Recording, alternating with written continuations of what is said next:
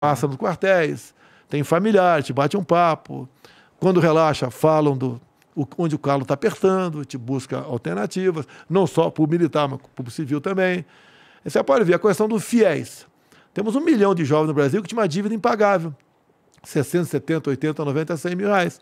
Que fizeram a faculdade lá atrás ou não concluíram, adquiriram a dívida e deviam para o Banco do Brasil Caixa Econômica. O que nós fizemos? Mandamos o projeto para o Congresso. Anistiamos em 99% a dívida dessas pessoas. Só pagam 1%. Tá? Em até 150 vezes. Resolvemos o problema dos inadimplentes. Voltaram a ser cidadãos.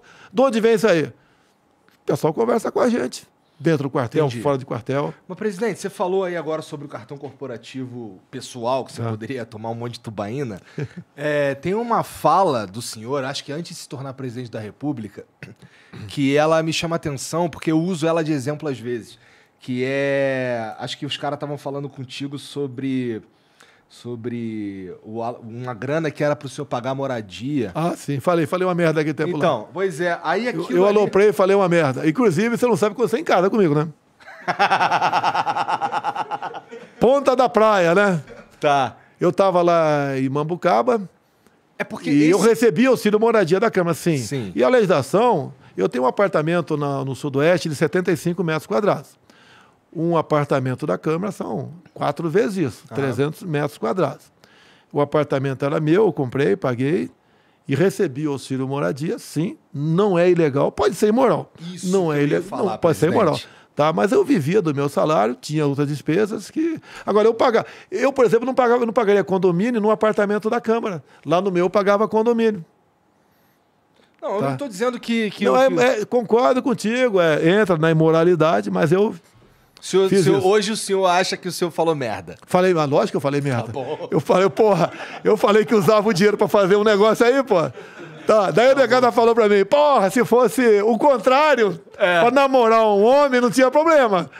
E eu não, não fazia nada daquilo. Cheguei em casa, minha mulher com o olho, imaginou, né?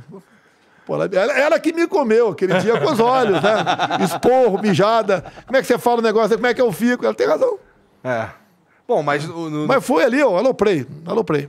Era aquela questão da Val lá de sim, lá sim. do açaí. Sim, sim, sim. né? Inclusive, quando a Folha de São Paulo teve lá, no início de, do mês de janeiro, de, foi de 2000 e... Puta merda. De 2018. Fez aquele escândalo. Val, empregada, vendendo açaí. Se você passar na Vila História de Mambucaba, tu vai ver a lojinha dela. Não faturava um salário mínimo por mês. Mas foi mais ou menos dia 10 de janeiro. Daí eu peguei na Câmara, peguei o boletim administrativo da Câmara. Entre 22 de dezembro e 21 de janeiro, ela estava de férias. Então a Folha foi em cima dela, é, pisaram na bola. Ela estava de férias, podia estar na praia de biquíni e fazer o que bem entendesse da vida dela. Uma senhora humilde, casada, tá, com o marido, tem um problema de saúde, o, o Denilson. Fizeram aquele escândalo com ela. Uma covardia. Inclusive a Folha, a Folha falou que eu morava numa mansão lá em Mamucaba, né? E alguns, né? Ah, vale 10 milhões. Eu botei a venda por um milhão. Ninguém quis comprar a minha mansão. Então, quem mora em Angra, eu peço. Muitos já fazem isso. Passa pela Vila História, quando for lá para Paraty, tira uma fotografia e mostra pro povo aí a minha mansão milionária. Agora, falei merda. Ah, uso sim para fazer isso, o auxílio moradia. Tá? Mas não fiz nada de legal. Tanto é que não tem nenhum processo, improbidade administrativa, nada tocante a isso aí, porque a legislação da Câmara permitia você ter um apartamento lá e receber auxílio moradia. Mas hoje a tua visão sobre. é, sobre manter isso daí é um Não, hoje, se diferente. fosse deputado, hoje o que eu faria? Eu pegaria um apartamento da Câmara, 300 metros quadrados, alugaria o meu lá e moraria no apartamento da Câmara, Sim. sem problema nenhum. Agora, no final das contas, não soma nada. Não soma nada tocante à economia, nada. Ó, sobre 2018, já que a gente foi falar disso daí, 2018, você falou um pouquinho antes aqui da gente começar sobre a facada. Você acha que a facada foi muito importante assim para você se- conseguir se eleger? Porque ela meio que. O que acontece? Ó, deixa, eu, deixa eu construir a minha ideia. É, se você chega com, com, como uma opção anti- anti-PT e um- num momento que o sentimento anti-PT era muito forte. Então, assim, até hoje as pessoas te chamam de mito e tudo mais, mas nessa época era mais forte ainda. E, e tinha no, no Bolsonaro ali uma visão meio de messias, Que é o teu nome. Meu nome, coincidência. É. Então, uh, eu entendo que, que assim, essa facada, ela, ela meio que te torna um mártir em vida. Você considera que ela te ajudou a se eleger? É, vamos aos fatos, né? em novembro de 2014, eu decidi vir candidato a presidente com a reeleição da Dilma. E onde eu te provo isso? Você entrar no YouTube, até vale a pena. Peço pessoal no YouTube, tá? Bota lá, manda. Pesquisem, isso aí. Academia Militar das Agulhas Negras. Tá? Em novembro tinha uma formatura, entrega de espadas aos jovens, estavam se formando, aspirantes. E eu estava passando, né? Eu fiz academia há quatro anos. E essa garotada, uns 400, estava pronta para entrar no pátio para ser declarado aspirante oficial. Uhum. Eu fui para dentro deles, bateram pau para mim. Eu sei que na formatura o pessoal bate pau para qualquer coisa, eu tá louco para ir embora, né? quatro anos na academia, pô, bacana. E daí eu dirigi a palavra para eles. Falei, inclusive, da possível morte minha. E eu falei que seria candidato a presidente. Juramos da vida pela pátria. Esse vídeo tá. É vídeo curtinho, deve dar uns 40 segundos. Tá? E comecei a fazer a minha campanha a partir dali, pré-campanha. Quando eu cheguei em casa, né, e falei para 2014? 2014, novembro de 2014. A eleição foi quatro anos depois. Foi. E comecei a andar pelo Brasil. Num primeiro momento eu nem acreditava. Eu, quando cheguei, por exemplo, sozinho em Manacapuru, tinha umas 200 pessoas lá no porto, né? eu olhei para eles e pensei: o que, que esse cara está pensando de mim? Né? E ele deve ter pensado a mesma coisa: o que, que esse maluco está fazendo aqui? E conversei com o pessoal de Manacapuru.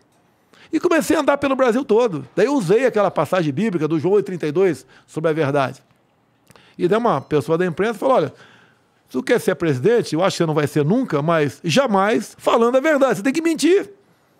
Se não prometer que vai fazer isso, fazer aquilo, consertar o Brasil, de cabo a rabo, você não tem voto. Eu falei, não, eu prefiro não chegar. E teve uma passagem minha por Cuiabá, Mato Grosso. Hum. Vale a pena falar isso aqui. Você não tem hora para acabar o programa, não, né? Não tenho, não. Inclusive, eu... ó, o senhor me dá uma dica aí ó, quando o senhor tiver de saco cheio. Não, então. não, não, não.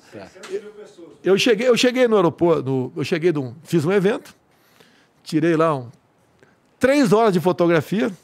Eu não sei quantas fotos foram, né? Três horas de fotografia, que era a minha imprensa, era essa, mídias sociais. Cheguei, cheguei no hotel três estrelas, morto. E quando você está cansado, você não dorme. Daí eu voltei, comecei a conversar com o atendente ali, que era, era, era tudo no hotel. Era tudo, né? Comecei a conversar, tá, tá, papo vai, papo vem. Daí eu falei para ele, tentar ganhar o voto dele, né? Um votinho para presidente, importante pra caramba, né? Falei que eu era candidato a presidente da República. Ele deu risada. Eu também daria risada. Como é que pode um cara chegar a presidente da República sozinho no hotel três estrelas, né? Um hotel humilde. Dado momento, eu falei para ele: o que, que é mais difícil? Eu ser presidente e você comprar esse hotel? Ele era um ferrado financeiramente. Eu era politicamente um azarado também. Eu falei: é muito mais difícil ser presidente. Eu acabei sendo presidente. Eu gostaria de encontrar com essa pessoa, não para dizer, olha, eu sou presidente, você continua tomando conta do, do, do, do hotel. É para falar, olha, você teve toda a razão em dizer que era muito, mas muito mais difícil ser presidente do que comprar o hotel. Aí tu vai chegar lá, o cara comprou um hotel. Se comprou, eu vou bater pau para ele. Vou dormir no hotel dele, pô. Tá? tá mas para mostrar para ele, quando você tem fé, você procura, você tem um propósito, você se dedica, se planeja, você atinge seu objetivo. Esse é um país fantástico. Você pode chegar a qualquer lugar. Eu saí do Vale do Ribeiro aqui do lado, região mais pobre do estado de São Paulo. A economia é banana. É o Dourado Paulista, já morei em Ribeira, já morei em Sete Barras, tá?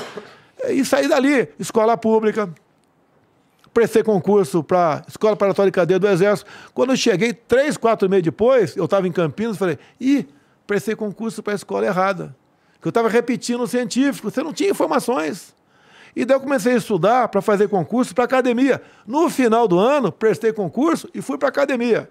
Então eu fui. Porra, eu fui bicho, bicho da escola paratória, primeiro ano tu só se ferra, né?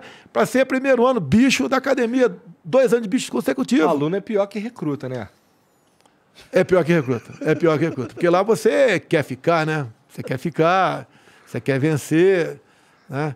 E Sim. se eu começar a contar a história da minha vida, aí você cai para trás, vai Vai achar como é que isso tudo aconteceu comigo. Por exemplo, quando eu prestei concurso, eu estava na praça em Eldorado Paulista, né? Só tinha um telefone público.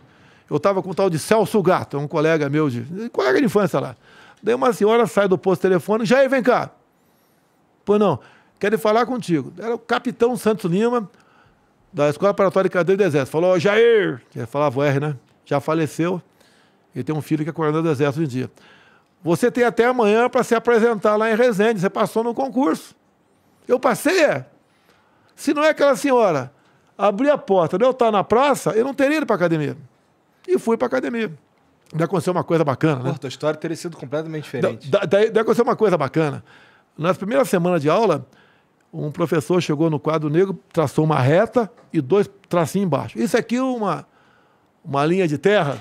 Linha de, linha de terra ou linha de ferro? Linha de terra. Era geometria descritiva. Quem fez o segundo e terceiro na escola preparatória sabia o que era, eu não sabia. Daí começou a rebater planos. Terceira dimensão, eu fiquei doido. Falei, não vou ser aprovado nisso. Pedi lá autorização para voltar a ser aluno da escola preparatória de cadeia do Exército, porque eu ia ficar reprovado. Daí um coronel lá, um tal de Oliveira, do serviço psicotécnico, me autorizou, eu fui para Eldorado. Peguei o ônibus Cometa, cheguei em Eldorado falei para meu pai, pai, eu vou pedir desligamento da academia em Resende. Ele não perguntou nem por quê. O próximo ano da Cometa, tu volta para lá e vai passar de ano. Voltei. Fui um dos melhores alunos de geometria descritiva. Então você tem um, você corre atrás, você consegue atingir seus objetivos. Não fui um brilhante aluno na academia, foi no terceiro terço, né? Tinha lá 68 na minha turma, fui décimo nono. Até porque a descritiva me tomou muito tempo de eu não estudar outras matérias. Ah, fui 01 da Escola de Educação Física do Exército. Tinha 45 tenentes e capitães, vai você 01, fui 01. Tinha um curso de mergulho difícil no GBS, Grupamento de Busca e Salvamento do Rio de Janeiro. Cheguei lá, tinha cara que tinha, já era mergulhador profissional. Falei, você é 01 desse trem aqui, foi 01. Tá? Muita vontade. Vai, você vai atrás, você vai atrás. Eu cuidava, eu ganhava minha vida em Eldorado, pescando com o Gilmar, né? Até eu cometi um, um erro no passado com ele, sempre me desculpei, né? E, mas ele me marcou negativamente, com razão, sobre um erro, não quero falar qual erro contra ele, o Gilmar, meu colega de pescaria. Tá? Geralmente roncava a trovoada, ele saía da escola, era, acabava 11 horas da noite, e da meia-noite às seis arrastando rede. Das seis às oito limpando peixe. E das 8 às 10, minhas duas irmãs e meu irmão mais novo vendendo peixe na rua. Só o dinheiro que eu sobrava, eu ia no cinema do seu Lelé, assistia o Tarzan. Às vezes você assistia duas vezes o mesmo filme e torcendo contra o jacaré que queria comer a Jane. Naquele tempo, comer a Jane era comer, morder a Jane, engolir a Jane. Uhum. Hoje é outra história. Tá? Também comprava é, versículos da enciclopédia a conhecer, onde aprendi a fazer sabão ali, por exemplo aprendi o que é espectro, por que o pessoal estudava os planetas, e de acordo com a luz, de acordo com a dispersão no espectro, você sabia qual era a composição química lá, da, lá daquele planeta. Daquele planeta não, né? O planeta não tem luz, daquele astro. E, e fui fazendo, aprendendo, vivendo, né? E vencendo na vida. Entendi. Ah. Sobre 2018 ainda, cara, é... você foi eleito pelas urnas eletrônicas, né? Sim, que vamos falar sobre tu... isso Hoje tu bate com força. Teve um evento Sim. lá que você chamou os, os, embaixadores, os embaixadores é, para basicamente falar mal da, das urnas eletrônicas. Mas já foi eleito pelas urnas eletrônicas desde o começo, que elas foram implantadas, Olha, né? Eu apresentei lá atrás um projeto para o voto impresso. Mas Outros... em 93 o senhor pediu para ser urna eletrônica. Não foi? Não, lá atrás, no começo, eu apoiei a eletrônica. É. Mas você pode ver. Hoje falei com banqueiros aqui na Febrabran. Uhum. Eu perguntei por que, que vocês gastam uma fortuna para se precaver de, de ataques cibernéticos. E a gente não? O Brasil não? Ah, eu falei para eles, vocês podem ter um órgão em Brasil, não falei que era o TSE, né? Tá. Vocês podem pegar a tecnologia lá e deixar de gastar uma fortuna com isso. É tudo se aperfeiçoa. Agora, o que acontece? Eu não falo de urna eletrônica, eu estou me comportando como um magistrado da questão do eletrônico. Eu falo que estão nos autos. O que aconteceu? 2018. Eu, candidato, facada, primeiro turno. Em dado momento, apareceu uma fotografia na televisão da apuração. Apurado mais ou menos 10%, é, 10% apurado quase 90% do, sul, do, do Nordeste e aproximadamente, e aproximadamente 40% do Sudeste. Eu estava com 49%. Ganhei eleições. Pô, quando acabou o primeiro turno, passei para 46. Espera aí. O forte do PT é o Nordeste. Fiquei chateado, tudo bem. Segundo turno, eu ganhei. Daí aconteceu algo fantástico. Que eu falo para a imprensa, a imprensa não quer ouvir. Eu dou o inquérito da PF de 2018 para quem quiser. Para quem quiser. Apesar do Supremo falar que ele é confidencial, não é confidencial, estão mentindo. Quem fala é o Barroso e o Faquinha estão mentindo. Tá? Então, se, uma, se, uma, se um jornal procurar o senhor atrás disso daí. Ninguém quer procurar. Já ofereci para todo mundo. Posso mandar para você uma cópia do inquérito. Então, o que aconteceu? Houve uma denúncia de uma lauda dizendo que os hackers ficaram dentro do TSE por vários meses e poderiam ter feito um montão de coisa. Quando a ministra Rosa Weber tomou conhecimento daquela denúncia, imediatamente ela pediu para abrir um inquérito. Que se houve fraude, fraudou quem ganhou. Eu havia fraudado. Sim.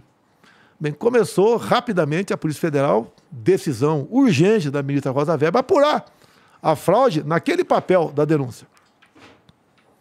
Então, e rapidamente o TSE começou a prestar informações. Então, o que eu vou falar aqui está assinado pelo seu Giuseppe. Giuseppe. Giuseppe, é o, é o, é o chefe da UTI, lá do. Giuseppe tá. Giannini. Giuseppe, Giuseppe Giannini. E ele escreve lá, responde ao TSE: olha, desde o início de março de 2018 até o segundo turno, os hacks ficaram dentro do TSE. O TSE que disse isso para a PF, não sou eu. Diz mais que eles ficaram com a senha de um ministro. E esse ministro, de nome Banhos. E diz mais que vários outros senhas, inclusive do braço direito do senhor Giuseppe Giannini, teve a senha também capturada pelos hacks. O TSE que diz isso, meu Deus do céu, não sou eu que estou dizendo. Não sou eu que estou dizendo. Isso inquérito de 2018. 18, sim, novembro de 2018. Mas a Polícia Federal pega, pede os logs. Qualquer órgão público, houve invasão, eles têm obrigação, independente de pedido, fornecer os logs que você pode fornecer poucas horas depois. Poucas horas depois. A PF pede os logs, que o TSE tinha que ter informado. Pede os logs. Sete meses depois, o TSE diz que os logs foram apagados de forma inadvertida por uma empresa que fez manutenção dos computadores. Meu Deus do céu. Parece um erro de amador. Isso daí. Olha, eu posso tirar uma conclusão disso, mas não quero aí ser acusado de leviano. Uhum. Alguma coisa acertada com os hackers entre o primeiro e o segundo turno não foi cumprido. Se fosse cumprido, eu acho que o resultado poderia ter sido diferente. Acreditar no eletrônico, você pode acreditar, mas você acredita em quem faz o programa? Por que, que é uma sala cofre apuração. A lei diz que a apuração tem que ser pública. Eu não estou com medo de perder a eleição, não estou preocupado com isso. Ah, ele quer. Se eu quisesse dar golpe, eu não falaria nada. Deixa correr no último dia dar o golpe. Ou você fala que vai dar golpe agora? Por que essa acusação de golpista para cima de mim? Eu quero a trans... Nossa palavra é transparência. Mais nada além disso. E daí o que aconteceu? Até hoje o inquérito não foi fechado. Quer ver uma coisa fantástica? Eu peço que ele está em casa, pega um, pa um papel e uma caneta. Anota aí. Começou a apuração das eleições em São, capital São Paulo em 2020. Tá? Primeiro turno. Com 0,39% das urnas apuradas, o sistema tem um blackout. Trava o sistema.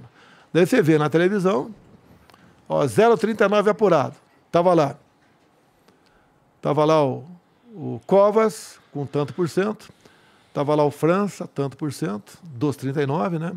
Estava lá o Celso Russomano, Bolos, do primeiro ao sexto. De repente, destrava o programa e vai para o 100%.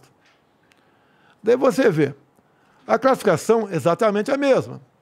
Covas, França, Bolos. Do... Pode acontecer? Pode acontecer.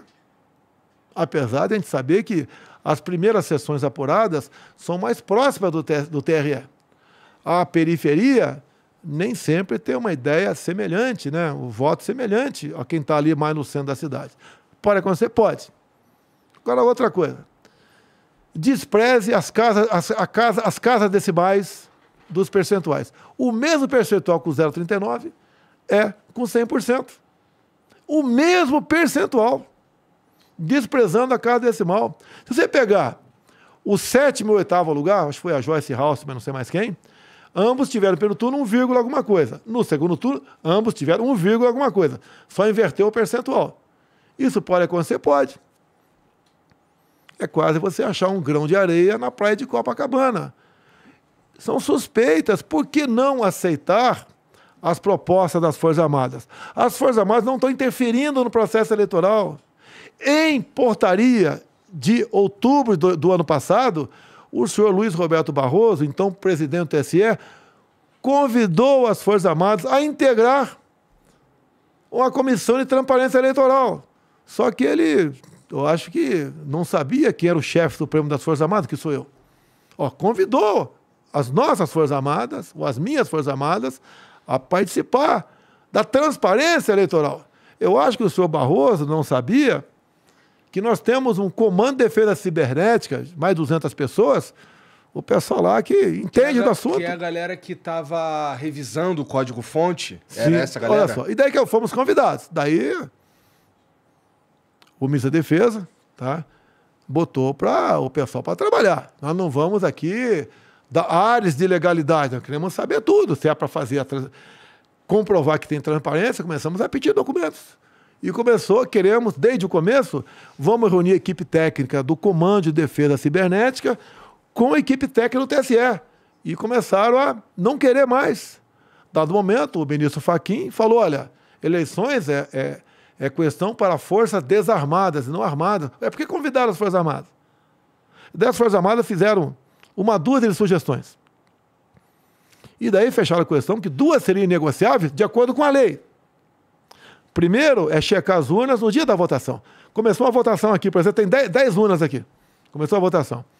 Tá? Via sorteio, aqui, por exemplo, pega aquela urna, 8 da manhã, bota para cá, faz de conta que deu pane, bota a urna reserva lá e faz a votação normal. Do lado de cá, começam pessoas a votar sabendo que estão sendo filmadas. O Igor. Foi vai... esse, porque assim, o, o, o que eu vi é, o que foi pra mídia era que o exército queria filmar todo mundo Não, votando. negativo, negativo.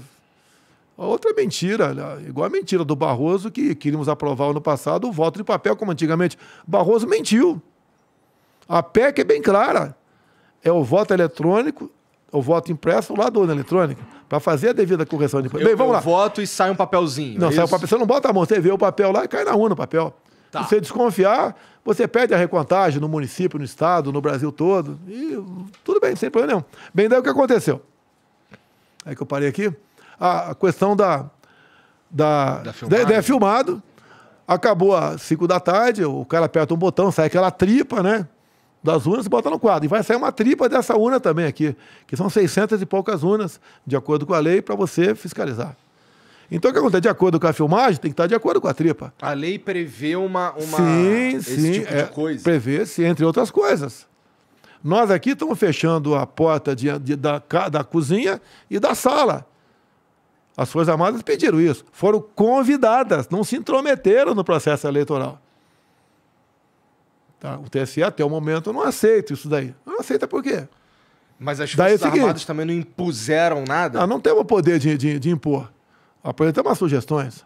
Agora, a gente não vai participar de figuração. Eu te pergunto, por que, que são convidados observadores internacionais para ver as eleições aqui? Eles vão fazer o que aqui? Se fosse o voto no papel, como antigamente, ele vai ver, abriu a urna, contou, tudo bem. Mais informatizado, vamos fazer o que aqui? Mesmo nossos técnicos, se não, for, se não fizer isso, a, a, a inspeção da urna no dia da votação, tá? a gente não tem como fiscalizar nada. Então, esse primeiro momento, é quando, 5 da tarde, essa urna aqui, dessas 600 urnas, foram pelo Brasil todo, uhum. que foram colocadas aqui, quando tu apertar o botão, como foi filmado, você vai saber como você votou, que é, que é forma aleatória, tem que dar o mesmo valor lá. Por que, que o TSE se nega a fazer isso aí? Daí você vai para apuração. O que, que diz a lei na apuração? É um ato público. Como é que é feita? Tem gente desconfia da Mega Sena.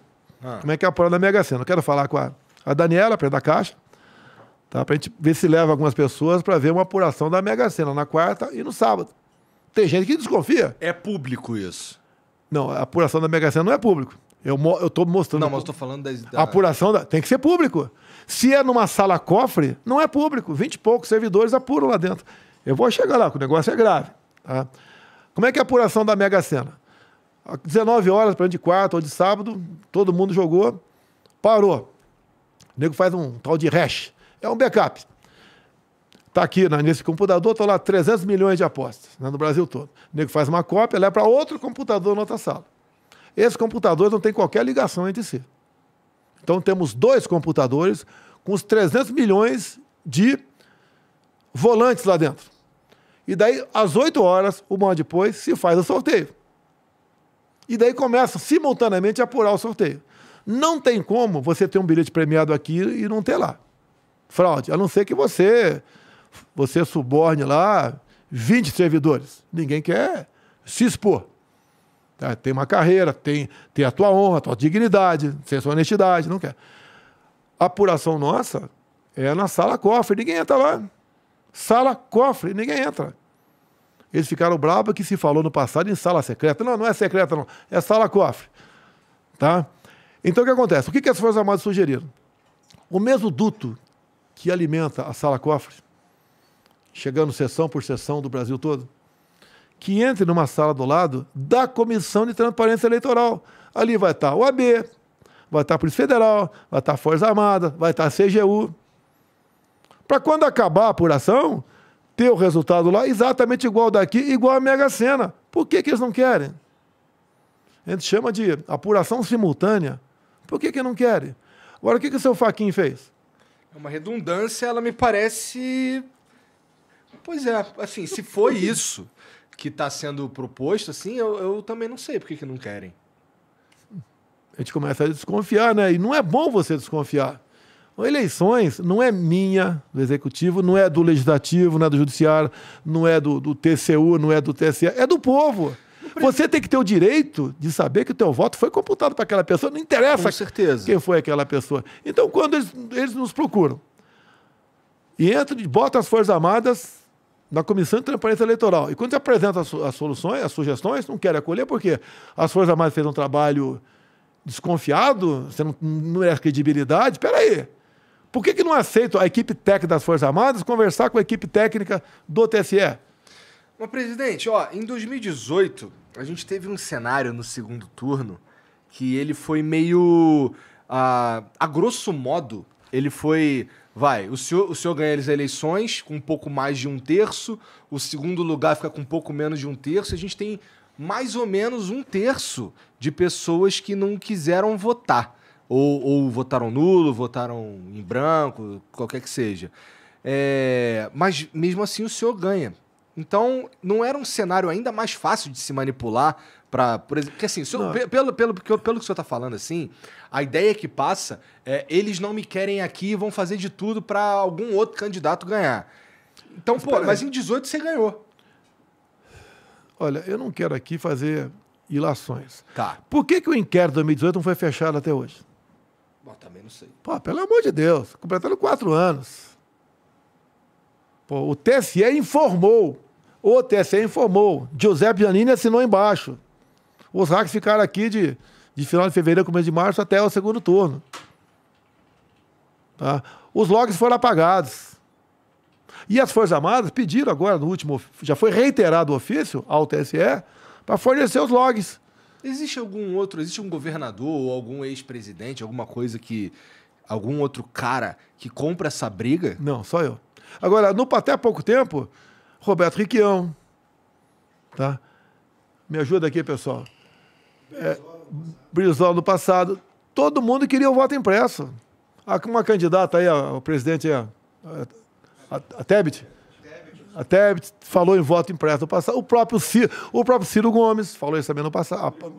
Rodrigo Maia. Todo mundo Mas querendo passado, voto impresso. Um passado longínquo? Ou... Não teve de longínquo até 2018. É. Tá? O próprio ministro Barroso. Olha só. O Rodrigo Maia foi o relator de uma proposta para o voto impresso. O presidente da Câmara era Eduardo Cunha. Bem, uma história muito complicada, uhum. bonita, mas pouco tempo aqui. Foi aprovado. O atual presidente do Supremo Tribunal Federal, como eu participei na confecção dessa emenda, o ministro Fux pediu para eu falar com ele. Eu fui falar com o ministro Fux. O que, que ele falou para mim? O deputado, é, vamos, em vez de ser tudo voto impresso ao lado da urna eletrônica, eu estou querendo propor 5%. Eu falei, bacana. agora que pulverize os 5%. E falou, não, vai ser pulverizado. E começaram a trabalhar, então, na confecção de uma impressora ao lado do, do voto eletrônico. O ministro Barroso, até tem vídeo dele, difundindo o voto impresso ao lado da eletrônica, falando ao lado do confiável sistema eleitoral, temos agora esse outro, para que não haja mais dúvida da lisura do processo eleitoral. E o que aconteceu ano passado? Bem, depois o Supremo, por maioria, disse que era inconstitucional. Eu não sei por que inconstitucional o voto impresso ao lado do eletrônico. Não tem por que inconstitucional.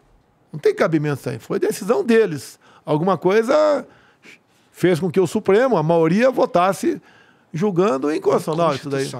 É, inconstitucional. O que é uma coisa inconstitucional? É uma despesa que não pode ser feita e você fez. Tá? Contrário, você quer, por exemplo, aprovar a pena de morte. Está tá na cláusula PETA lá que pena de morte não pode existir no Brasil. Isso é inconstitucional. Tá? Agora, o que aconteceu no passado? A deputada Bia Kiss apresentou uma PEC para o voto impresso. O que aconteceu na iminência de ser colocado em votação na comissão? O ministro Barroso foi para dentro da Câmara dos Deputados, fazendo política, o que é proibido, o que é crime para eles fazer política. Foi lá e constrangeu lideranças partidárias para não aprovar a PEC. O que, que no dia seguinte as lideranças partidárias fizeram, a maioria delas? Trocou os integrantes da comissão, botando deputados para votar contra a PEC do voto impresso. E tanto é que nós perdemos na comissão. Daí que o Arthur Lira fez? Resolveu, como não era, podia até encerrar ali, resolveu, não, vamos dar outra chance. Levou para o plenário. No plenário nós ganhamos a votação pelo voto impresso, mas não conseguiu 308. Voto impresso, o senhor está dizendo ao, esse, esse Ao é lado híbrido. da urna eletrônica, tá. que você não bota a mão no papel, nem leva o papel para casa. Você vê no visor, você concordou que está na tela aqui, viu no visor, aperta o botão, cai na urna aquele papel. O senhor, o senhor, o senhor tem consciência que é, não é isso que, que a população brasileira fica sabendo? Ela fica sabendo distorcido. Quando a própria imprensa me chama, só falta me chamar de mentiroso, falando que eu estou atacando a democracia. Uma das, uma das principais coisas que, por exemplo, quando a gente vê discurso do Lula, quando a gente vê é, alguns jornalistas e tal, eles estão falando que o senhor, na verdade, é um, é um atentado à democracia. O que, que nós queremos? O que, que as Forças Armadas querem, já que foram convidadas? É mais uma camada de transparência. Por que, que são contra? Qual o problema da gente pegar 600 urnas por sorteio pelo Brasil e fazer esse teste filmando aquela urna para o lado de cá? Por que é contra? Porque um, um, programa malicioso pode estar dentro daquele computador. É que eu falei na Febraban hoje. Por que, que vocês gastam uma fortuna né, dessa guerra cibernética para evitar que hackers transfiram contas ou saquem dinheiro de vocês. E os caras falaram para mim, olha, gastamos uma fortuna realmente. Não, eu fiz uma brincadeira, olha, tem um órgão em Brasília que o sistema é impenetrável, é inviolável, é inexpugnável. Aí o pessoal sorriu. Pô. Sim. Olha, agora você pode ver. Vamos lá, uma coisa importante. Ah, o presidente Bolsonaro se reuniu com embaixadores para criticar a ONU. Não. Eu me reuni com os embaixadores para mostrar o inquérito de 2018, que não tem qualquer classificação sigilosa. Mente Barroso e mente Faquinha eu dizer isso. Nossa, Porque... eu estava criticando as urnas eletrônicas. Espera aí, vamos lá. Tá. Vamos lá. O que eu mostrei foi o inquérito de 2018. Tá? Agora, o que aconteceu dois meses antes? O senhor ministro Faquim, presidente do SE, se reuniu com 75 embaixadores ou representantes. Quem trata de política externa sou eu, presidente da República, junto com o meu ministro lá das, das Relações Exteriores. Ele se reuniu com 70 e poucos embaixadores, falou, falou, falou da urna eletrônica, uma maravilha. É tão, tão bacana que nenhum país do mundo quer essa urna nossa, a não ser Bangladesh, Butão e mais um outro perdido por aí. Tá? E falou no final: olha, quando, por ocasião do final das apurações, vocês, embaixadores, devem imediatamente se dirigir aos seus respectivos chefes de Estado e reconhecer o ganhador das eleições. Só faltou ele falar que era o Lula. Esse foi que o Faquinha falou. Daí eu repus a ordem na casa. Falei do inquérito 2018, como conversei com você aqui. Que nós queremos a transparência, porque a fama minha lá fora é de golpista. Não quer aceitar o resultado das eleições. Nós queremos eleições transparentes, limpas. Existe uma. Existe... Se o Lula está na frente, ganhando o primeiro turno, por que não aceitar essa outra camada de transparência para o Lula ganhar, para evitar que alguém fraude, derrote o Lula na fraude. Por que não? Suspeito o negócio, né? O senhor, o senhor vê no horizonte aí um, alguma possibilidade de, de que haja esse tipo de mudança na, na, nas eleições? Porque. Eu estou esperando, eu acho que dá para a gente negociar isso aí, tá? As Forças Armadas junto lá no TCE. Apesar de nós termos reiterado o ofício pedindo informações, esclarecimentos, tá? É, que nós não queremos ser uma moldura nas eleições. Eu falei do caso de São Paulo para você agora há pouco. Uhum. Pode acontecer? Pode. Você achar um grão de areia que eu joguei em Copacabana? Pode achar? Pode. Tá? E tem mais coisas também que você. Entendi. Não, mas a gente não quer polemizar esse assunto, não é queremos transparência, mais nada. As Forças Armadas não estão se intrometendo na, na, nas eleições, foram convidadas. E se foram convidadas, elas querem mostrar né, que nós participamos da Comissão de Transparência Eleitoral e você pode acreditar no resultado que tem, desde que se aceite isso. Não tem despesa. A despesa é nossa. O senhor, o senhor já parou para pensar como é que seria um resultado adverso nas eleições? Se, é, o que, que você ia, Olha, que você a gente não pode, a gente não pode concluir uma eleição sobre o manto da desconfiança de um lado ou de outro. Não é vai fazer ou não vai fazer. Você pode ver, eu ando pelo Brasil todo, sempre andei. Como eu sou tratado, não no local do evento, às vezes uma inauguração, um, um evento religioso, é ao longo do percurso todo. Como o povo me trata. Muito bem, como eu tive agora em Recife.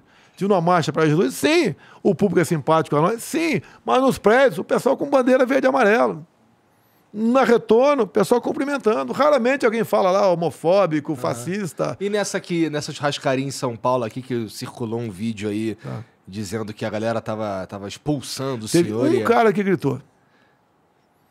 Segundo aqui, está faltando a informação do nosso amigo aqui que ficou, né? O cara gritou, é um marqueteiro. Mas o senhor tá, conseguiu um cara... almoçar em paz? Não, não, almocei. Eu tenho, botei vídeo depois, eu tiro fotografia com todo mundo. Um cara gritou igual um doido varrido. Fora Bolsonaro! É, acontece. Um cara gritou. Tá. Tá? Entendi. Agora, se acha que fosse maltratado nesse lugar, eu, eu não iria mais. E vou.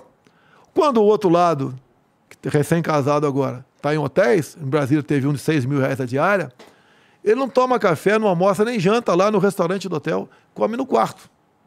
Porque ele não é bem-vindo até em restaurante do hotel que ele está hospedado. Olha a diferença. Então o que a gente não quer, não gostaria? É que qualquer lado levantar suspeição, meu Deus do céu. Eu não estou com medo de perder uma eleição numa democracia. O medo é perder a democracia numa eleição. Eu podia ficar quieto. Para mim é muito mais fácil estar do lado de lá. Ou não é? Com certeza. Só tenho dor de cabeça. Esses dias circulam jornais, né? Bolsonaro, eh, se não for reeleito, será preso. É preso por quê? É Mas tem um movimento, presidente, e o senhor talvez possa me esclarecer sobre isso. Tem um, um, há um movimento, segundo alguns jornalistas e tal, eu li isso daí na mídia e tal, é, que tá, tenta dar a ex-presidentes um, uma espécie de cargo vitalício. Já ouvi, eu, vi, eu li isso aí. Para que não, não, não, não tenha uma certa anistia ou uma imunidade, de certa forma. Sobre... Não estou interessado nisso. Vão falar que eu estaria pedindo arrego peidou na farofa, né? O linguajar. Uhum. Não, não estou interessado nisso. Não quero essa imunidade. Eu quero meu país democrático. Eu não quero que meu país entre no trenzinho da Cuba, Venezuela, Argentina, Chile e Colômbia. Eu não quero meu país indo para a esquerda, onde, por exemplo, os direitos e garantias individuais são suprimidos. É, cada vez mais nesses países você vê que a liberdade de expressão deixa de existir. Aqui o outro lado fala abertamente em controle social da mídia, fala em limitar aqui as mídias sociais. Até você seria limitado aqui. O outro lado fala que não podemos permitir fake news. Quem vai dizer o que você falou agora é fake news ou não? É a turma lá do Supremo Tribunal Federal, a mesma turma que prendeu. Que democracia é essa? Que, os, que um, um, um ministro supremo prende um deputado federal. E não foi por pedofilia, não foi para ter matado ninguém, por ter falado. Não interessa o que ele falou. Eu não gostaria que falasse aquilo de mim. Ou você vive numa democracia que tem liberdade ou você não vive. Que democracia é essa que você vê durante a pandemia, né, governadores, muitos, né, fechando igreja, Você não fecha nem em época de guerra, tu fecha igreja. Algemando mulher em praça pública, caçando surfista na praia, ou dando toque de recolher. Tem um município de Goiás que tinha a sirene, como se fosse a Segunda Guerra Mundial, a aviação vai atacar. Oh! Teve um município do Rio de Janeiro. Como é que é? Como é que é? Oh! ah, teve um município do Rio de Janeiro que o prefeito falou: ó, hoje só sai de casa quem for CPF par, amanhã CPF ímpar. Assim como tem rodízio de carro em São Paulo. Sabia disso. Por decreto. Fizeram barbaridade. Olha só, que democratas são esses que assinaram essa carta pela democracia e fala que eu sou ditador? Quando eles tomaram medidas restritivas mais graves do que um possível decreto de estado de sítio. Para eu baixar o estado de sítio, que possui época de guerra, comoção nacional, etc. Eu mando o decreto para o parlamento. Se o parlamento concordar nas duas casas, eu imponho o estado de sítio. E qualquer coisa errada, eu pago ao pato. Muitos governadores e prefeitos fizeram barbaridade e não pagaram pato nenhum. Ainda foram aplaudidos aqui por, por autoridades lá em Brasília, como se estivesse defendendo a vida do cidadão. Mas e é diga que essa coisa, foi a toada do mundo, não foi, presidente? Mas qual o problema que é no mundo? Você tem que ter a tua política aqui. Vamos ficar subordinado ao MS? Tá? Você vê uma coisa bem clara. Diz a história: quem abre mão de um pouco da sua liberdade para ter segurança, acaba tendo, não tendo nem segurança nem liberdade. Isso a história mostra para gente. Olha, eu estou fazendo isso, te restringindo, dizendo que aqui, igual o governador do Rio Grande do Sul, nessa gôndola aqui você pode comprar o que está aqui, naquela você não pode, mas é para o seu bem. Ué, por que, que é para o seu bem? Quem é ele para dizer o que é meu bem? Quando começou a decidir quais são as, as atividades essenciais, eu queria botar lá. A atividade essencial é toda aquela necessária para o homem ou a mulher levar comida para os seus filhos em casa. Por que, que é essencial você ser enfermeiro? Que é essencial. E não é para um cara que está vendendo pipoca na praia. Porque leva comida para casa em cima da pipoca. Tá? Então começaram a restringir liberdades pelo Brasil. Essas pessoas que assinam agora manifesto pela democracia, que é um grave ataque à minha pessoa, como se não fosse democrata. Olha, o que, que os artistas que assinaram querem? A volta da Lei Rouanet. Eu não sou contra a cultura. Tá? Agora, quando eu assumi a Lei Rouanet, um artista podia pegar até 10 milhões da Lei Rouanet. Nós passamos rapidamente para 500 com critério. O que, que a CUT quer? a volta do, do, do imposto sindical. Foi o Temer que tirou lá atrás, mas eu mantive do meu governo, que queriam rever essa, essa questão. Não, não, vou acusar banqueiro agora, não, não. Os banqueiros são essenciais também, como qualquer outra atividade no Brasil. Mas levaram uma paulada com o Pix também. O Pix foi o meu governo que criou. Como assim levaram uma paulada? Ah, porque não tem, ah, não, tem taxa. Não tem taxa, não tá. tem taxa. Quanto é que deixa de arrecadar para Não sei, 20 Puta bilhões. sacada do Pix. Você entende essa sacada do Pix? É o Banco Central, Roberto Campos. Agora, o que acontece? Parece que no começo eu ficava meio assim, putz, esses caras estão querendo saber o que, que, eu faço com o meu dinheiro. Tem que botar o CPF lá. Não, não. Ih, não vou usar Pix, não. não. não. O, Mas aí foda-se. O, Coaf, é o Coaf e a Receita sabe a tua vida toda. Fica, sabe, fica né? Muito melhor do que você está pensando via Pix. Muito melhor. Fica tranquilo, tá certo? Então, poxa, o Pix transformou muita gente que nunca tinha entrado num banco como um microempresário. Ele faz seus negócios ali acabou. Eh, você pode ver, a violência também diminuiu do Brasil, no meu entender, em parte do Pix. Porque as pessoas Diminu... não andam mais com dinheiro na carteira. É, na carteira, o, cara, o cara do comércio, que ia fechava a feira dele 10 horas da noite ou meia-noite, ele passou a trocar 30 BR para você, 50 para outro no Pix ali. É o Pix Sac, né? Uhum. Começou a melhorar. Começou, começou a aparecer uns golpes começou, também. Nós, estamos aposentando o caixa eletrônico. Assim como aposentamos a máquina de escrever lá atrás, aposentou-se o orelhão também, ninguém mais sabe o que é orelhão, né? É. Ah, vai as coisas vão mudando. Só não muda a urna eletrônica. Essa não muda. Nunca. Tá? Não estou desconfiando.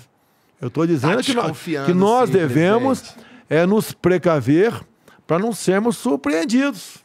Depois que acontece, não adianta você pedir VAR depois que aconteceu. E graças a Deus, parabéns, ministro Barroso, sou seu, seu admirador, que o senhor convidou as Forças Armadas para fazer parte da Comissão de Transparência Eleitoral. Um beijo, Barroso. Ó, uma coisa sobre as eleições que é interessante e que eu gostaria que o senhor comentasse. Lá no começo, quando a gente começou esse assunto, eu falei sobre é, o Messias, sobre o Salvador da Pátria. É, existe uma cultura no Brasil, e eu não estou falando só desse cenário assim, extremamente é, polarizado, mas existe uma cultura no Brasil da gente votar como se fosse um, um, um, um, concurso de, com todo respeito, um concurso de Miss ou de influenciador do Instagram. Quem é o cara que tem mais seguidores? Assim, porque, ó, honestamente, eu não sei qual que é o teu plano de governo e também não sei qual que é o plano de governo do Lula. Eu faço uma ideia de qual seja o plano de governo do Ciro, porque ele escreveu um livro e tudo mais. É, o que, que você pensa sobre as pessoas votarem muito mais no, no, no baseado no sentimento do que na de forma racional? Primeiro comigo, o pessoal cansou de PT PSDB. Cansou. Cansou basicamente de PT. Tá. Mas o PSDB, olha o Alckmin aí. Lula! Lula! Eu tô com vergonha. Lula! É, tô é com esquisito vergonha. mesmo. Mas é um aceno. Voltando à cena do crime. Mas, é, mas é, não é um aceno é, no sentido de, olha aqui, ó, tô gerando um governo de coalizão que todo mundo vai conversar, não você tão à esquerda. É, Marcola e Beiramar se unindo para combater o narcotráfico no Brasil. É por aí. É por aí, tá? Então você pode ver. Onde foi parar os marqueteiros do PT? Na cadeia. Quando você vê na televisão, é aquela coisa maravilhosa. Né? Tem aquela piada, né? Do político quando resolve ir para o inferno. Ah. Né? E quando chega no inferno, tá quente. Daí ele fala pro diabo, pô, você falou lá atrás que tinha aqui, tinha tudo, mulher, vinho, cerveja. Não. Deu o diabo fala, não, estava em campanha lá atrás. Estava em campanha. Mas isso é o político do é, Brasil. Mas, mas né? é isso aí. Quem foi meu marqueteiro? Me aponta aí. Quanto eu gastei na minha campanha? Eu gastei 2 milhões e meio de reais. 2018. 2018. Dá A, menos. Agora tá melhor, vai. Não, eu vou, eu devo pedir, né, dinheiro para poder aqui fazer meus vídeos, etc. Porque meu partido cresceu demais, mas quando o deputado vai para o partido, não traz o fundo eleitoral. O teu partido, na verdade, foi criado agora, né? Não, não, não, não, não. Peguei um velho partido aí, mais ou menos velho, que é o PL, Partido Liberal. Tá. Tinha outros partidos querendo meu passe, né? Mas resolvi lá o PL e estou lá no PL. Agora nós passamos para 78 deputados. É um partido que tem tudo para, pelo menos, manter esse número de parlamentares. Agora, não é fácil fazer campanha, apesar do fundo partidário. Quem tem um bom fundo partidário é meu ex-partido, o PSL. Pô, mas Vai ter tu pra... que deixou os caras ter o fundo eu partidário? De... Não, não, não. Esse fundo, esse fundão foi, foi votado em 2017. Eu não era presidente ainda. Tem um fundo partidário normal. Não rolou agora aí sinistreza de 6 bilhões? Não, não. Sim, eu vetei. Derrubaram o veto. Tá? Tem um fundo normal, que sempre teve, e depois apareceu ter um fundão, a cada dois anos, uma grana para lá. Uhum. Tá? Tem, o PSL, por exemplo, vai ter para gastar esse ano quase um bilhão de reais. Que mudou de nome, né? Fundiu-se com o Democrata, uhum. União Brasil. Não vou reclamar, não vou falar nada. Fiz a minha parte. Igual a pessoa me acusa de orçamento secreto. É isso mesmo, não? É, ah, então, vamos falar sobre tá. isso. Esse lance do, do, do, dos 6 bilhões aí, é, ele tava no meio ali do orçamento, não é? Tá. E aí, a, a Carla, a gente eu conversei com a Carla aqui, e ela tava falando que não teve jeito. Teve que, que engolir esse sapo aí. É isso mesmo? Não, na segunda vez, sim. Eu não vou vetar de novo algo que vai ser derrubado. É, é fazer desfeito para o Congresso. Não. O senhor. Eu ele... fiz a minha parte lá atrás, vetei. O senhor é contra con... essa parte aí. O Congresso derrubou o veto. Até o PT votou para derrubar o veto. Que pós de moralista. O PT pós de moralista agora no orçamento secreto. Ah. Primeiro, se é secreto, como é que está publicado no Diário Oficial da União? Bem, o que, que é isso aí? Chama-se emenda de relator. Criou-se, no meu governo, iniciativa de parlamentares, o tal do orçamento chamado RP9, né? o orçamento secreto. Uhum. Então, na hora de 16 bilhões de reais. Que é uma grana. É uma grana, 16 bilhões. É. Quem decide para onde vai esse dinheiro é o relator. Quando foi aprovado, eu vetei. Um tremendo desgaste junto ao parlamento. O parlamento derrubou o veto. O PT, eu não sei se foi unânime, mas pelo menos a grande maioria votou para derrubar o veto porque é dinheiro na mão dos parlamentares. O relator, ele que negocia. É, quem é o relator? É um homem, um deputado federal, que conversa com o parlamento e dê 16 bilhões, por exemplo, para você eu dou 200 milhões, para ele um milhão, para ele zero. E quando eles mandam essa proposta para nós, nós temos que executar. Eles dizem o que vai ser feito com esse dinheiro. Daí eu falo que esse orçamento secreto eu manipulo para ganhar o teu voto. É, não é para comprar uns votinhos, não. Mas eu não tenho nada a ver com orçamento secreto. Eu sou obrigado a executar o orçamento secreto. Chega lá para Quem teve essa ideia? um parlamentar. Um parlamentar teve essa ideia, criou ali a parada, Entrou mandou lá. pro senhor, o Não, não, vetou, vetei, sim. daí voltou e eles derrubaram o veto. Tanto é que, isso? na verdade, o pessoal fala que quem faz lei é o executivo e o legislativo. Não, quem faz a lei é o legislativo. Sim, é o previsto. É quando eles fazem a lei, né? E o veto, eles mantêm o veto ou derrubam o veto. Então a última palavra é deles. Quando eles fazem uma proposta de emenda à Constituição, não passa por mim.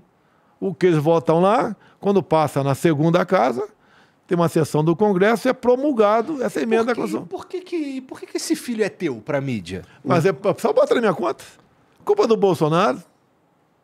É, porque assim, esse filho, mostrando. esse filho é totalmente teu na mídia. Sobre Na o, sim. o, o voto. o- Eu estou o comprando secreto. voto com orçamento secreto. É, orçamento secreto. Primeiro que não é secreto, que está publicado em Diário Oficial da União. Outra que eu vetei essa verba extra. Mas foi tua base que inventou isso, presidente? Você pega de todos os partidos. É. Eu acredito que de todos. Pode ser que eu tenha me equivocado Tá aqui. bom. Eu posso até fazer o levantamento e te mandar aqui para ser para o Tá próximo bom. programa você botar aí. Mas praticamente todos os partidos. Eles- Isso é, isso é meio o- sujeira, né? Não? o, não, o que, que eu vejo? Tem deputado que manda para boas obras. Agora, de- como eu te falei, eu posso dar o cara pode dar 200 milhões para você e nada para outro cara aqui do lado, de Não acordo com a tua influência. não foi disso aí que surgiu aquele papo de tratoraço? Ah, sim, sim. bota foi? na minha conta. Vai para minha conta. Então, o senhor não tem nada a ver com isso? Nada, zero. Eu sou obrigado a executar o orçamento. Entendi. Tanto é que é uma briga. Você, hoje em dia, sendo o relator do orçamento, você tem mais poder que qualquer ministro meu. O Tarcísio mexe 7 bilhões por ano. Aham. Lá, 16 O bilhões. senhor, vai- o, senhor, o senhor corre o risco de perder o Tarcísio, né? Porra, eu fico com uma dor no coração terrível, né? Eu quero que o Tarcísio tenha sucesso. Vai ser bom para São Paulo, excelente para São Paulo, um baita de um gestor. Conversei com o Tarcísio aqui, ele me surpreendeu, É. porque a gente foi falar de uma, de uma rodovia que tem lá em Magé. Ele lembra de cabeça E o nome ele da sabe, eu fiquei, Sabe. cara, ele falou inclusive onde era. E nesse, nessa conversa aí, com todo respeito, ele, ele falou aqui também que ele só tem uma bola. É igual a BR-319, que liga ali é Rondônia, né, Porto Velho a Manaus. Foi dada agora, depois de vários anos, uma licença provisória por parte do IBAMA. Uhum. Trabalho do Tarcísio, trabalho do Ricardo Salles lá atrás, para a liberação ambiental, atualmente do ministro Juca. Extremamente controverso, É, Ricardo pô. Salles também. É, aquele caso dele, não tem nada. Bom, tem um, um recorde de queimada na Amazônia e tudo mais, né? Bem, vamos lá. Quando, de forma covarde, como sempre, né, executaram duas pessoas lá no Vale do Javari, Sim. que é o que um, um, um, um lá do, O do indigenista Reino Unido e um... o indigenista. Isso. Tá? O Dom e o... Esqueci O, nome. daí um, um ex-presidente falou, no meu, comigo vai ser desmatamento zero. Lá, lá tem tráfico, lá tem tudo ali. Ali é terra de ninguém. Os caras que saem, como eles saíram, pelo amor de Deus, pô. É você subir uma comunidade do meu Rio de Janeiro, que agora está protegido pelo Faquin, né? A polícia não pode entrar. É você vai pedir para se dar mal. Você conhece, é do Rio de Janeiro. Vai pedir para talvez entrar no micro-ondas. Os caras foram. Daí esse, um, um cara aí que já foi presidente, né? Quando eu for presidente, o desmatamento vai ser zero. Daí eu peguei um assessor meu, O liga. senhor faz uma boa imitação. Gostou, né? Inclusive, deixa eu ler, deixa, deixa eu ler aqui o, o, o tema aqui, já que é uma boa imitação, deixa eu fazer na prática, né? Tô lendo aqui o, o teu menu aqui. O cardápio, Tô, tô lendo. né? Ah, não, peraí, peraí. tá, daí eu pedi, olha, pega os três primeiros anos daquele cara, É. veja o desmatamento e veja meus três primeiros anos. O dele deu um pouco acima do dobro do desmatado nos meus, meus três primeiros anos. Então, então palavra, né? Vale qualquer, aceita qualquer coisa. Tu lembra quando ele falou, né? Eu estava com o Jaime Ler no interior, lá no, na, na França, e falei que no Brasil tem 25 milhões de crianças de rua. O cara joga números. Joga números. Tá, vamos lá pro debate. Tá? O senhor iria para um debate Vou, agora? sem problema nenhum. Tá? Inclusive, teve um mal entendido com a Globo agora. Teve. Tá? E eu vou no debate para. Debate não, é Nossa, uma vai nessa entrevista. batina ali. Eu não vou lá me su sujeitar o cara perguntar abobrinha para mim. Querer cumprir tabela comigo. Tá? Vamos discutir as questões do Brasil. O que, que o senhor considera abobrinha? Ah, vão querer pegar um negocinho sobre a saúde, não sei o quê, do plano, não sei do que, para não sei onde, que não interessa a população. A população tem que. Interessa o que eu fiz ao longo de três anos, que eles nunca mostraram a verdade. Nunca mostraram a verdade. E eu tenho que mostrar a verdade. Eu quero falar pandemia, vacina, PIX, fiéis, carteira nacional de habilitação, é, rodovias, ferrovias, nióbio, grafeno, Amazonas. O nióbio e o grafeno, cara, nunca mais ouvi Não, falar sobre só. eles. Eu comecei a falar em 2016. Sim. O grafeno foi apareceu no mundo em 2004.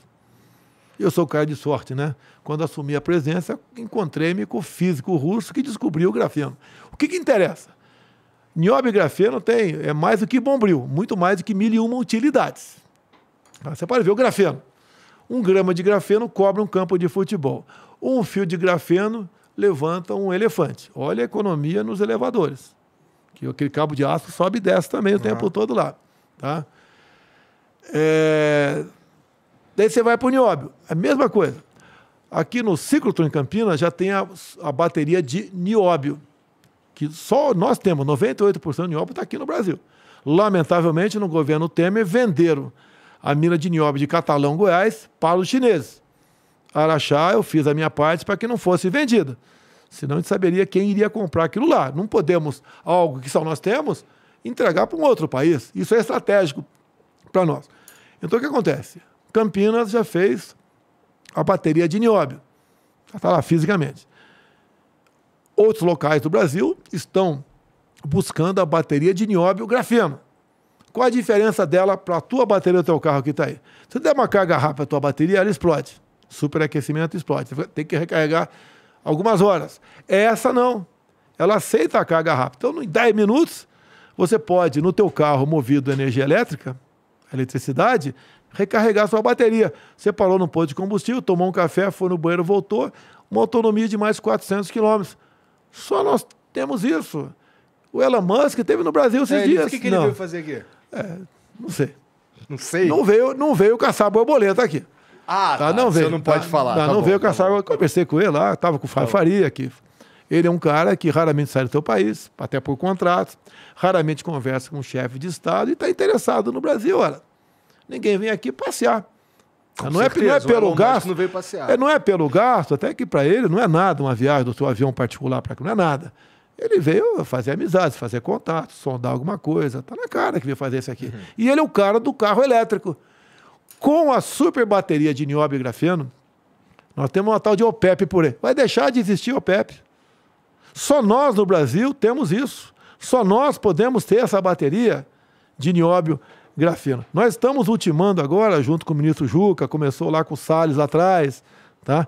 é, nós construímos, começar a construir com capital de fora, que não temos capital para isso, é, eólicas offshore, ou seja, as torres de, com catavento no mar. Podemos. Somente no Nordeste? No, sim, só no Nordeste a capacidade estudada pode ser equivalente a 50 Itaipus, onde você vai tirar ali o tal de hidrogênio verde. Hoje no Nordeste a gente tem um parque eólico sinistro, sim, né? sim. Nós, por exemplo, dobramos do ano passado para agora, no último ano, a, a nossa energia solar. Sim. em parte, fiz a minha parte. Zeramos o imposto de importação de placas fotovoltaicas, por exemplo. Como estamos trabalhando com o Jorge Seife, que é o, o garoto lá de Santa Catarina, que era o secretário da Pesca, zerar os impostos da ração de peixe. Você pode pensar, e daí? Olha, o Lago Itaipu vai nos dar Falta só acertar com o Paraguai, que o lago é binacional também. A, a, a piscicultura naquela região, para nós aumentarmos em 40% a produção de pescado no Brasil. E quando começar em outros locais, PCH, por exemplo, ao ratinho. Porra, é. 40% no Brasil inteiro? Sim, só o Lago Itaipu nós temos capacidade com tilápia aumentar em 40% a produção, o volume de pescado no Brasil. Porra, interessante. Quer ver uma coisa que o Jorge Sei fez? Ah. Tinha uma lei estadual, meu Deus do céu, uma lei estadual no Rio Grande do Sul, ah. que não permitia, por exemplo, pesca de arrasto ali nas costas do Rio Grande do Sul e, por tabela, pegava Santa Catarina e São Paulo. E estava parado no Supremo. O Joyce foi lá, conversou com o ministro, que era o Cássio, por coincidência, e o Cássio tornou inconstitucional a lei lá, que tem que ser. Quem legislou mais sou eu. Né? É, eu e o Congresso Nacional, e não a Assembleia Legislativa e o governador do Rio Grande do Sul. E agora o pessoal pode pescar de arrasto camarão na costa do Rio Grande do Sul, Santa Catarina e Paraná. O que o camarão fazia quando era não era permitido pescar? Ele migrava lá para a Argentina, o pessoal pescava lá e vendia aqui. Então, essa questão de visão é dada a liberdade que eu dei para os ministros e a liberdade que, dei, que os ministros deram para os seus secretários, para correr atrás, buscar alternativa. Por que o Brasil não afundou na economia em 2020 e 2021? 2014, 2015, perdemos 3 milhões de empregos com carteira assinada. Qual foi a, a pandemia? Foi corrupção. 2020 e 2021, anos terríveis da, da pandemia, foi criado quase 3 milhões de empregos no Brasil, um saldo positivo, saldo positivo. O que, de onde vem isso aí? Vem da iniciativa, da capacidade, da turma do Paulo Guedes, da, dos ministérios de maneira geral. O senhor sabe dizer onde majoritariamente esses empregos foram criados? Não, é espalhado. É. É espalhado. Agora é no Brasil todo. Tá. Você pega Santa Catarina, dá um estado que, que tem várias placas lá de precisa-se. Temos um problema de mão de obra. Pessoas que não estão qualificadas, a educação nossa, né? o ensino, é ruim. Pois é, presidente, isso é uma coisa que é, ela é perene no Brasil, assim, não tem uma, uma política de educação. Não, não é que, que não é... tem. Ah. A educação é o transatlântico. Você não, não pode. Igual o quartel, né? Frente para retaguardar. Não é assim. O senhor girou muito no quartel? Pô, nossa, eu fiz o curso de paraquedismo. Pô. O senhor sentou e levantou um monte. Olha, sangue, até sangue na mão. né? Mas tava, tava uniformizado, não tava, não tava pelado. Tá. Então tava uniformizado, deixar bem claro. Foi isso que eu quis dizer. Porque no meu Se ano os caras rodavam Eu dou uma de costinha, não sou incentável. Tá. tá. sou 3i, sabe? Sou 3i? Aham, uhum, sei. Ah, então tudo bem. Não vou baixar o nível do programa, não. o que a gente estava falando? Estava falando sobre. Esqueci, também esqueci. A educação. A educação. Olha, nós ficamos dois anos praticamente sem, sem escolas fechadas no Brasil. Foi uma perda enorme. O atual ministro. Evidenciou também uma, uma questão é, que assim, a gente, teve, a gente foi com as escolas fechadas e os alunos de casa não conseguiam estudar por falta não. de equipamento de acesso. Não, mas, não, mas não, não é por falta de acesso. Bem que você fizesse um aplicativo, uma pequena parte ia estudar. Mas a galera não tem nem o, o, não, o agora, tablet, agora, o, celular para O que, que, nós fizemos? Tem um aplicativo nosso agora, vai para as escolas. Ah. Você faz um teste na molecada e pega a molecada das mais variadas séries e, e leva para um grupo. Esse pessoal tem deficiência nessa parte aqui da matéria tal. Uhum. E o professor tem condições com outro aplicativo buscar uma maneira de fazer essa molecada recuperar esses dois anos perdidos. Eu sempre falei que não podíamos fechar escolas. Apanhei igual o cão sarnento na, na porta lá do, do açougue. Tá? Porque a criança ela é assintomática. Você não vê criança internada por Covid. Você não vê criança internada por Covid. Bom, não lembro realmente de nenhuma criança. Não tive. Olha, aqui eu posso falar, logicamente, que eu tenho mais informações que você. Uhum. O pessoal reclamava para UTI de adulto. Ninguém reclamou, está faltando UTI infantil. Tanto é que várias UTIs infantis foram transformadas em UTI para adultos. Porque a criança é assintomática. Então, você não pode parar o Brasil. Você morre de Covid, mas morre de fome também. E daí não é incompreensão, é porrada em cima de mim. Eu sou um presidente que mudou a forma de fazer política em Brasília. Até há poucos anos, você, você ouvia tal partido ganhou um ministério, tal partido perdeu outro ministério, ou não era assim? O Banco do Brasil está com tal era. partido, o BNDES está com tal partido. Era assim. Estatais, era assim. O acabou. senhor veio com a proposta dos ministérios técnicos. Sim, foi que feito. foi uma das coisas que, que mais me chamou a atenção no que, no que, na sua campanha. É... Depois eu conversei com uma galera dizendo que, que isso não ia durar muito, porque no governo você precisa fazer concessões. O senhor acabou tendo que fazer concessões mesmo, né? Segundo escalão, sim, em alguns casos, sim. Mas nós temos hoje em dia é compliance nos ministérios. A gente prota né, antes do crime ser consumado. A gente não quer prender ninguém, quer evitar, não é que aquela pessoa não seja presa, quer evitar que a corrupção seja feita. E lá cada ministério tem lá gente da Polícia Federal, é da Receita, da CGU, do TCU, que pegam esses contratos e trabalham o tempo todo em cima disso. Nada vai para frente sem ter, um, ter o chamegão deles. Nós botamos um ponto final nisso. da festa que existia nos ministérios. Há poucos anos, era dois, três escândalos por semana. Qual escândalo teve no meu governo de corrupção? Me responde qual escândalo. Covaxin, que nós não compramos.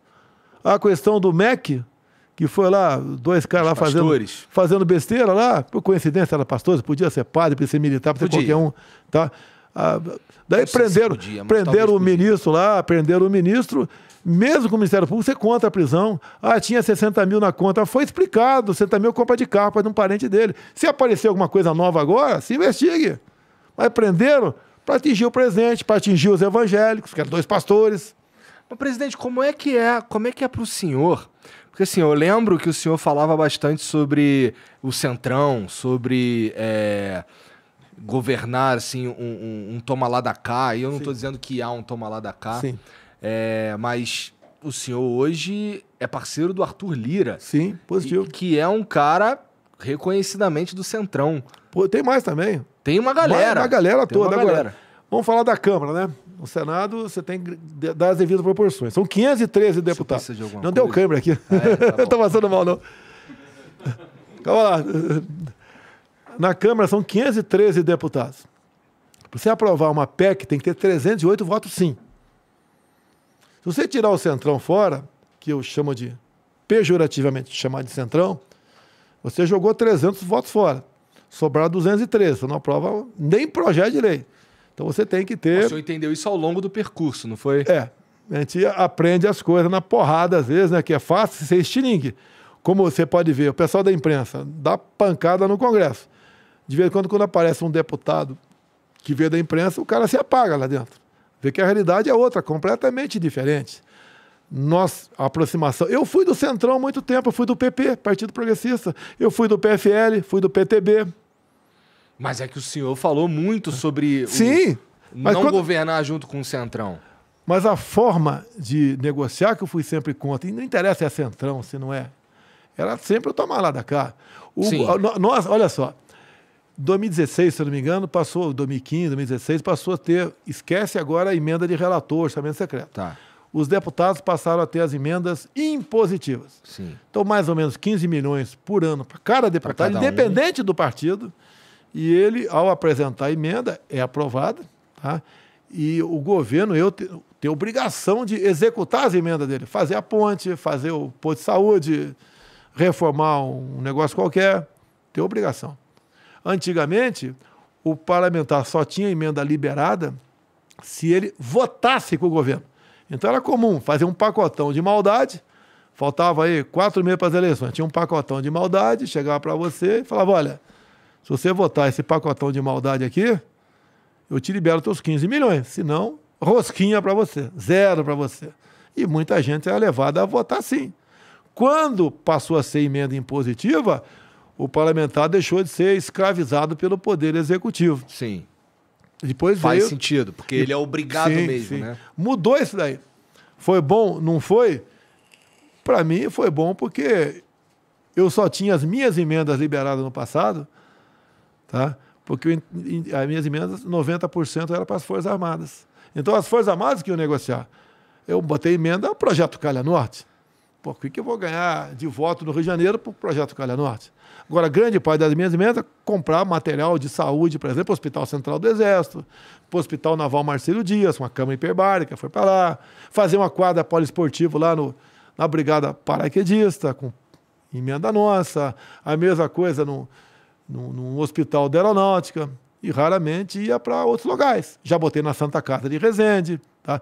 tinha mais dificuldade para liberar. As Forças Armadas que trabalhavam, eles tinham interesse em liberar. E eu daí liberou, comprou lá uma tom, um tomógrafo, eu botava no meu panfleto lá, olha, com meu dinheiro, uhum. emenda minha. Eu podia dar para um prefeito. Agora, qual o problema que dá o prefeito? Tem muito prefeito honesto, mas se o cara faz uma besteira, quem paga a conta é o deputado. Eu lembro quando saiu o escândalo das ambulâncias.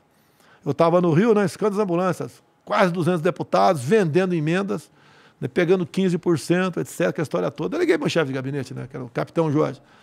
Jorge, tem alguma emenda para ambulância aí? Ele me deu um trote. Tem. Eu falei, caramba, estou ferrado. Algum tempo depois, ele, longos minutos, fique tranquilo, deputado, não tem nenhuma emenda tua para ambulância. Porque se tivesse, mesmo de boa fé, mesmo não tendo recebido os 15%, estava ferrado. Tem uma deputada do Rio que teve esse problema. Ela arranjou emenda para ambulância e, e realmente não tinha nada a ver, não pegou nada. Tenho certeza que ela não pegou nada, mas foi massacrado pela imprensa. Então a questão da emenda é por aí. Você, o parlamentar, passou a ter independência. Hoje, se fosse para dividir irmãmente tudo que é obrigatório, cada deputado poderia ter direito a 30 milhões por ano. É dinheiro para burro, são 120 milhões no mandato. Um deputado com 120 milhões por mandato, de acordo com os locais que ele bota fazer obras necessárias, como o Tarcísio, por exemplo, falou: olha, vamos acabar com as balsas do Brasil. Então, os deputados que quiserem na tua região acabar com balsa, fazer uma ponte, que ajuda a ganhar tempo de para transportar alguma coisa, para levar alguma coisa, é, não tem o, um caminhão custa média 200 reais, vai, vai diminuir o preço do, do, produto que chega lá naquele, naquela região. Ele está reeleito. Agora, tem que trabalhar ao longo de quatro anos. Tem que. E está aí, poxa, eu estou falando para vocês. 30 milhões por ano em média cada deputado. É um baita de um dinheiro. Bem aplicado, 10. Agora, tem deputado que bota para coisa que para mim não tem interesse, para você... Daí, pode... Isso daí, esses 30 milhões seriam se a gente pegasse a grana que é usada no orçamento secreto sim, sim, sim. e redistribuísse. Exatamente. Por que, que não é assim? Não, porque ali vai o tráfico de influência, daí no deputado tem mais poder, é, ele, eu quero 200 milhões para mim. E o senhor não consegue Não, não tenho nada. nada, zero. Eu apenas cumpro. Tá. É. E o lance da... Porque assim, ó, esse ano, é, até o final do ano, vai ter o, o Auxílio Brasil. Como é o é, Mudou de nome, o Bolsa Família. Uhum. É, em, em, o ano passado mudou de nome em dezembro, passou uhum. a ser Auxílio Brasil. Uhum. Passamos de média 190 para no mínimo 400. Tá. E olha só, o PT votou contra isso no Congresso, deixa bem claro. O PT votou contra. Por quê? Para a gente aprovar os 400 reais, a gente precisava é, parcelar o pagamento dos precatórios acima de 600 mil reais. Até bater em mim que eu estava parcelando o, o, os precatórios da professorinha. A professorinha não tem 600 mil para receber. Tá? Parcelamos os, os, aquelas pessoas que a gente devia bastante. O PT votou contra. Conseguimos, com o Centrão, aprovar o parcelamento, estendemos a dívida e aprovamos o 400. Agora, o que aconteceu? Veio do parlamento a proposta, logicamente, eu concordei que a gente tem poder de colaborar, ajudar. Você está falando da PEC kamikaze? Isso. Não, não é kamikaze. Não é PEC boca de urna. Vai, falar, vai ver para o pobre na ponta da linha que teve inflação majorada agora nos produtos alimentícios, por exemplo, por ocasião da pandemia e da guerra. O que, que ele achou dos 600? Mas por que, que o pessoal até, até, A esquerda bate em mim, a imprensa bate em mim. Mas o cara a, pegando... esquerda não votou com o senhor nessa daí? Não, não, não. não, não. Os precatórios atrás foi contra. Não, agora, agora. agora eles discursaram contra, pesado é PEC boca de urna, PEC kamikaze, não é sei o quê. Parece isso, presidente. É, é. Vá senhor... falar para o mais humilde o que, que ele achou. Mas por, não, nem assim, não é uma falar. questão. Assim, eu realmente acho. a inflação que... foi alta nos alimentos. Sim, assim, é, é, é mais do que Agora, necessário. fizemos com responsabilidade. Por que, que a gente não fez isso ano passado, presidente? Não tinha clima para fazer ano passado. Quando começou o auxílio emergencial em 2020, você sabe quanto era gasto por mês com auxílio emergencial 50 bilhões de reais. Teve um deputado aí que se engraçou, vindo candidato a presidente, agora vai apoiar o Lula, né? Ah. É, exigiu, né? O Lula, presidente, manter os 600. Vai ser mantido os 600 com responsabilidade. Por que, que a esquerda não fez lá atrás, o, não majorou o, o Bolsa Família, que estava em média 400, é, média 190 reais, e tinha gente que ganhava 80 reais. A mãe passou a ganhar o dobro. Esse dinheiro do auxílio emergencial não deixou a economia morrer, que era dinheiro na veia dos municípios. Não, não tenho a menor dúvida disso. A minha questão é, é, é assim. É, a gente não poderia ter feito isso antes, presidente. Por que, que o PT não fez? Não, não peraí. Eu não sei por que, que o PT não fez. Não, mas a gente vai fazer no momento certo. Por exemplo, os combustíveis. Lutei um ano contra o lobby dos combustíveis. E você pode ver, nós aprovamos, muita briga, ninguém fala nisso, a venda direta do etanol. O que acontecia até há poucos meses? Hum. O usineiro produzia o álcool aqui, ele era obrigado a entregar para o distribuidor a 300, 400 quilômetros 400 de distância. Daí, mesmo distribuidor trazia o álcool de volta para cá, a 10 quilômetros da refinaria. Nós permitimos às usinas vender diretamente o posto de combustível. Tá. Nós acabamos com o, com o álcool turista. Passou a ficar mais barato. Faz sentido. A questão, a questão das da, do preço do ICMS, o que aconteceu? No início do ano, foi aprovado um projeto mexendo aqui no ICMS do diesel. O que que, então, ia cair mais ou menos 30 centavos do diesel. O que que os governadores fizeram? A grande maioria. Reuniram via Confaz e aumentaram 30 centavos. Daí, descumpriram uma lei nossa, minha, que eu sancionei, né, e do Congresso. O Arthur Lira foi uma das pessoas que basicamente levou a proposta, essa outra para frente, de botar no teto no ICMS dos essenciais. Que são essenciais? Combustíveis, comunicações, Energia transporte e energia elétrica. Tem estado aí que cobrava mais de 30% em ICMS de energia. Já chegou a conta nova. Uma diferença enorme. Passou para 17%. Não, também, outra coisa que não dava pra gente fazer Não, antes. não dava para não dava para fazer antes, porque é uma luta contra os governadores. Ah, Os governadores arrecadavam bastante em cima disso daí. Você pode ver, quando nós votamos a redução do ICMS no Senado, todos os governadores do PT foram contra. Ou seja, reclamavam que estava alto o combustível. Na hora que tem uma proposta, eles votam contra. Então o que, que interessa para a esquerda? Quanto pior, melhor. Para falar, olha, quando eu chegar, vou resolver o assunto. É Guerra política, guerra pelo poder. Lutar com o lobby dos combustíveis é um negócio terrível para ser educado aqui para você aqui. Tá? E fizemos isso aí, o apoio do Arthur Lira, que é um grande responsável por isso. Vamos ter deflação esse mês, né? Ninguém tem dúvida disso. Estou guardando os dados oficiais chegarem mais de 1%. Interessante o senhor falar com essa energia do Arthur Lira, porque eu fico imaginando Mas o é- Bolsonaro de cinco anos atrás. Mas que ele é o dono da pauta. Ele bota para votar o que ele acha que ele é o dono da pauta. Ele é, de Ele é o fato. dono da pauta. É, é, você tem que passar por lá, mas, passagem ele, mas obrigatória. ele alcança esse patamar com a ajuda da tua base também, sim, né? sim, sim. E quase ninguém votou contra a redução do ICMS nos combustíveis, nos essenciais. Então agora você tem que ter aliados. Tá? Eu discretamente ajudei o Arthur Lira a ser presidente da Câmara. Sim. tá? Interessante, porque é, é todo Eu fui do partido dele por 20 anos. Ah, por que, que todo mundo do Centrão é, tem que ser rotulado de alguma coisa? É porque, com todo respeito, presidente, era. Era. É- era. Muda! Você não acredita no que em quem mergulha no Rio Jordão, pô? Não, muda mesmo. Mas não é, um, não é uma. Não costuma ser uma característica muito comum para político, né? Não, o senhor mas- se sente refém da tua base? Não, não se refém, até porque aprovamos muita coisa. O marco ferroviário do Tarcísio, por exemplo. O Tarcísio fez ressurgir o modal ferroviário no Brasil. Nós estamos terminando. Timidamente a- ainda. Não, não é timidamente. Não. Não é? A o ferrovia, senhor sabe mais a que ferrovia Norte-Sul, que é privada, Ah. estava parada. O Tarcísio entrou, relicitou, eh, fomos atrás com o Salles, com, depois com o Juca, com o Salles, né? A questão de, de problemas ambientais. E daqui a dois meses, no máximo, a Rumo vai inaugurar 4.100 quilômetros da ferrovia Norte-Sul. Eu chamo de coluna vertebral, né? As costelas é a FIOL, é a FICO, a Transnordestina, é a Ferrogrão, que está parada no Supremo Tribunal Federal. Mas a gente vai resolvendo. O que, que o Tarcísio fez no novo marco ferroviário também? Foi no Congresso, negociou as concessões. Ou seja, nós já temos pedidos para que 20 mil quilômetros de rodovias, ferrovias, sejam construídos no Brasil pela iniciativa privada. Então, o grande fazendeiro de Mato Grosso, de Goiás, não sei de onde, que ele quer fazer uma ferrovia de Qual o 50, incentivo que 100. ele tem? A ferrovia é dele. É dele. É dele. Tá. O transporte ferroviário é, é um dos mais baratos. Né? O, mais barato sabe, o, o- o governo apenas permite. não, não atrapalha. Tá. O governo tem uma capacidade enorme de criar dificuldade para vender facilidade. Tem eu mesmo. tive, eu tive, por exemplo, um, ano e pouco atrás entrou um grupo de empresários na presidência, daí um falou para mim, ô presidente, pela primeira vez fui na SPU, Civil Patrimônio da União, e não fui achacado. Era comum ser achacado em qualquer lugar de governos anteriores.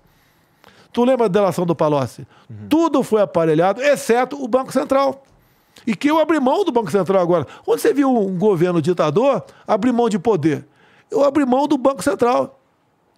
Paulo Guedes achou que era necessário, que é um banco independente, combate melhor a inflação, que é a atividade do Banco Central, é essa, uma das principais.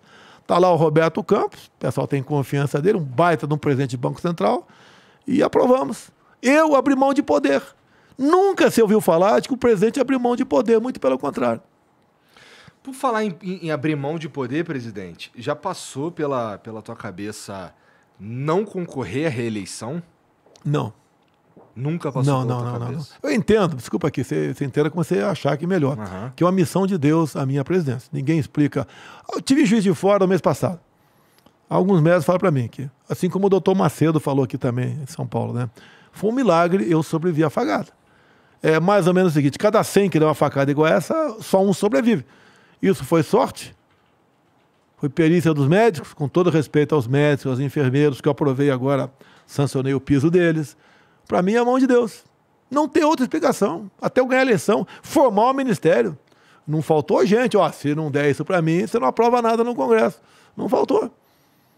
E conseguimos vencer. 2019, fizemos coisas que ajudaram na pandemia a gente não, não ser um desastre na questão do emprego. Como a lei da liberdade econômica. Vamos falar nível bem mais humilde. O que, que é a lei da liberdade econômica? Por exemplo, você queria vender cachorro-quente no teu município, na pracinha, ou queria abrir uma pequena pizzaria, uma barbearia, um salão de... Tua esposa aqui no salão de beleza. Ela entrava com o pedido de alvará na prefeitura. Aqui levava meses, até anos. E o cara ficava esperando. E não resolvia o assunto. A lei de liberdade econômica, quando você protocola o pedido de alvará, se em 30 dias a prefeitura não te der, você já pode abrir seu negócio. Tive aqui no Guarujá um tempo atrás, de moto, parei, fui comer uma pizza. Deu o cara pegou, me chamou na cozinha, pequena pizzaria, né? Olha, devo isso aqui à tua lei da liberdade econômica. Quer satisfação melhor do que essa? Ajudar o povo? a não ser achacado muita, por alguns, alguns maus prefeitos? Você falou sobre, sobre a mão de Deus e tal. É, a religião, a tua religião, ela, ela norteia, de certa forma, o teu governo? Olha, eu sou cristão, eu sou católico, a minha esposa é evangélica. Uhum. Não temos nenhum problema no tocante a isso. A Bíblia nossa é exatamente a mesma. É bem parecida, mas tá? não é exatamente. Não, é, eu, ela acredita, ela tem uma fé enorme. Tá. Até quando ela falou na convenção, confesso, eu não sabia que ela tinha essa capacidade toda de se expressar. Falou muito bem lá, como tem. Começou a andar comigo por aí, falando muito bem, em especial para o público evangélico. Como agora, é, lá em Recife, por dois momentos na Marcha para Jesus, ela falou. Tá? Agora, você vai ter um ponto final exatamente como eu vou ter o meu ponto final. E se não enterrar, o urubuzada vai comer nossa carcaça. Até hoje, o Paulo Guedes, é, falando, né? Olha, o, no... o Paulo Guedes, hein? O nosso, o, o, nosso corpo, é, o nosso corpo é mais do que um ajuntamento de átomos. É, não é? Ó, ó, ou não é? Tem gente que diria que é. Não, é, é mais do que o ajuntamento. Você, é nós somos ajuntamento de átomos. Somos. Somos. Igualzinho. E hoje eu comecei a minha, minha, minha conversa lá na Febraban. na Febraban, falando o seguinte: olha, quanto mais rico e poderoso é o homem, mais ele acha que é imortal. Eu comecei por assim. Todos nós somos mortais. E, na verdade, né, o que dinheiro pode garantir muito para você é um bom forno crematório. é Nada mais além disso aí. O pessoal tem que entender Tá? Eu não sou pregador, não sou padre nem pastor. Que nós temos um ponto final. E no dia do ponto final, tu vai apresentar teu currículo. O teu currículo não é o curso que você fez. Se é que você existe, presidente. É. Não, peraí. Quem não acredita em Deus, eu não vou perseguir. Acredita em Deus. Eu, eu, não vou perseguir quem não acredita em Deus. É um direito dele. Eu acredito. Então, nesse dia do juízo final, qual é o teu currículo? O que você fez aqui na terra e o que você não fez. Você não pode. Você tem que entender que que uma vez um cara lavou as mãos e mataram Jesus. Tá? Então a omissão é, uma, é um no meu entender, é um pecado também. Tanto é que eu sempre falo, né? Eu peço a Deus mais que sabedoria diz que Salomão pediu lá atrás. Eu peço força para resistir, que é foda. É foda resistir essa, essa pipoca dessa cadeira aqui. E coragem para decidir. Eu vou ter que decidir mais cedo ou mais tarde certas coisas. Não vou entrar em detalhe contigo. E, e complemento com a outra passagem bíblica. Nada temeis, nem mesmo a morte, a não ser a morte eterna. Se eu tivesse dormido lá em Juiz de Fora, tinha sentido nada. Eu acordei com a minha maca batendo no avião, olhando o doutor Macedo na minha cara. Eu, quem é esse cara aí? Depois acordei de novo quando o helicóptero da Polícia Militar me pegou aqui no, no aeroporto e me levou para o hospital. Se eu tivesse morrido, não senti nada, não precisa ter minha morte, ninguém vai procurar a morte aqui. O que eu pedi para Deus naquele momento, não deixe minha filha de sete anos órfã. Só isso. Que fica imaginando, tem muita gente aqui que perdeu os pais muito cedo, nem conheceu o pai. A dor que é você conhecer, é quase igual um cego, uma pessoa que é cega. Se ela nasceu cega, ela não, não sabe o que é luz. Agora, se ela, na nossa idade, de repente fica cega, como é que você vai se comportar, sobreviver a essa vida toda? Então eu acredito em Deus, ponto final. Por que evangélico, não são todos, mas a grande maioria fecha comigo? O outro lado fala, vamos botar os pastores nos seus devidos locais. Os militares também, os padres também. É que devido local é esse? O outro lado fala, o aborto é questão de saúde pública. Cada um pensa o que bem entender do aborto. Tá? Mas o cristão é contra o aborto. Eu já falei. O Estado é laico, mas eu sou cristão. 90% da população é cristã e ponto final. Vote em outra pessoa que pensa diferente para atingir os seus objetivos. Se aprovar o Congresso, não, não acredito que aprove, sobre o aborto, eu veto. Mas então, acho, volta e eles podem... Acho, mas vai ser... De, hoje em dia, é difícil aprovar o aborto no Congresso. Tá? Vamos supor que aprova, vai ser apertado. Quando eu veto, a metade do, do 513 são 257. Você tem 257 não ao veto para fazer valer lei. Agora, por outro lado, o evangélico, o cristão também sabe. Se o PT voltar ao poder, ele bota dois ministros supremos o ano que vem. E vai botar dois abortistas lá. A exemplo que o Barroso defende o aborto, por exemplo. E daí, eles podem aprovar o aborto, que virou ativismo judicial. O Supremo agora faz qualquer coisa. Tá? aprova o aborto, como, o, como a Suprema Corte da Colômbia aprovou o aborto do seu país também. Pessoalmente, pessoalmente, eu sou contra o aborto. Eu não consigo imaginar uma situação que eu pediria a minha esposa para abortar. Por outro lado, eu não sou a favor também de um, de um burocrata me dizer o que, que eu vou fazer com a minha vida. Não, mas a questão não é burocrata. Para você viver em sociedade, você tem que ter leis. Tem. Você pode fazer Mas é que isso, não pode é uma fazer lei aquilo. essencial para a sociedade? Tem gente que acha que é essencial. A Argentina, por exemplo, aprovou, teve festa na Argentina. A Argentina tem tudo, tem aborto, tem linguagem neutra agora, tem tudo lá. Eu não sei por que começaram a fugir da Argentina. Por que será? Economia. É, não, o meu ponto ele é basicamente. Uh, é, eu tenho um pouco de receio é, se o, o, os governos eles são baseados em alguma literatura é, religiosa, porque elas costumam ser bem restritivas, sabe? E, e, e, eu, e, eu, e eu, eu não sei, eu acho que o governo, acho que o Estado ele devia se meter menos na vida das pessoas. Por exemplo, com quem eu vou me casar. Ah, mas peraí, você pode viver com união estável com quem você bem entender.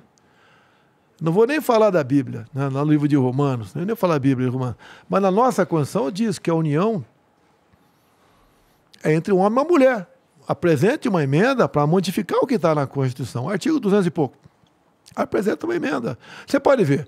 Em 2010 apareceu um tal de PLC 122, um projeto de lei número 122, que passou na Câmara. E quem deu urgência passar na Câmara foi o líder do PFR naquele momento, que era um deputado fortinho lá do Rio de Janeiro. Então, o que, que dizia o PLC, entre outras coisas? O padre ou pastor que se negar a fazer um casamento qualquer, como você diz aí, casamento, uhum. Três anos de cadeia. Bom, eu também Ninguém... sou contra o, o, Estado obrigar não. um casamento. Eu sou contra. Não, não, mas você, aí, você não ser obrigado a. Você pode ver união estável a vida toda com, com, com a sua parceira, com o teu parceiro, sem problema nenhum. Você faz testamento ninguém interfere. Agora, o que, que a esquerda queria naquele momento, o PLC 122, era o padre que. Chega dois homens, quero casar. Ele fala, não, três anos de cadeia. Ah, não tem cabimento. isso eu também acho que não tem E daí o que acontece? Até teve um programa de televisão que fui discutir esse assunto, né? Porque quem diria eu, né? Estava lá, pô, Casa de Família, Luciana Gimenez, né? Aquele, aquela, aquela história toda. Tá? então, deixar bem claro. Tá? Até quando tinha lá um casal, né? Dois homens, eu perguntei, né? Pergunta idiota minha, né? Quem é a esposa, quem é o esposo? Os caras apertaram a mão, que são dois homens que se amam. Eu vejo isso como o direito deles, o arbítrio deles. Vai viver, vai ser feliz. Falaram que eu ia perseguir gay. Eu persegui algum gay aqui? Eu mandei alguma proposta para o Congresso para mexer nisso aí? É o direito deles. Vai ser feliz. E se ele acredita em Deus ou não acredita, isso é, cabe a ele, pô. O presidente, o senhor tem consciência também que é, eu imagino que muitas das críticas que chegam ao senhor de racista, de homofóbico e tudo mais, são é, pela maneira que o senhor expõe as ideias, porque assim, ó, é, pode vir. Assim, eu sou grosso, concordo contigo. Não, não, é, não, sei se é grosso. Eu é, talvez, é, não sei. Como o senhor fala de uma maneira Quer muito ver? clara, é, pega mal, que nem o lance Tá, lá, eu bem. não sou coveiro. Tá, tudo bem. Pega mal Sim, pegou mal. É, eu aloprei, perdi a, perdi a linha, lamento. Não posso fazer mais nada. Palavras e, ao vento e setas ao vento, não tem como retornar mais. Você pode ser racista. O meu sogro é o Paulo Negão. Tá? A minha esposa, é, ele, é, ele é cearense de Crateus. Tá? Racismo. Em 1978, você que foi recruta, não sei se você fez exercício em Jericinó. Não. Bem, em 78, tinha uma lagoa em Jericinó eu que fiz, sei, que que tinha mais ou menos dois metros e meio de profundidade. Ah. Você fazia exercício ali. Então estava lá a minha bateria, né, não é companhia, porque eu sou de artilharia, estava minha bateria fazendo exercício, e tinha uma falsa baiana, que o soldado passava na corda em cima e o pé embaixo. E tinha o sargento Rubão, no 21 GC. O prazer dele é derrubar o soldado na lagoa. E daí entrou o Celso Negão na falsa baiana. Quando eu vi aquela, vai dar merda. Tirei o coturno, É. né? afrouxei a roupa, não deu outro negão, caiu dentro d'água, tirei a roupa e pulei. A segunda vez que eu mergulhei, peguei o Celso Negão no fundo da lagoa e arrastei ele para fora do- da lagoa. Arrisquei minha vida pela vida de um soldado. Ele não era negro, ele era azul. Meu, o que aconteceu no futuro? O Exército reconheceu como um ato de bravura meu e me concedeu a medalha do pacificador com palma. Em média, uma pessoa por ano ganha essa medalha. Então eu tenho uma medalha por ter tirado da lagoa o Celso Negão, arriscando a minha vida. Mas o E percebe que isso- só o jeito que o senhor falou, contou essa história aí, já é, motivo pra lhe chamar de racista? Mas peraí, se eu fosse racista, deixava o negão morrer afogado, ora. Ué, toma água da lagoa toda aí, porra. Ué, não é assim? Porque olha só, eu, tenho, eu salvei a minha primeira sogra, talvez esteja me assistindo na resenha, Dona Aparecida. Ela estava afundando lá na praia do Frade e eu fui atrás dela. Olha o crime que cometi, salvar a sogra. Tá, já ofendeu a sogra do Brasil todo, né? E o Celso, que teve comigo há pouco tempo, o Celso Negão, que mora ali, morava atrás do Motel Palazzo, ali na, na Avenida Brasil com a Dutra, né? Ele contou para mim aqui, olha, até hoje, quando eu tomo banho, eu lembro do senhor. Cara lembrar do senhor no banho. eu não quero contar toda a história, né? Porque à noite... Deixa eu falar. Não, não vou, não vou contar. Vou parar, vou parar, vou parar por aqui. Mas o meu ponto, presidente, Tá. é basicamente. É... Eu percebi que o senhor até parou de dar determinadas declarações.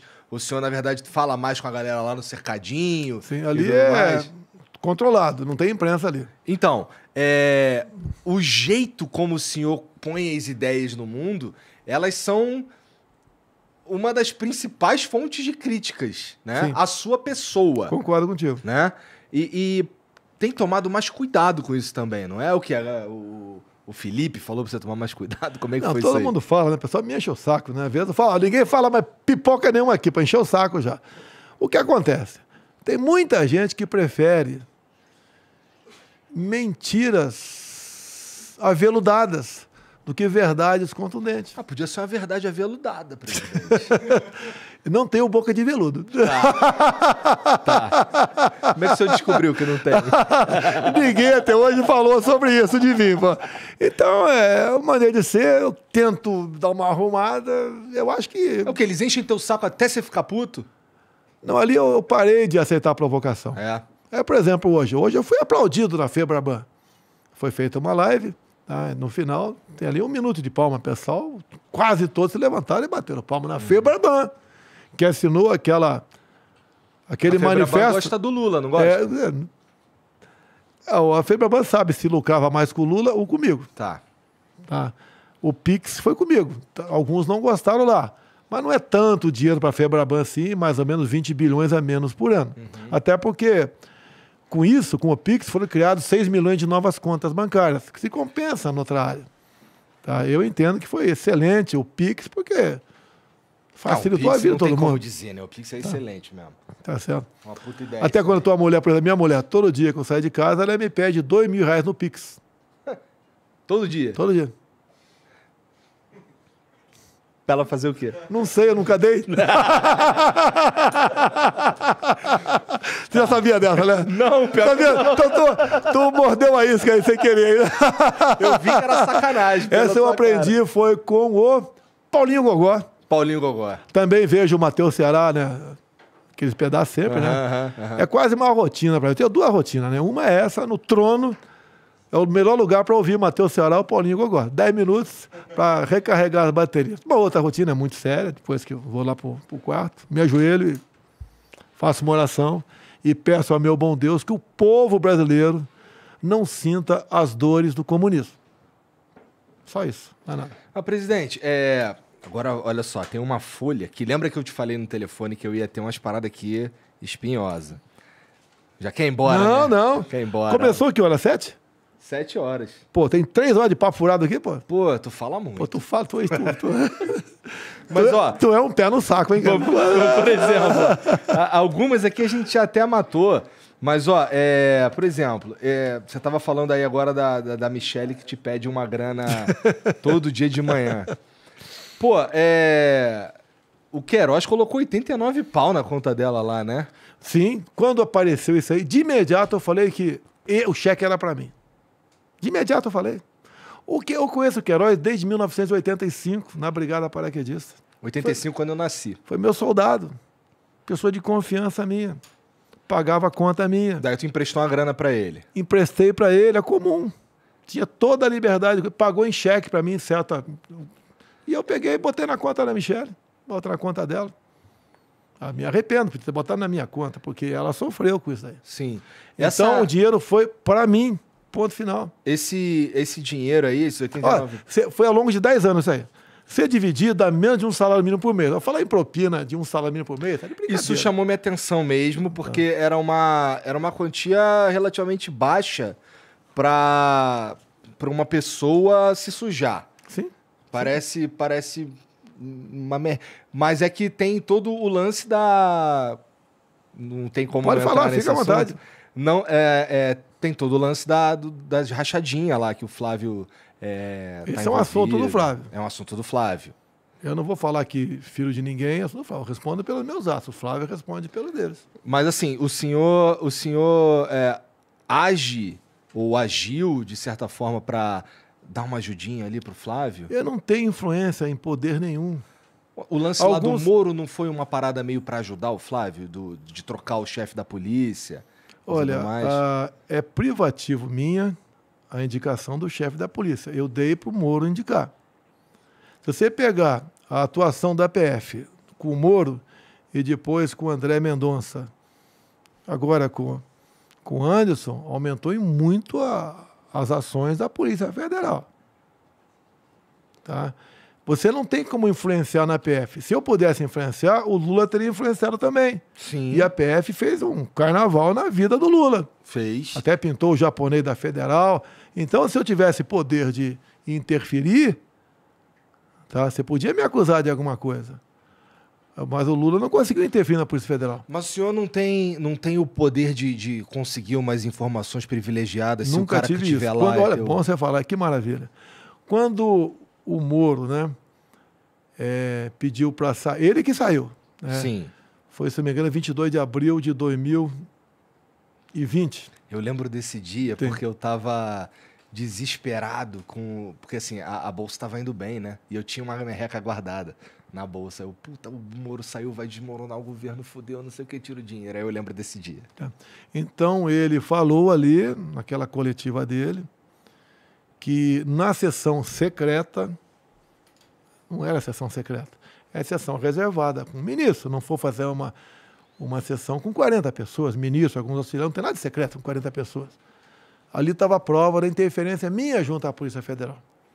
Tá? E lembra que final da tarde ele apresentou para a TV Globo um print do telefone da Carla Zambelli. Sim. Eu falei, poxa, essa é a prova de. E a Carla Zambelli que havia, com muito prazer, o convidado para ser padrinho do seu casamento. Eu quero confessar uma coisa para você aqui. Ah. Eu estava no Nordeste, a minha esposa foi no casamento, e eu poderia ter chegado a tempo o casamento. E resolvi, falei para a galera do avião, ó pessoal, atrasa, eu não vou para o casamento. Porque se eu chegar em casa com tempo para o casamento, minha mulher pegar no meu pescoço e vai. E eu vou. Eu não quero no casamento. Eu posso contar por quê para você até. E acabei não indo no casamento. Mas por quê? Tá, vou contar por quê, tá certo? Começou no início da, do Moro lá atrás. Bem, então, é, sessão secreta. E daí, o que, que é? O pendrive da sessão, tá, fica comigo. Eu sempre pegava aquele pendrive, pegava os melhores. Como você pega os melhores momentos aqui e difunde o teu programa, mostra uma- uma- uma- um furo, um negócio qualquer. E daí o ministro Celso de Mello, decisão dele, que eu tinha que mostrar a sessão secreta. Eu não, não tinha que mostrar. É uma arbitrariedade, é uma reunião de ministro, não é uma sessão do Congresso ou de uma Câmara Municipal que foi gravado e o, e o presidente tem que mostrar. Eu, a contragosto, mostrei. Entreguei a fita para o Celso de Mello. E daí, ele, poucos dias depois, ele divulgou a fita. Tanto é que a imprensa pegava a fita e botava na tela. Daí pareceu palavrão pra caramba. Palavra, 29 palavrões, né? Agora, em nenhum momento tinha uma interferência minha na Polícia Federal. Eu falei, a minha segurança no Rio de Janeiro é assim, assim, assim, assim. Eu vou trocar. A minha segurança. O Moro saiu na metade da reunião. Ele achava que ia. Eu, ao não responder, ele falou: tá vendo? Não entregou a fita porque teve interferência. E se eu interferisse, eu acho que ia falar numa, numa sessão, seja qual for? Você não tem como intervir. Você- Você é surpreendido pela Polícia Federal o tempo todo. Tem um lado bom e tem um lado que se extrapola um pouco. O Como os Moro in- fala que, que essa, essa troca de, de, de gestão ela tem a ver com a possibilidade de colher informações da PF. Ele fala, mas não prova nada, meu Deus do céu. Vamos lá, como é que começou o fim da lua de mel? Imagine na, na lua de mel você separar da tua esposa, né? Ou teu esposo. Tá? Fique à vontade aí. Tá?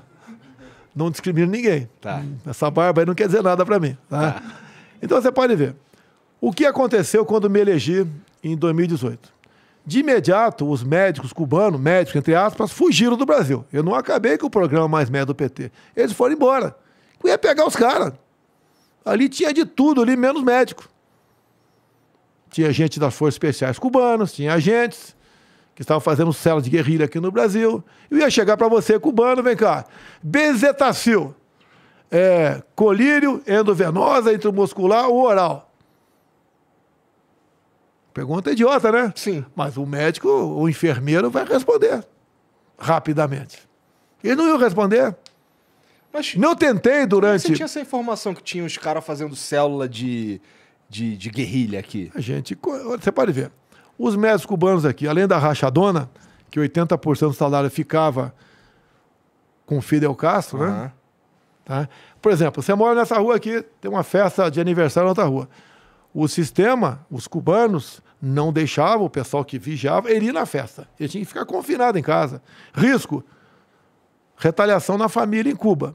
Que veio uma coisa que o ministro da Saúde disse, quando estava discutindo a medida provisória dos mais médicos, se algum cubano pedir asilo, vai ser deportado, como foram os dois boxeadores. E a imprensa se calou. Eu tentei emendar o projeto lá para que o salário dos cubanos fosse depositado na conta em Banco Brasil Caixa Econômica. Não conseguia. Era uma forma de dar dinheiro para Cuba. E Cuba aqui dentro, com muitos deles formando célula de guerrilha aqui no Brasil. Que céu- Cuba sempre exportou a guerrilha. Assim foi no tempo do MPLA, FNLA, a guerrilha de Angola. Sempre foi assim. Tá? E eu ia desbaratar isso aí. Tu lembra que a Dilma falou que os médicos eram bons apalpadores? O humilde do povo brasileiro, ele sendo bem tratado, ele fica feliz. Você não precisa manjar nada. Então o médico apalpava a barriga do, dos brasileiros com algum problema, ficavam satisfeitos. E certas receitas médicas, você pode ter acesso a médicos, guardar isso. Coisas absurdas. Imagina numa Covid o que, seria feito aqui com esses cubanos. Bem, quando eu assumi, eles foram embora. Eu não mandei ninguém embora. Eu falei, quem ficar aqui eu dou asilo. Ficaram mais de dois mil. Estão todos no Brasil. Honrei minha palavra. E daí uma outra pessoa fugiu do Brasil também. Um tal de Cesare Battisti, que no último dia do governo Lula 2010 ganhou o direito de ficar no Brasil. Que o Supremo Tribunal Federal falou: isso é competência tua, Poder Executivo, do presidente. Ele concede ou não asilo. Bem, o nosso querido Cesare Battisti, um terrorista, quatro execuções é, na Itália, tá? pertenceu ao PAC, Proletários Armados pelo Comunismo, por isso o PAC lá atrás com esse nome. Para ninguém, quando falar em PAC, se fala em Programa de Aceleração do Crescimento. Então o Cesário Batista fugiu. Bem, no início de, de janeiro, logo nos primeiros dias do meu governo, ele foi preso na Bolívia. O Evo Morales, então, prendeu o cara e ligou para mim. Tava eu, Moro, Ernesto Araújo, mas duas ou três pessoas conversando, eu conversando com Evo Morales. O Evo falou que. Já é uma coisa engraçada. Sim, até porque ele pertencia ao Folha de São Paulo. Mas o Evo Morales, naquele primeiro momento, não queria encrenca com o presidente que completa uma linha completamente diferente. Sabia que eu queria o fígado dele para entregar para a Itália. Sabia disso. Então a conversa ali.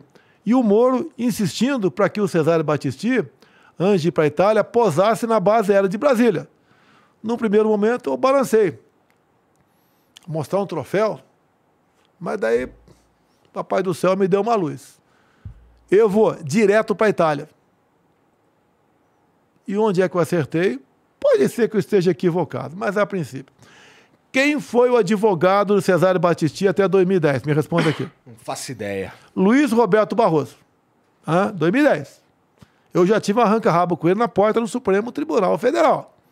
Eu tenho foto do Cesário Batisti na Papuda, quando estava preso aqui.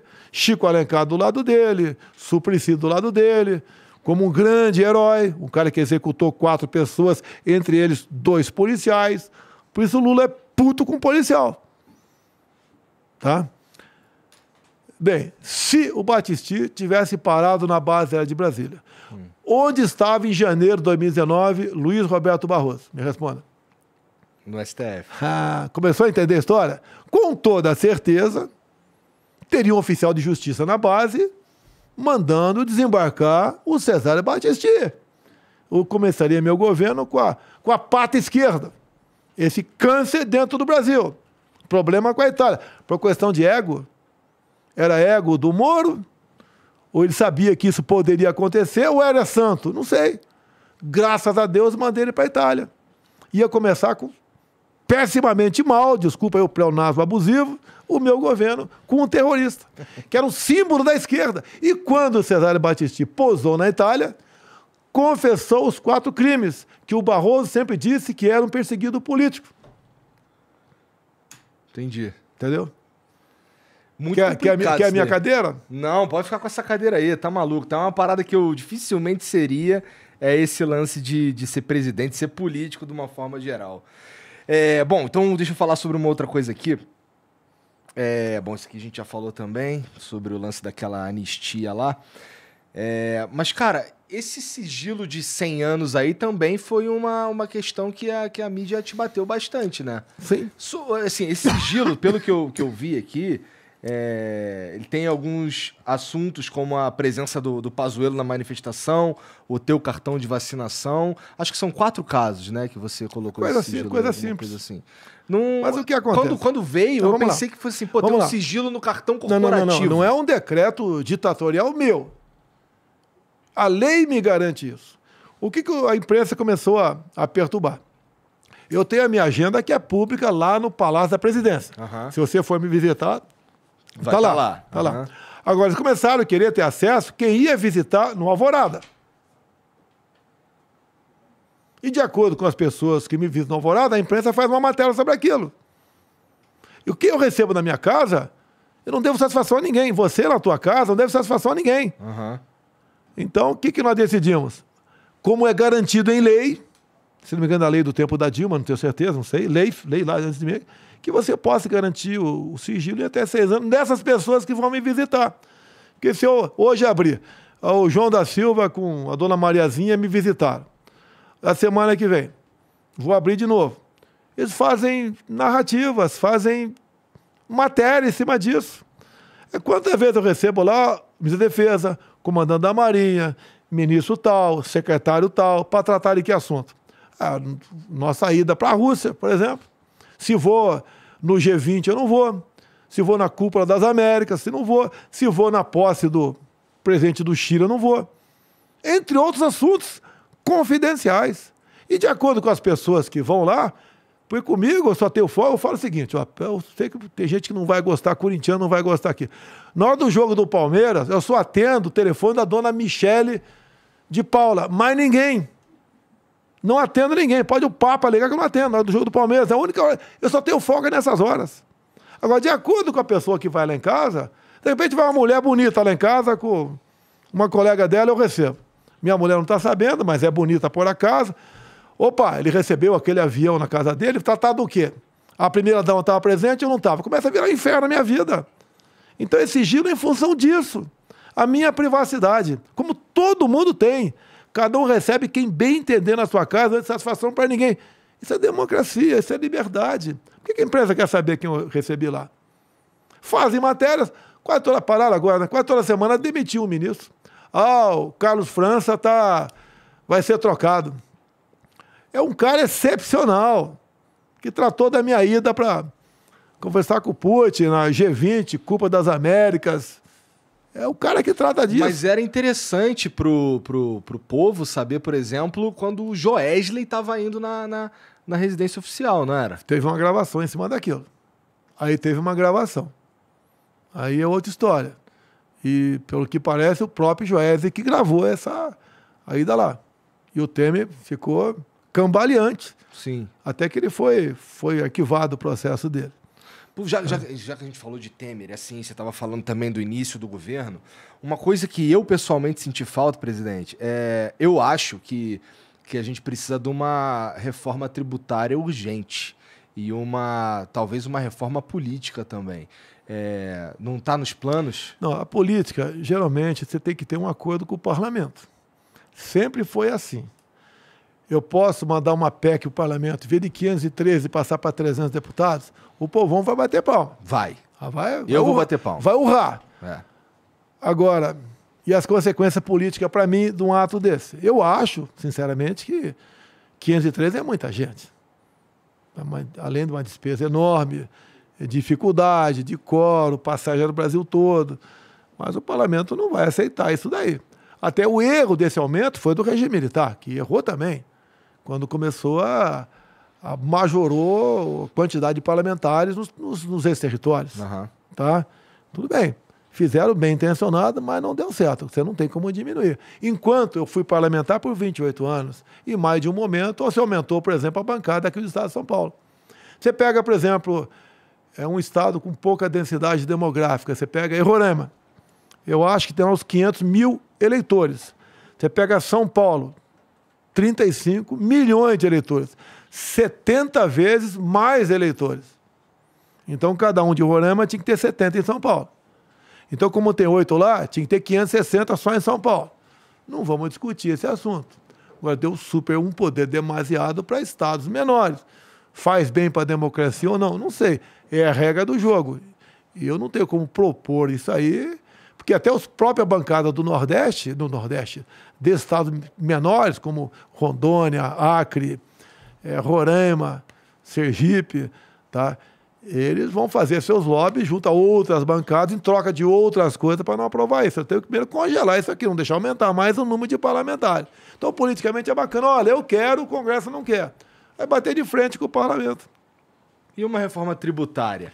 Porque ó, eu acho que uma Olha, das maiores injustiças que tem no Brasil é o pobre pagar no, no shampoo o mesmo imposto que, que, sei lá, que a gente aqui dessa sala paga. Não é? Tem como mexer nisso? Se eu quer alguma coisa? Já estão mexendo. Nós reduzimos em 33% o IPI no Brasil. Ou não? Mas isso daí é um, é um paliativo que Falei no começo do muda. programa que a redução de impostos, ninguém, você pode falar, e daí, né? O famoso e daí. Por exemplo, nós zeramos o imposto de importação de veleiro. Alguém pensa, pô, veleiro é para rico. Não. O imposto de importação, ele não tem que arranjar um, um tributo compensatório para aquilo. Agora, cada vez. A Europa tem 7 milhões de veleiros. Quem trouxe a informação para mim? O ex-ministro do Turismo, Gilson Machado, lá de Pernambuco. E cada veleiro, um pelo outro, dá, de forma direta ou indireta, mais dois empregos. Resolvemos aí. Zeramos o imposto de jet ski. Você pode falar, e jet ski? Pô, tu já andou jet ski? Responde aí. Não. O dia que tu andar, tu vai se apaixonar. É um Tu já negócio andou, que eu já já demais. Eu dou cavalo de pau, faço loucura jet ski. Porra, salto onda, o cara, pô, faço, toco um rebu geral, tá? Jet ski. Faço Eu fui, eu fui motociclista de Rio de Janeiro. Com todo respeito aos motoboys aqui de São Paulo, que o trânsito não é fácil, sei disso, mas no Rio é muito pior. Tá certo? Então, por exemplo, jet ski. Um jet ski bom tá 90 mil reais. Passou para 80 mil. O que, que é o cara Peraí. lá do Capão Redondo tá cagando e andando aí, sei, não, presidente. não, não tá cagando e andando. A partir de agora, não. Por quê? Fui na Marinha, conversei com o comandante Garnier. Comandante, é, tem a ver com ele.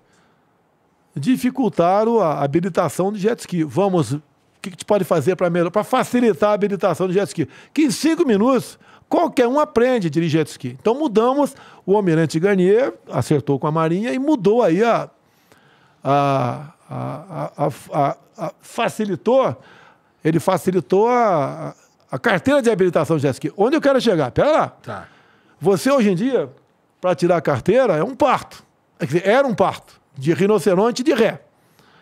Nós mudamos. O que acontece? Você pode chegar agora no local que tem a jet ski para alugar, com a tua família, e vai ter uma aula de cinco minutos, um, um bate-papo, mais uma aula prática de mais. Em 10 minutos, você tem uma habilitação provisória de jet ski. Qualquer um vai ter a habilitação provisória de jet ski em 10 minutos. Se você fizer, e vale por 30 dias, se você fizer três vezes no espaço de um ano, você ganha a carteira definitiva. Você pode chegar daqui a pouco em Eldorado Paulista. Tá? A cidade onde fui criado, né? Não vou falar Ribeira, ou pode chegar em Sete Barras, Ribeira já fica mais complicado, o rio não é tanto navegável assim. Você pode pegar a tua família, ou sozinho, como eu já fiz. Peguei o sargento Mozart, que é do Exército, meu, meu canga, né? Foi lá para Eldorado, cada um no jet ski, andamos uma hora rio acima, 80 quilômetros. Você bota 80, 100 por hora no jet ski, coisa mais gostosa que tem. Não tem quebra-mola, não tem pardal, tá? Não tem ninguém para te encher o saco. Daí você para, desliga o jet ski, bota o chapéu de palha, pega o molinete e fica 4, 5 horas até chegar em Eldorado pescando. Que tesão maior do que isso. Coisa linda, fantástica. O Brasil é um país que tem água em tudo quanto é lugar. Você pega represas por aí, vai começar a explodir o turismo com jet ski no Brasil. Como, por exemplo, o Tarcísio fez na habilitação para hidroavião. Era também um parto. Uma habilitação para hidroavião. Ele facilitou. Ó, eu, eu, eu sei que. Por exemplo, a região amazônica é uma pista. Tem água para tudo quanto é lugar. Nós queremos trazer não só o turista de fora, mas gente para ver a Amazônia e ver que aquele trem não pega fogo. A floresta úmida, você pode pegar ó, 200 litros de gasolina, jogar no- lá na floresta e não tocar dá fogo. essa ideia, não, presidente. Não pega fogo, a floresta é úmida. Essa pega fogo na periferia, na, no limite. E nas áreas que, por interesse de alguns estados, foram incorporadas, como na região amazônica, por causa de incentivos fiscais. Então, nós tentamos, no, no, no primeiro dois anos de governo, o presidente da Câmara era outro, vamos conseguir agora com o Arthur Lira, tá? nós tentamos o quê? A tal da regularização fundiária. Então, uma fogueira de São João na região amazônica é um foco de calor, queimada.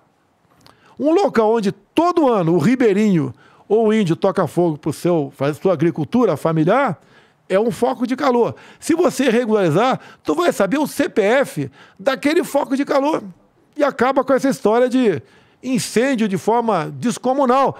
Está vendo agora incêndio de forma descomunal na França, do São Macron, que ninguém publica aqui. As florestas, mais de 30 dias ardendo. Juntamente com a onda de calor, já morreram mais de mil pessoas lá e não se toca no assunto. Pega fogo na região amazônica, na periferia, pega. Muitas vezes, o fogo, que é acidental ou é natural, que tem a combustão espontânea também, você não pode crucificar o presidente. Ninguém está crucificando o Macron pelas florestas da, da França, está pegando fogo agora. Ou da Califórnia, está pegando fogo agora também, ninguém fala nada. No Pantanal, até pouco tempo, era permitida a criação de boi lá no Pantanal. Depois, não permitiu. O boi comia capim, né? algo orgânico que ia transformar numa massa combustível. Tirou-se, não pode mais. Então, quando pega fogo na região do Pantanal, que às vezes leva dois, três anos para pegar fogo, e quanto mais atrasa, o fogo é muito maior. Queremos combater? Queremos. Mas qual o tamanho da região amazônica que você combateu o fogo? É maior que a nossa Europa Ocidental. Grande pra caralho mesmo. Como é que você vai coordenar isso aqui? Você pega uma reserva Yanomami. Mas algo precisa ser feito. Estamos fazendo.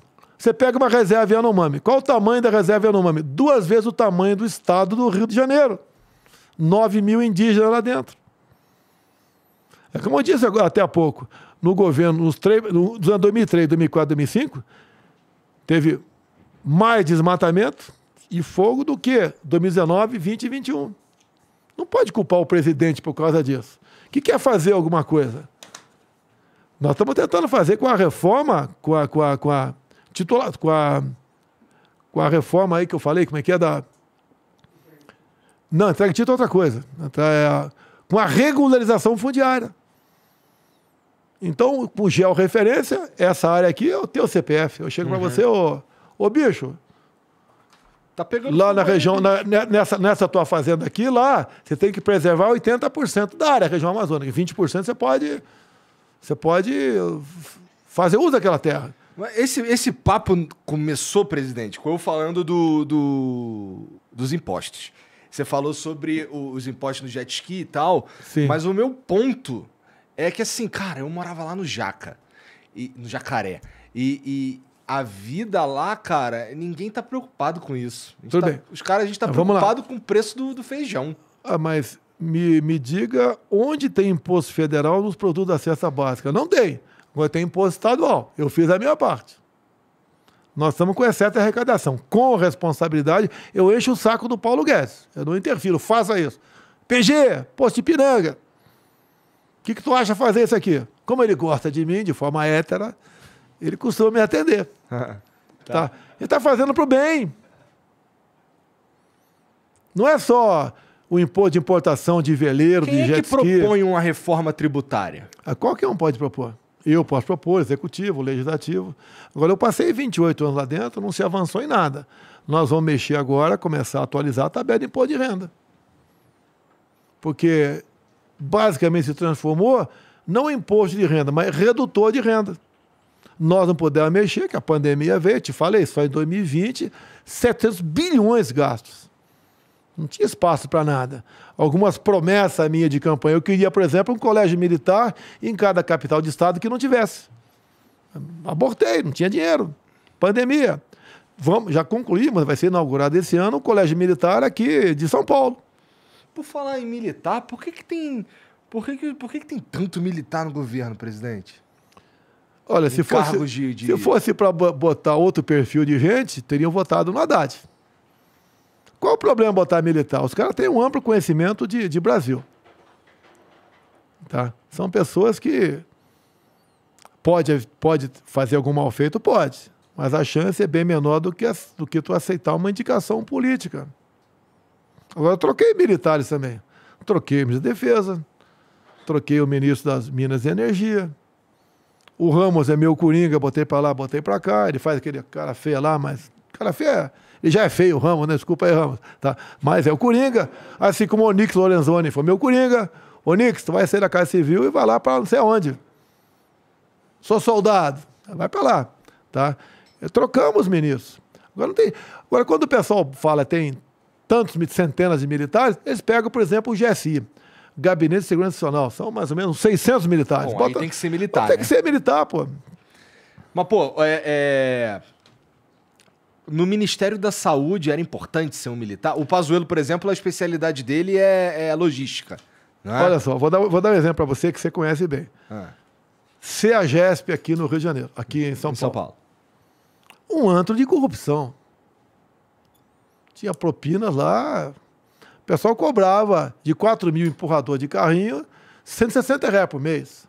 As pedras, que eram os locais de, de boxe, os caras vendiam lá sem contrato, né? um contrato fajuto, metade do preço pago em nota de 100. As mulheres que serviam um cafezinho, torno de 200, pagavam 60 reais por mês. Lá tinha prostituição, consumo de droga. E quando você não consegue ver tudo de uma hora para outra, quando eu percebi que estava coisa errada lá, eu procurei o Paulo Guedes, procurei a Tereza Cristina, a ministra, da, que é dela. Uhum. Tereza, plotei coisa errada lá. Vou trocar todo mundo. Deu o Paulo Guedes. Vamos botar um, um administrador, uma pessoa que sabe gerenciar. Não, Paulo Guedes, lá é questão de polícia. Fui, recém deixou a rota, o coronel Melo Araújo. Melo, quer assumir esse trem aí? Assumiu. Vá na CEAGESP hoje. Né? Recapiou muita coisa, pintou a, a, a torre lá do, do relógio, é, acabou com a prostituição, não tem mais propina para empurrador, 4 mil empurradores de carrinho, que inclusive para empurrar carrinho tinha uma autoescola, te cobrava 2 mil reais. Ele acabou com a sacanagem lá. Ele. Quem? Coronel Melo Araújo. Tá. Era, era, era casa de polícia, resolvemos. E está sendo, fazendo uma excelente administração lá. Pegou a CEAGESP, 50 mil pessoas andam por dia lá dentro. Pergunta o que, que ele achava de, de dois anos atrás para agora. Estão vibrando com o Coronel Melo Araújo. É um militar, pô. Era questão de polícia. Tentaram, de novo, alguns, os mesmos políticos né, e outros, entraram na CEAGESP. Não entraram. Um político aí importante queria falar com o Melo Araújo, mas reagiu um pouquinho, mas recebeu. Na mesa tinha 10 PM na mesa. Pois não, parlamentar. O que, que Vossa Excelência deseja? Ah, só vim tomar um café com, com o senhor aqui. Tá resolvendo. Entendi. Tem, mas, ó, é, eu, eu perguntei do Pazuello especificamente por causa do, do que a gente teve, daquela tragédia que a gente teve em Manaus. Foi a falta do, do oxigênio lá. E, pô, o ministro da, da Saúde, ele é um especialista em logística. Então era de se esperar que a gente não tivesse um problema como esse. O que, que aconteceu? Olha presidente? só, pediram de forma atrasada. Em 24 horas começaram a chegar os aviões com um cilindro de oxigênio lá em 24 horas. Agora a procura foi enorme. Faltou. Não é que eu não vou culpar o governo do Estado, não vou culpar. Tá? Porque foi algo que explodiu. Oh, existe uma teoria da conspiração, inclusive, que assim, eu não estou querendo imputar nada aqui, tá bom? É, é, que existe uma teoria da conspiração que diz que estava é, rolando ali uma, um certo experimento para ver se a imunidade de rebanho funcionava. Não, não, o que fizeram foi um, algo criminoso. Ministrando doses cavalares de hidroxicloroquina. Três, quatro vezes além da recomendada. Qualquer remédio vira veneno com a dose exagerada. Sim. É isso que fizeram lá. Para exatamente sepultar qualquer, qualquer estudo sobre hidroxicloroquina. É isso que foi feito lá. Entendi. É isso que foi feito lá. A imunidade de rebanho você não testa, ela acontece. Agora, o que aconteceu até no mundo todo? Igual na Itália, é, os asilos, é, morria todo mundo. As pessoas com 80, 90, 100 anos são pessoas que já estão bastante debilitadas. Qualquer coisa leva ao óbito. Sim. Tá, isso aconteceu. Todos confinados. Tá? Então aconteceu esse problema com a Hidrox lá. Virou um tabu o negócio. Agora, o Pazuello, quando entrou, a gente precisava, exemplo da CEAGESP, não era um grande gestor, se bem que ele é de intendência, é, no meu entender, um excelente gestor. Ele, o Pazuello, por exemplo, esteve lá em Roraima. Ele foi o interventor de Roraima. Corrupção, etc. Foi escalado, né, decisão judicial, e as Forças Armadas botaram lá para ser o gestor de Roraima. Fez um excelente trabalho. Na saúde é a mesma coisa fez um bom trabalho, era a gestão, estancando aqui a corrupção. A saúde, o orçamento diário são 500 milhões de reais. É algo que chama a atenção de, de muito, muita gente que quer se dar bem nessa área. Ele botou, levou um time de 20 militares mais ou menos e fechou as torneiras. Saúde que é o calcanhar de Aquiles onde a galera bate. É, é complicado, é complicado. Você pega os hospitais, tem seis hospitais no Rio de Janeiro. É um problema até hoje. O Nelson Take ficou 30 dias conosco. Ele pediu para sair. Não sei o motivo, não falou o motivo. Respeito. Foi leal comigo, cara bacana, excelente profissional, mas ele, eu acho, quando ele percebeu o que, que era o ministério, que alguns acham que ministério é quartel. Você dá ordem e o pessoal cumpre. Não é assim geralmente os militares são aparelhados. Pessoas estão muito tempo lá dentro, conhecem tudo. pode fazer muita coisa para o bem ou para o mal. O Nelson Tec pediu para sair, não, não discuto. É, eu até hoje encontrar com ele, vou tratar numa, Numa tranquilo, boa. numa boa, mas não é fácil você comandar o Ministério da Saúde com aquele orçamento enorme que existe lá. Presidente, ó, eu tenho mais algumas coisas pra falar aqui, mas eu não sei se o senhor tá confortável. Eu não sei, se tiver audiência, a gente continua. pô. Quase 600 mil. Então vamos continuar aí, pô. Agora dá uma, dá uma pimentada aí, pô. Tá ficando, tá ficando papai e mamãe. Daqui a pouco vai pintar. Tu tá olhando para Cada vez tá olhando mais no fundo dos meus olhos. Daqui a pouco vai pintar um clima aí, pô. E se pintar o clima, eu sou o marido, deixar bem claro. É. Caralho, Pô, ó. Não vai falar no fode, não, que não pode. Fica essa hora. Tá. Não, eu quis dizer, inclusive, se o senhor quiser sair qualquer momento pra, Não, não, pra tô- banheiro, Não, não, o não, senhor não. fica à vontade, tá bom? Sem problema aqui. Com absorvente aqui. Tá. Cara, a gente tem um. A, a gente teve aí. Eu conversei com alguns caras aqui que eles fizeram parte do, do governo num primeiro momento. Ah, dá pra falar do Frota, dá pra falar do, do Moro. E, cara, esses caras saíram se sentindo traídos. Sabe? Assim, o, o Frota, logo no começo, inclusive, é, co- conta uma história aí que ele contou duas vezes, inclusive, é, sobre como ah, ah, se deu o. Porque eu perguntei pra ele como é que se deu essa quebra. Porque ele é eleito com a bandeira do Bolsonaro também e tal. Pô, qual que é, qual que é o teu lado da história em relação a, a- a trair os caras, assim, deixar pra trás? Olha só. Eu não vou personalizar esse ou aquele ou aquela. tá. Várias pessoas viraram inimigas rapidamente. Um chegou para mim e falou: Eu quero a Secretaria de Cultura. Não quero minha Secretaria de Cultura para mim. Eu tá contigo. O outro falou: Eu quero todos os postos da Receita Federal em São Paulo. O outro falou: Eu quero criar uma uma secretaria do Nordeste, onde vai botar lá, por exemplo, a Codevasf. Então, cada um começou a pedir uma dessas poucas pessoas, para pedir certas coisas, que eu falei, não vou dar. O governo é meu. Se você quer ajudar a escolher pessoas para ocupar isso aí, tudo bem. Mas não para você fazer uso disso. Eu quero botar um cara na cultura que moralize a lei Rouanet. Não sou contra a, cultura. Tem aquela lei, Paulo Gustavo, como é que é? Ah, Paulo Gustavo. Ela foi aprovada agora aí, tudo bem. Deu uma confusão, mas tudo bem. Está atendendo os mais humildes. A Lei Rouanet, que pagava até 10 milhões por ano. O teu problema com a Lei Rouanet era Problema os 10 não. milhões. Não era, não era é absurdo você, para figurões que viviam puxando o saco do, de outros presidentes lá atrás, pegar, captar, captar no mercado até 10 milhões de, eh, de reais. Mas tu não deu uma afinada no, no- na parte da cultura no Brasil, Afinei- juntou o ministério? afinei- Não, a cultura nós botamos embaixo de outro ministério, virou Isso. secretaria. Virou secretaria. O esporte Isso não é também. enfraquecer, presidente? Não, não, não é questão de enfraquecer. Nós queríamos é diminuir o número de ministérios. Hoje eu vejo, por exemplo, o Mas na esporte. prática tem efeito? Não, não tem efeito. Eu fui ver depois que não tem quase efeito. Efeito tem porque o cara tem um avião que ele pode deslocar pelo Brasil, Aham. é, um pouco mais de gente lá no ministério, mas não surte aquele efeito econômico que você achava toda que surtia. Confesso que vi que não, não, não era isso tudo. Você pega, por exemplo, o Ministério do Esporte. Hum. Tá, o Marcelo, eu chamo de Marcelo Negão, é Marcelo Magalhães, né? O Marcelo Magalhães. Tá. O cara deu show lá, como secretário. Ele ressuscitou o Jebs. Desde 2004 não tinha os Jogos Estudantis Brasileiros. Ele fez o, o ano passado. Ele foi agora nos Jogos, chama de Gimnase, né? lá na, na França. É, 60 países disputando, quase toda a Europa, fomos vice-campeões. Ele é um cara que levou obra, você não sabia que o, a Secretaria ou o Ministério de Esporte tinha tanta obra no passado, tinha capacidade de fazer, fez. É igual o turismo, fez obras fantásticas pelo Brasil. Eu não sabia desse potencial todo, apesar de 28 anos de parlamento.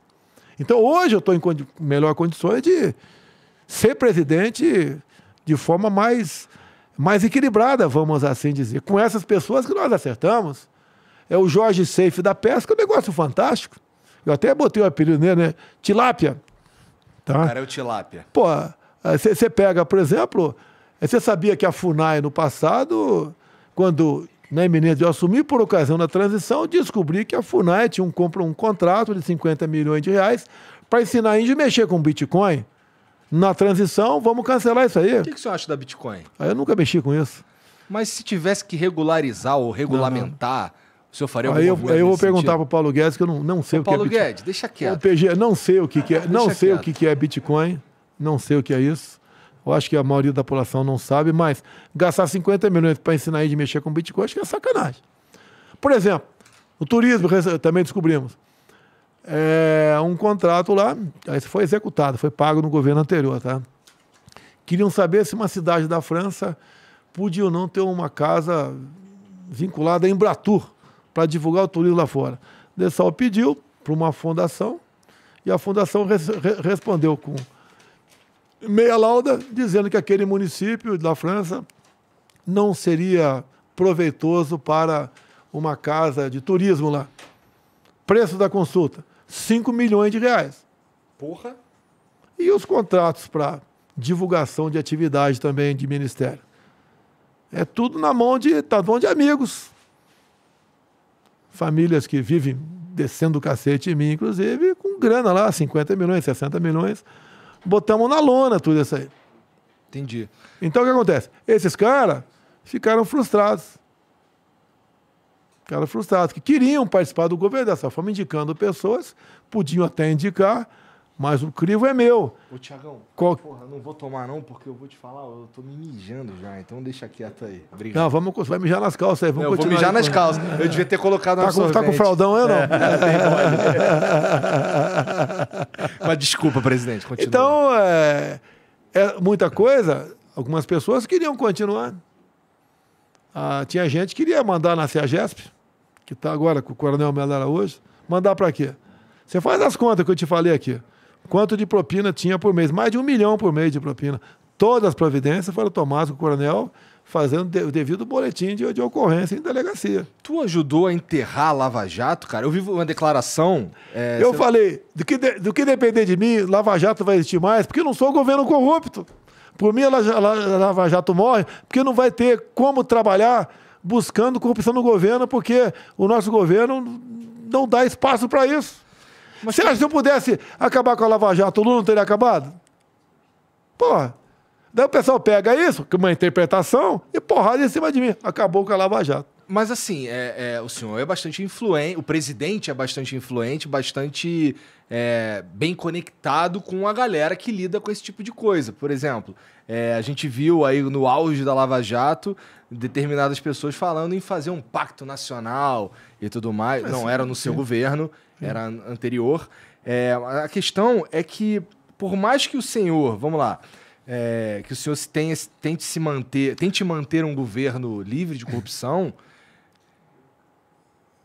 não depende só do senhor. Porque, que nem o caso lá do, do- dos caras que foram pedir propina em ouro e tudo mais, né? No MEC. Então, assim, é, ter um aparato como, Agora, como a Lava Jato. Você pode, pode ver um no meu governo, cadê a mala de dinheiro do Ministério da, da, da- da Educação? Cadê a mala de dinheiro da, da Covaxin? Qual conta? Não tem nada. Só ilações. O que eu falei é que, por mim, não existia Lava Jato, porque eu não fico negociando cargos importantes que têm orçamento poupudo para negar se dar bem. É que eu falei para você, eu, eu sequer mexo no meu cartão corporativo de 25 mil reais, que eu posso tomar em Tubaína todo mês. Eu não pedi a aposentadoria da Câmara por 28 anos de parlamentar, mais dois incorporados de vereador, podia estar ganhando mais 30 mil por mês. Isso tudo perfeitamente verificável, não é? Não, e não- não se tem- aquele aí- ali quiser ir pesquisar isso, ele chega a essa conclusão Aí, hoje em dia eu tô com 40, 50 anos de serviço. Aham. Tá? Mas não estou reclamando do meu salário, não. Eu não pago nada para se alimentar, para se locomover. Nada eu pago. Tá? Então eu não estou reclamando disso. Agora, por mim, não existiria Lava Jato, porque eu não negocio o Ministério, bancos oficiais estatais para negar de meter a mão. Mas o que, que a Lava Como- Jato tem a ver com isso, presidente? Aí investigou isso. Tá. Eu não dou essa oportunidade. Você vê, só na Petrobras, o endividamento da mesa foi de 900 bilhões, de Bilhões. reais. Porra! Sim, é uma grana. Dá para fazer 60 vezes a transposição do Rio São Francisco.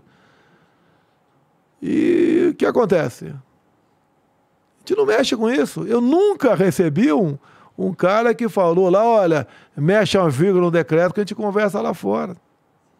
Nunca tive problema. Se eu tivesse, já teria me pego. Porque eu sou vigiado 24 horas por dia. Querem saber até quem vai para dentro da minha casa no Alvorada para ver o jogo do Palmeiras comigo lá. Quando vai um maluco lá para ver o jogo do porco lá, né, cara? Entendi. Tá. E sobre. é, é, a gente falou mais cedo aqui sobre o lance da. Daquela possível, daquele possível cargo vitalício e tal, que o senhor falou que não tem nada a ver com isso. Vão me acusar de, de, de, de, de frouxo, de estar negociando. Eu digo que- uma coisa, eu vou ser preso por qual acusação? Atos antidemocráticos, porque desconfiou da urna eletrônica. Vou ser preso igual a Janine Enes, ex-presidente da Bolívia, está presa por 10 anos, por ser acusado de praticar atos antidemocráticos. Tá de brincadeira. É que, é que aquele, aquele 7 de setembro pode ser, assim, foi Mas o que considerado aconteceu? Não aconteceu nada no fim das Em 7 contas. de setembro, você nunca viu em movimento de rua do pessoal simpático a mim uma cesta de lixo virada. Mas os caras levantam as faixas duvidosas. Qual faixa? Porra. Artigo 142? Vamos. Não, peraí, peraí, peraí. Volta Arti- de Vamos lá, vamos por parte. Artigo 142. É isso? Volta vamos lá, peraí. Peraí. Não é, vamos dizer, artigo 142. Tu me pergunta. Não, artigo falar, 142. O pessoal fala que é o militar interferindo. Se está se tá na Constituição, todos os artigos têm que ser respeitados, do 1 ao último. Mas é que é mais. Se alguém fala, é, AI-5, Aí cinco. Existe ato institucional no Brasil?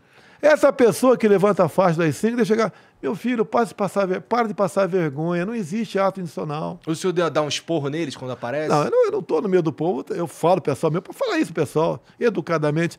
Para de fazer o papel de ridículo. Não existe AI-5. Agora, um ministro do Supremo se vê ofendido com AI-5, esse ministro é um frouxo. Não existe AI-5. Está com medo do quê? O que, que é ato institucional número 5? Você podia caçar É uma das coisas E olha, mais horríveis que aconteceu, né? Vamos lá. O que, que é o ato institucional número 5? Permitia a cassação de parlamentares. Sem, sem processo nenhum. Chegava a lista, as cinco na rua. A grande maioria dos cassados por as cinco, as listas eram feitas pela mesa da Câmara. Eu cheguei em 91, conversava com muita gente lá. Alguns eram militares que caçavam. Sim, errado. Aconteceu. Mas ne- nenhum governo militar prendeu um deputado federal por um dia sequer. Por mais que Márcio Moura Alves tenha falado lá, abobrinha, atenção, namorados de cadetes, não dancem com seus cadetes. Ninguém no regime militar prendeu um deputado por um dia. Nesse atual agora, o Alexandre Moraes prendeu um deputado por oito meses. Nós não impedimos ninguém de sair do Brasil. É Nenhum jornalista foi, foi preso no regime militar. Temos exilado agora Orlando Santos, Estados Unidos. Se ele é um bom ou mau jornalista, não me interessa. O outro, é o, tal de Eustáquio, que não interessa se ele é bom ou se é mau. Teve. Ah, por exemplo, uma menina aí, a Bárbara, te, te, te alusei. Bárbara, te, te, Bárbara, te atualizei. Teve sua página desmonetizada. No momento, ela chorou. Era o ganha-pão dela. Eu já eu não posso assistir. Gosto da Bárbara, mas não tenho como assistir. Assisto uma vez por semana ela. Tá? Fala 10, 12 minutos. Nunca vi ela ofendendo ninguém.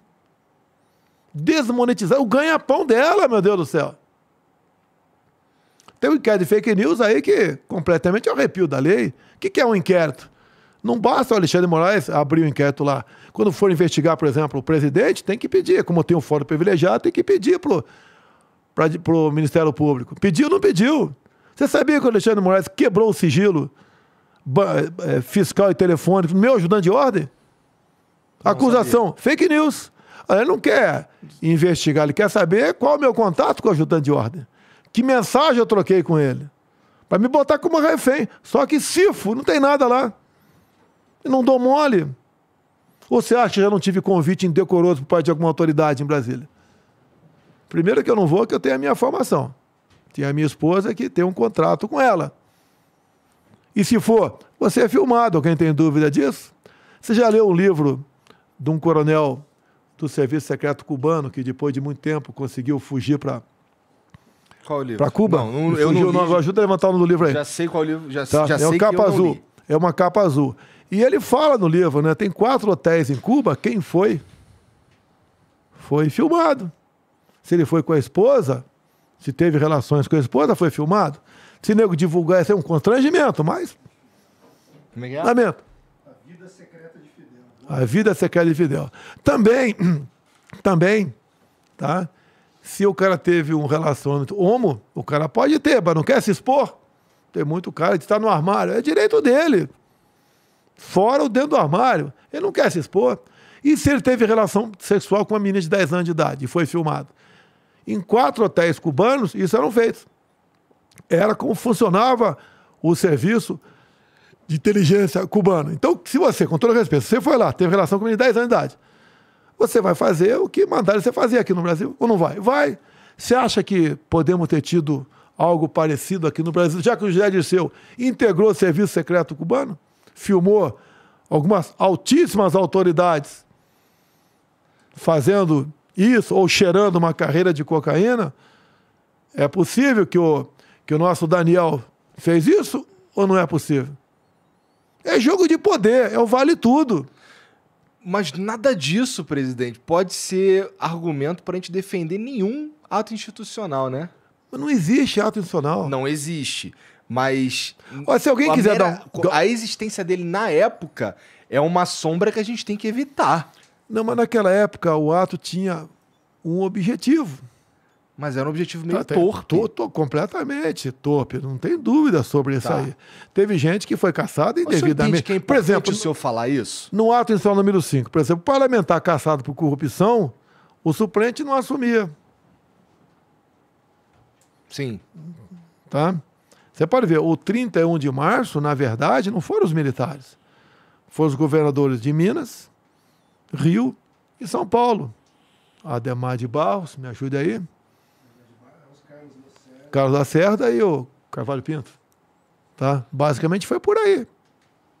E o Carlos Lacerda queria ser presidente. E não houve ninguém pegou, botou um fuzil na cara do, do, do presidente da época, né? Ninguém fez isso aí. E ele simplesmente abandonou o Brasil. Sim. E o Congresso declarou vago. Dia 2 de, de abril. Não teve nada em 31 de março. Não, é lógico que teve. Os militares tinham muita força. Sim, tem um Sim, teve. complexo isso aí. Mas evitou-se, na época, que o comunismo assumisse o Brasil. Que o João Goulart vivia na China.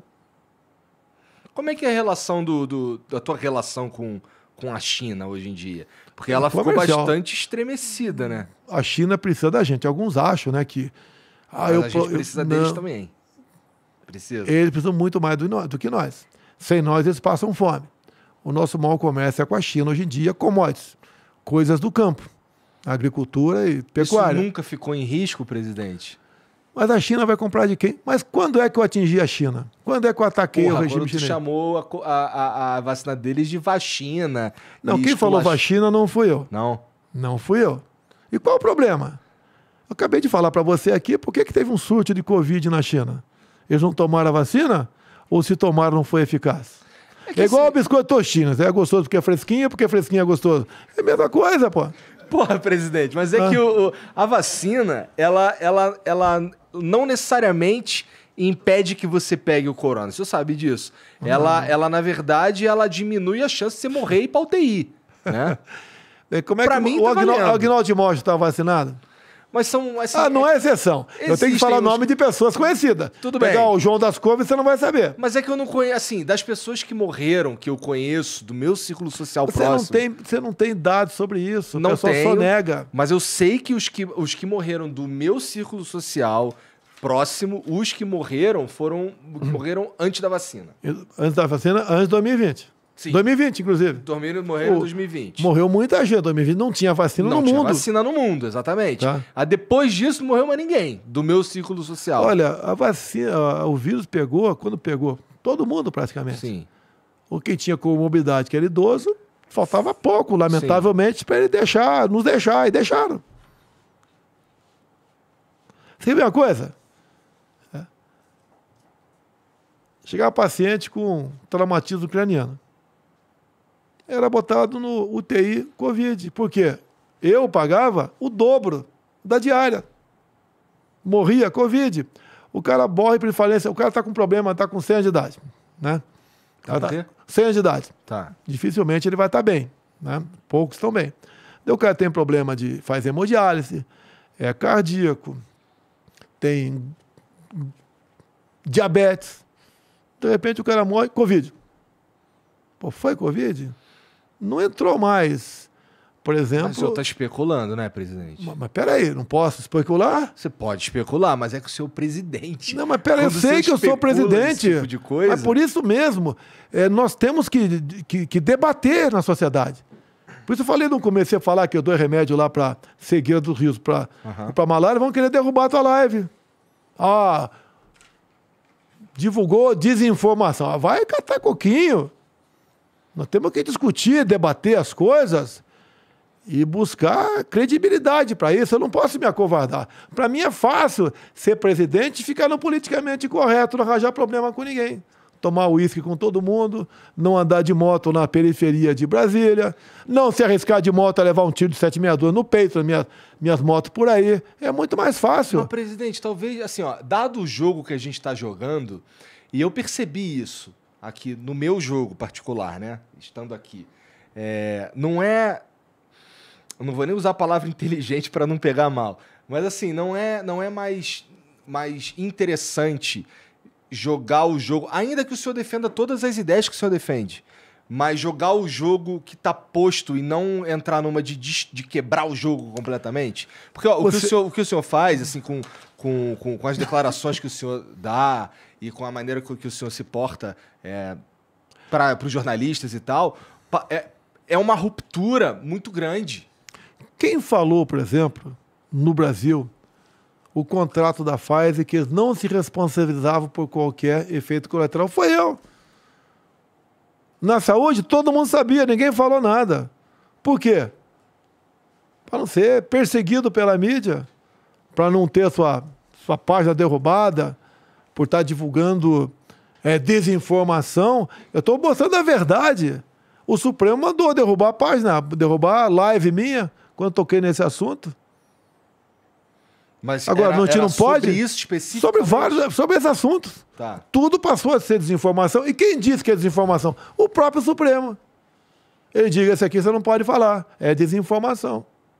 Inquérito dos fake news. Baseado no lance das Você pode news. ver, ninguém podia falar em fake news do Brasil porque tentou-se há, há poucas semanas aprovar um projeto sobre fake news no Congresso e eu ajudei a não dar urgência para isso. Então não tem um, tipo penal. Você ser pegar uma cadeia por fake news é a mesma coisa que pegar uma cadeia por ter matado um marciano. Pra mim é. Ah, é, mas não existe justificação para isso, é a realidade. Dói, dói, mas é a realidade. Pra mim é, é extremamente perigoso. Agora, você acha que eu queria matar alguém? Me apelidar de genocida, queria matar alguém? Te apelidaram A de minha mãe genocida. tomou vacina aqui, minha faleceu depois agora. Outro- Outros problemas, né? Mas tomou a vacina. É, te apelidaram de genocida por conta do, da, de, uma, de uma suposta é, lentidão ao- ao- de, de proporcionar as vacinas, especialmente quando o lance da Pfizer veio. E o senhor já explicou. Não, mas nós fomos, depois do Reino Unido, talvez um dos primeiros países a começar a vacinar. Só não vacinava um milhão por dia, porque chegava um milhão por semana de vacina. Ma- Mas essa eu não lembro, presidente, você me ajuda. É, O Dória, aqui em São Paulo, ele começou as negociações com a China para o Coronavac é, antes do governo do, do- do- do- governo federal, não foi? Ah, Começou assim, foi o pioneiro. Mas aí a- é, isso significou uma, uma, uma mais rápida disseminação da vacina aqui em São Paulo? Qual estado que mais morreu gente por 100 mil habitantes? Com todas as medidas restritivas, lockdown, Eu imagino que São Paulo. São Paulo. Proporcionalmente, deixar bem claro, porque o estado que tem a maior população não é por causa disso, foi São Paulo, com todas as medidas adotadas por ele, com toda a vacinação. Você pode ver, as pessoas que morrem hoje em dia, né, de Covid, alguém sabe se elas foram vacinadas ou não? São informações que você não consegue ter. É. Nós, nós temos a obrigação de, de desconfiar, de buscar alternativas, buscar resposta. Por que não? Os efeitos colaterais da Pfizer, das vacinas, segundo a CDC, que é a Anvisa americana, serão conhecidos ao final desse ano e a partir do ano que vem. Que, inclusive, eles pediram um sigilo. Você falou de 100 anos, né? Aham. A minha. Eles pediram sigilo de, de 70 anos. E a justiça americana derrubou isso aí. E hoje em dia chega relatos para mim sobre isso. Eu não vou falar aqui para não polemizar, que eu fico preocupado. Preocupado não, eu fico tranquilo com a minha consciência. Isso é interessante, presidente, porque assim, é... sei que foi militar e o Cid vai saber do que eu tô falando. É... Existia lá, quando, por exemplo, quando a gente fazia uma parada assim, muito diferente do, do resto da, da, da bateria, que o meu quartel também era de Artilharia. de, de artilharia, é, aquele cara ali é o único, Único certo. certo. O senhor meio que é o único certo não, no acontece. mundo, não é? Acontece. Acontece. Mas não é esquisito ser o único certo, presidente? Não, olha só. No começo da pandemia, o que, que eu falei, por exemplo, sobre preparo físico? Sim. O senhor fez um Para mim, para mim, eu falei para mim, pelo meu passado de atleta, se Aham. eu for contaminado, eu não vou ter problema não, que eu falei. Como é Depois, senhor estudos demonstraram qual o melhor, qual o melhor remédio que você pode ter para prevenir doença. Uma boa saúde. Isso, já respondeu, para qualquer doença. Eu estou errado? Nós, por exemplo, zeramos a, vi- a vitamina D. Eu zerei depois de vitamina D. Porrada em cima de mim. Pô, depois viu que a vitamina D ajudava a resistir à questão do Covid. Uhum. Eu mandei, olha para minha cara aqui agora, olha para minha cara aqui. Tô olhando. Olhando, olha do fundo do olho, sem, Tá. sem segundas intenções. Tá. Eu mandei uma Mas eu não comitiva. consigo, o senhor é muito bonito. A Michelle falou que o senhor é muito bonito. O galeguinho dos olhos azul. Eu mandei uma comitiva minha para Israel e estudar o spray nasal. spray nasal. Lembra disso? Lembro. Levei porrada até não querer mais. Abortei e trazer para cá. A questão de dois meses, uma grande matéria do nosso querido Rede Globo Fantástico, falando do spray nasal como uma solução. É, na época eles Ei. diziam que o senhor estava procurando qualquer coisa que não fosse a vacina. Ah, Não tinha vacina. Não tinha vacina. Eu não me neguei a comprar vacina. Eu comprei vacina. Só não se vacinou quem não quis. De forma não obrigatória. Não exigi passaporte vacinal. Tá, E ficou puto quando o STF quis im- impôs, na verdade, o passaporte Cara, vacinal. começou a impor certas coisas. Por exemplo, o que, que o SF via ministro Barroso? Você tem com um filho no exterior, só chega aqui vacinado, senão vai ficar lá fora. Não interessa qual país. Não, podia não, Não, estar não, não, não. fazer o teste. Decisão do Supremo. Não, não permitia essa, essa abertura do teste. Não depois, tinha depois, voltou, depois voltou atrás. Tá. Tá? E, e qual a liberdade para quem não quer se vacinar? E quem está vacinado, fique tranquilo, está imunizado, poxa. Para que queira? Daqui a pouco tem a varíola do macaco, você vai tomar vacina também? E se for impositiva? Porra, se vier vacina, do macaco, vacina da varíola do macaco, eu vou tomar, presidente. Ah, tenho certeza que vai tomar. Qualquer tu não vacina. me engana, tu não me engana. Tu vai Qualquer tomar. vacina que Tu vai vier. tomar. É, é porque assim, é, é- é, esse lance de, da gente. Eu entendo. Não entendeu, não? Eu entendi sim, porra. Mas assim, sobre o. o- é, é, essa postura, a postura que o senhor toma sobre é, a liberdade, eu entendo. Isso, isso. Fiz merda É, aqui. não, não tem problema não, eles se viram ali. Fiz merda aqui, tudo bem. É, eu entendo a Pô, a, liber- a liberdade. liberdade não tem preço, meu Deus do céu. Ó, eu, eu concordo. Para qualquer coisa. Sabe onde eu aprendi a dar valor para a liberdade? postura como presidente. Pô, cara, eu já era assim, eu tô tentando mudar alguma coisa, não consigo mudar, meu Deus do céu. Ué, querem botar um vasilinão aqui, um, um- aquele cara. Já sabe o que eu tô falando. Sociólogo. blu, blu. Bota o cara aí, porra. Porra. Porra, não, não precisa ir tão longe. Cara, você tem que ter, eu acho que eu, quero, eu gostei de ter o presidente, não é porque eu sou, não, pô, é autêntico. Ó, Aí o cara fala palavrão, porque, porra, Auten- a autenticidade é importante, de fato, com certeza. É, é que o exemplo, e eu não estou dizendo que o senhor deu um mau exemplo, mas talvez tenha dado de não, de não falar mais a favor da vacina, por mais que o senhor não acredite. Mas o senhor não, acredita. Não é não acreditar, não acreditar. Eu abri para quem quisesse tomar. E abri a bula da Pfizer. Só isso, mais nada. Você acha que eu podia esconder uma informação dessa? É justo eu esconder uma informação dessa? Se descobrir lá na frente, vamos supor que tem efeito colateral vira jacaré, né? Foi de expressão. Aquele presidente não falou isso. É. Bora abrir o jogo, pô. Presidente. Outra. Ah, vai, fala. Vamos tocar o barco, pô. Esse Brasil é fantástico. Você viu os números da economia? Cara, eu vi, Desemprego, eu- inflação, Eu vi uma coisa que me chamou a investimento atenção, externo. que eu tava querendo falar contigo aí sobre isso. Que assim, a gente apresentou um déficit no. No. Não, superávit fiscal. no, no- como é que é? Não sei o que primário. Como é que é o nome? Isso. É. o- que, é, que é assim. É o, é o gasto, é o arrecadado versus gasto. Exatamente. E a Positivo. gente teve um déficit nos últimos oito anos e temos esse ano uma Um previsão superávit. de ter um Superávit. superávit. Né? É, eu vi que a gente aumentou a, a- que o senhor está falando da curva de Leifert, sei lá, é, que a gente aumentou a receita é, em, em quase 67 bilhões, né? E com uma economia de 30 bilhões nos gastos, nos gastos totais. Eu vi no, mais ou menos esses números no, no, no próprio site, no, no Gov, lá no, Você quer ver uma coisa? no- no site do governo. Você, você pega as prefeituras que já foram administradas pelo PT. Tem um excesso de servidores. A servidor não gosta que eu fale isso. Mas daí isso faz levar o salário lá para baixo. Qual, por exemplo, a empresa já desceu o cacete em mim, porque eu vou repetir o que eu falei aqui. Hum. Eu não crio emprego. Quem cria emprego é iniciativa privada. Eu só crio emprego quando crio o cargo em comissão ou abro o concurso público. Nós começamos o meu governo. Ou facilita a iniciativa privada. Ah, isso é, você bateu na, onde que interessa, né? Eu comecei meu Brasil governo é de graça, é, presidente. extinguindo quase 30 mil cargos em comissão. 30 mil cargos em comissão, comecei meu governo. O cargo em comissão, o que que é? é um, eu, Eu posso, posso nomear- botar você lá, O senhor pode me colocar lá para trabalhar de de- qualquer coisa. desce de 1 a 6. Tem alguns pequenos critérios, mas bota em curso superior, eu boto desce 6.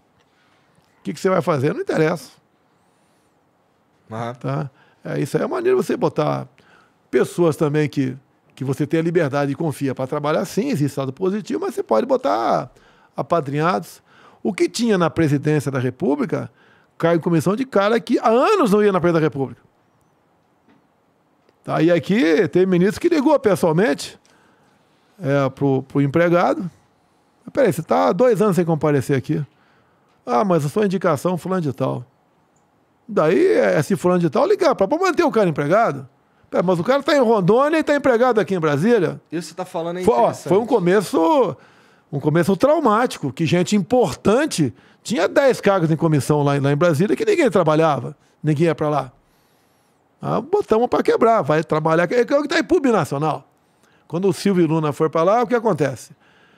A, a nata de Itaipu Nacional, é, que era em Foz do Iguaçu, morava em Brasília, tinha gente, morava em Curitiba, tinha gente que voltava todo dia de avião, ganhava diária para isso. A senhora Janja, esposa do Lula, era empregada em Itaipu Nacional e trabalhava em Curitiba. O que, que eu falei para o general Silvio Luna lá? Ele foi transferido aos poucos, todo mundo para Foz do Iguaçu. Todos. Quer ser diretor, vai ter que trabalhar aqui. Servidor tem que trabalhar aqui. Ela foi a última a deixar Curitiba, para dizer que estou perseguindo ela. Depois ela pediu demissão e casou com o Lula. Tá? Era assim que funcionava muitas estatais pelo Brasil, cargos em comissão. E, pessoal, quando cortamos 30 mil cargos em comissão, partiu até do Nix Lorenzoni essa ideia, né? É, você que passou a dar valor. Eu passei a ter menos cargos em comissão, quero botar gente que funcione aqui no meu ministério. E não ter 30 caras sobrando aqui, 200 lá. Uhum. Foi traumático o nosso governo, para mudar o negócio, choque de realidade, não é no papo. A reforma, a grande reforma administrativa foi essa daí. Diminuiu o número de servidores, diminuiu a folha de pagamento. Sem trauma, ninguém mandou ninguém embora. O comissionado foi embora. Não tinha estabilidade, mas servidor com estabilidade ficou lá. Agora inventaram esses dias, por exemplo, aí que o nosso ministro da, da Educação deu poderes a reitores a demitir via PAD, né, processo administrativo disciplinar, é, servidores estáveis. Não é verdade. Não é verdade. Sempre o reitor foi a última instância para demissão ou não, sempre foi. E quando você muda uma portaria, por exemplo, às vezes é obrigado, antes de mudar a portaria, a mudar o decreto. E mais ainda, ele criou mais uma instância para o servidor recorrer, que é o próprio ministro. Ó, ele foi, se foi absolvido, acabou. O reitor deixa o cara no serviço dele. Se ele foi condenado a perder emprego, tem mais uma instância que é o próprio ministro, para exatamente evitar perseguições. E ele é massacrado porque fez uma nova portaria para cumprir um decreto que foi reeditado com pequenas alterações, para poder ter o PAD. Agora, nós sabemos que na universidade tem o reitor, geralmente é de esquerda. Geralmente, 99%, 90% é de esquerda. E tem poder, sim, de demitir com devido processo legal. Mas esse processo legal não é o reitor que vai demitir. Entra a Controladoria Geral da União para participar do processo de demissão. Daí o pessoal massacra o ministro da Educação, dizendo que deu poderes aos reitores, que grande maioria de esquerda, para demitir quem é de direita. Não é verdade. E sabemos qual ex-ministro que faz essa fofoca para atrapalhar o governo. Entendi. O, o, presidente, sobre. A gente estava falando antes aqui, que o senhor até ficou meio chateado quando eu chamei de PEC Kamikaze, é que eu não sei o tá. nome dela, e ela é o que. Foi assim que veio. Ela, ela basicamente, pelo que eu vi, ela funciona, ela é um dispositivo para o presidente poder uh, decretar uma espécie de estado de emergência e, portanto, uhum. é, furar teto e, e para poder injetar essa grana na, Olha, economia. Se você furar teto, a resposta do mercado vem de imediato. O dólar vai lá para cima. Mas isso não é um dispositivo perigoso? Porque assim, um não, dia mas... o senhor vai deixar de ser presidente da República. Não, não, mas essa PEC tem um limite para ela funcionar. Ah. Tá? Tem uma data para ela funcionar, tá certo? Então nós fizemos tudo isso com responsabilidade. O Paulo Guedes é um cara extremamente zeloso com o ministério dele. Pô, fura teto. Na verdade, nós furamos em 2020, 700 bilhões de reais. Com responsabilidade. Dá merda isso aí? Dá pra Não, não dá merda porque foi garantido em lei. Tá. E emenda a Constituição. A gente não vai dar pedaladas aqui. Todo mundo tem responsabilidade ali. Nós entramos para mudar o destino do Brasil. Imagina se não tivesse pandemia, a guerra lá fora, a crise hidrológica o ano passado, onde o Brasil estaria. O Brasil vai ser um dos poucos países esse ano com PIB positivo. Inflação, ladeira abaixo. PIB para cima. O desemprego. Inflação, ladeira abaixo? A gente a gente está a gente tá num sufoco Não, mas aí, chegou, tá? chegou a bater 12%, agora a projeção para 7 no ano. Porra, não tô Sim, esperançoso. Porque está então. tendo deflação. São números, eu não estou falando até de projeções futuríssimas, né? É do momento combustível, energia elétrica, telefone, transporte. Dá para a gente esperar, então, uma inflação de 7%, você falou, no fim do ano? Talvez um pouquinho mais no corrente ano. Tá. Mas a inflação vai ser menor que os Estados Unidos. Quem podia esperar isso? Agora, olhem, para a gente não querer não fugir muito do assunto ideológico, o está acontecendo com a nossa Argentina. E por quê? Com o nosso Chile. E por quê? Escolhas erradas. Optaram pelo discurso fácil. O que, que o senhor quer dizer com discurso fácil? Um discurso é, dizer que é, prometer facilidade à população. Tá. Tá? Tá. Mas me explica um pouco da, da PEC Kamikaze, como é que ela funciona? Alguns dizem que é PEC. Tu sabe o número dela, o não, nome? Já é, já, é, já é uma emenda à Constituição, essa altura do campeonato, não é mais PEC, né? Ah, tá. Ela permite, por exemplo, você majorar em 200 reais o Auxílio Brasil. Tá? Ela fez uma série de bondades. Sim, não há dúvida. Agora, você acha justo, por exemplo, em alguns estados você pagar R$ 2,30 de ICMS da gasolina? Se o senhor vier me perguntar sobre impostos, eu, em geral, sou contra, nós presidente. Somos, nós somos, exemplo, já, já decidimos, por exemplo, o diesel vai continuar zerado o imposto federal o ano que vem. Estamos negociando a gasolina, continuar a mesma coisa. Isso daí. Já está tem... negociado e acertado com o Paulo Guedes com responsabilidade os 600 reais de Auxílio Brasil continuar o ano que vem. Mesmo que o senhor não, não seja eleito. Não, isso aí vai depender de uma proposta de emenda à Constituição depois das eleições. Tá. Tá. Tá certo? Deixa eu te perguntar. É, a gente, com esse superávit que a gente espera esse ano, o que, que a gente faz com essa grana? Vira caixa? Não, não, não, não, não. Olha só. Eu sou o primeiro presidente que pega o teto de gastos. Eu tenho um limite para gastar. É você ganhar 5 mil por mês aqui, daí acha um bico lá fora, passa a ganhar 10. Com esses 5 restantes, você não pode fazer nada com ele. Uhum. Nós vai para bater juros da dívida. É uma dívida enorme. Na casa dos, dos meia dúzia trilhões de reais. Nossa, dinheiro pra caralho. Toca, toca caramba nisso. É. Tá? É problema que você tem que enfrentar. E os números da economia têm cada vez mais sinalizado que, diferentemente de outros países, nós estamos saindo da crise. A questão do desemprego, por exemplo, nós quisemos aprovar a carteira verde e amarela para ajudar o jovem. Né? O jovem quer um emprego, não tem experiência. O que é a carteira verde e amarela? Você vai até 29 anos de idade, você vai ter um emprego até aqui com você, onde você vai ficar livre de quase todos os encargos trabalhistas, até 29 anos de idade. E, lamentavelmente, o parlamento entendeu que. Isso daí é, porra, muito contra a CLT. Olha só. A velha pergunta, né? Você prefere muitos, muitos direitos e desemprego ou pouco direito e emprego? Nossa, tá até 29, errado, mas até 29 anos de idade. Ninguém vai se aposentar com 29 anos de, 29 anos de idade. Depois ele encarnera. Ele encarnera e vai esperar a tua idade lá na frente, né? E tempo de serviço para se aposentar. É um início para ajudar o jovem. Que o jovem, ele, ele é jovem, não tem emprego, não tem experiência. Quando é que ele vai ter experiência? Não. Nunca. Pois é. Estamos ajudando o jovem no começo. A CLT, alguns acusam né, que ah, o Bolsonaro quer tirar direito do trabalhador da CLT. Todos os direitos da CLT estão no artigo 7 da Constituição que não tem como você retirar nem por emenda da Constituição, porque são pertencem a um capítulo das causas pétreas. Quem fez a mini reforma trabalhista foi o Temer. Eu votei favorável. Ninguém acabou falar na época, vão acabar com o 10 terceiro. Está de sacanagem.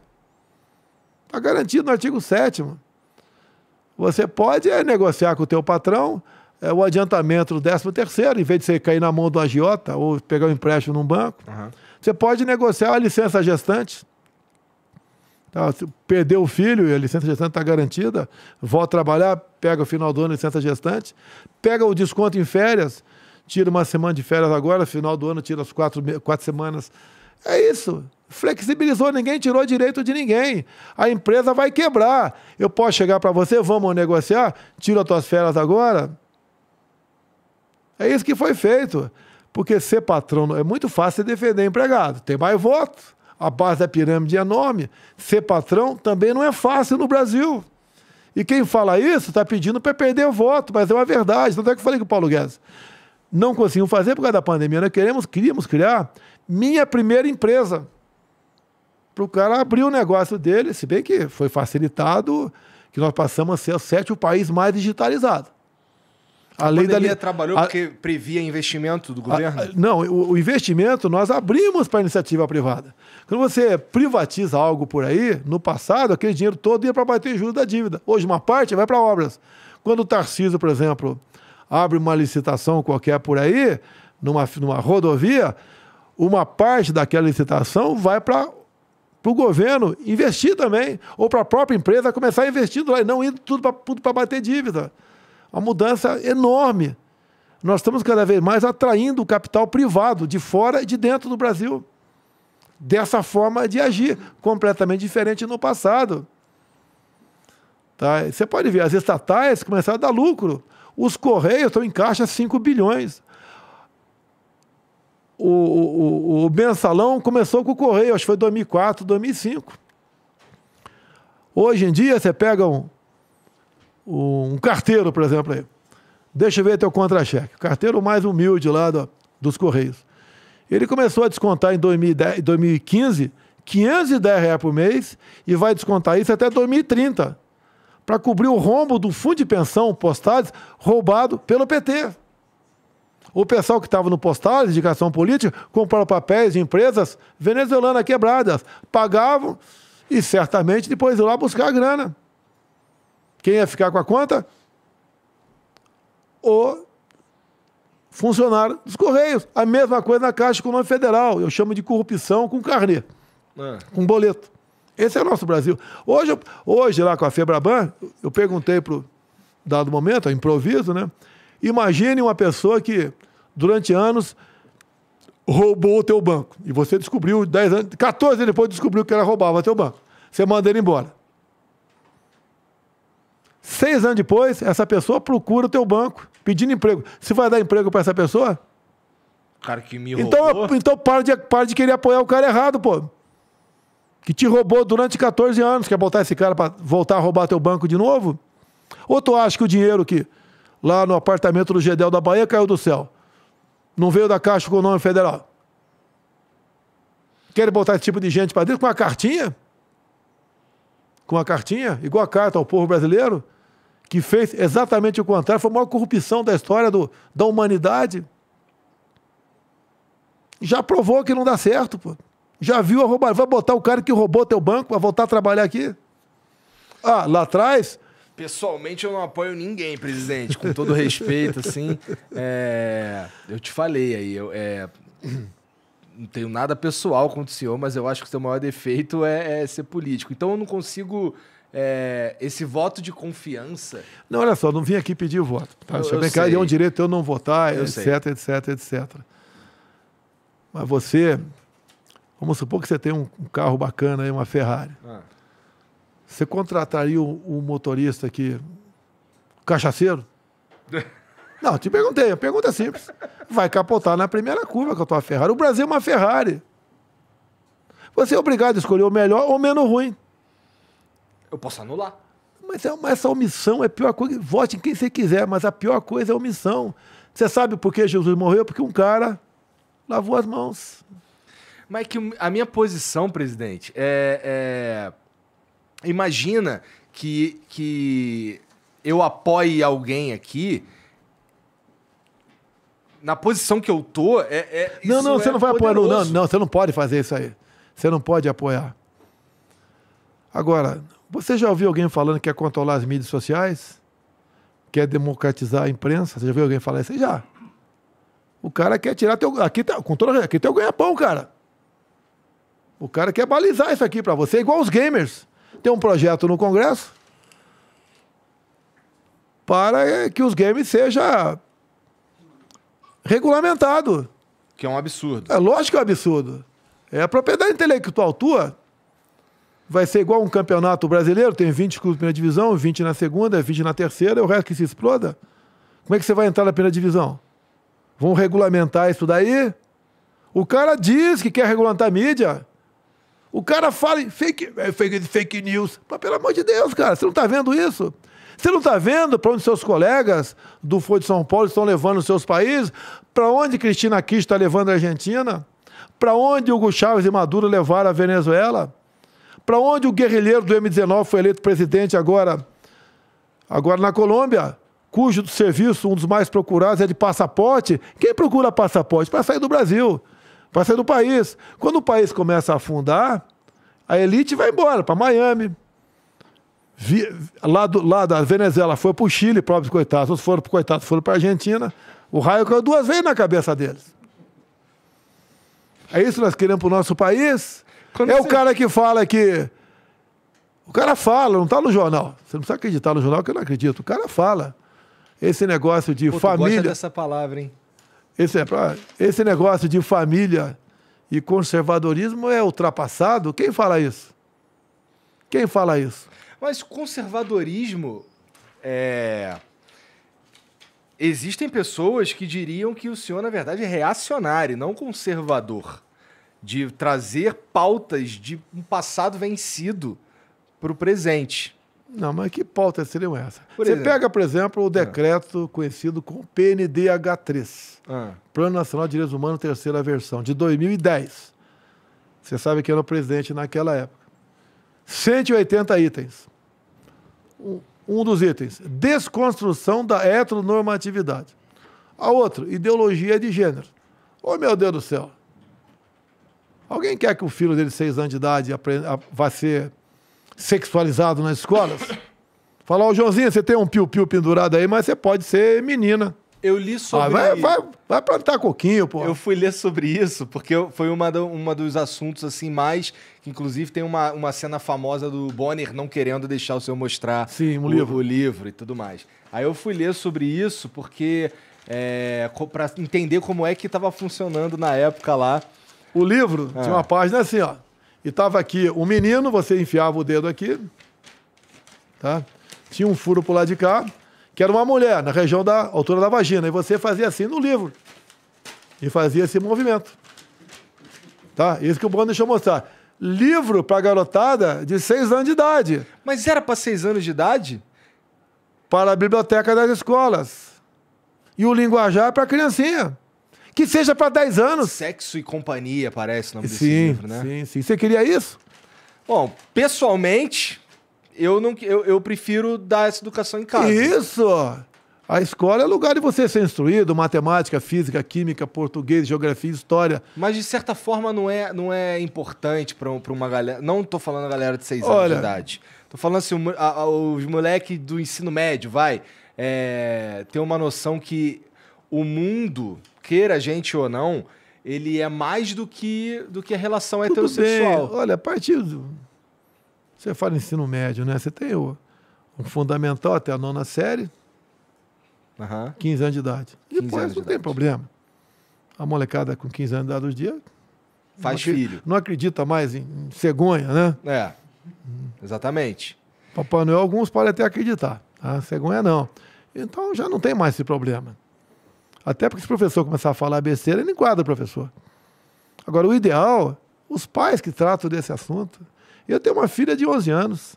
Quem trata de sexo com ela é a mãe dela. Que, Inclusive virou mocinha esses dias, com 11 anos virou mocinha. Eu, eu, não, eu, não, eu não sei conversar com a minha filha Laura sobre isso. Não, não adianta você querer, não vai. Quem conversa é a mãe dela. Se fosse um moleque, eu ia conversar com ele, pô. Eu ia tratar esse assunto com ele. Se a mãe quisesse tratar, sem problema nenhum. Mas uma menina de 11 anos de idade, não estou falando nem de seis mais, na escola, você vê, eu já vi dever de casa de professora, tragam, tragam uma cenoura e vamos brincar aqui de botar preservativo na cenoura. Foi numa escola aqui em Minas Gerais. Você não pode tratar desse assunto. Você não pode tratar disso, pelo amor de Deus. O- o- sobre, sobre o lance das fake news, o senhor se sente é, diretamente atacado por esse. O que que é fake news? Você vê um dos processos que eu estou respondendo. Eu respondendo, por exemplo, fake news. Ah, Eu peguei, eu acho que revista Exame. isso por causa da, da mamadeira de piroca e tudo mais? Não, não, não tem nada a ver. Não? Eu peguei a, revi- a revista Exame, se eu não me engano, que tá, a revista fa- fazia uma correlação de, de, de, de vírus, Covid, Ah. com AIDS. Tá. E eu mostrei essa correlação na live, Tá. da revista Exame. Então, o, o- agência AIDS, para dizer o seguinte, Ah. né? Que pessoas que foram vacinadas teriam mais facilidade em contrair HIV do que não vacinadas. Da revista Exame, eu mostrei isso daí na live.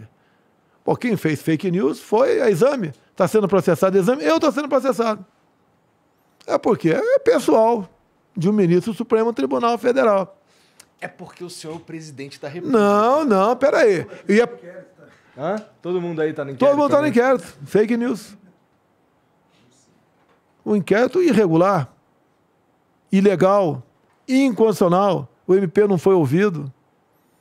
Por que, que quebraram sigilo do meu ajudante de ordem?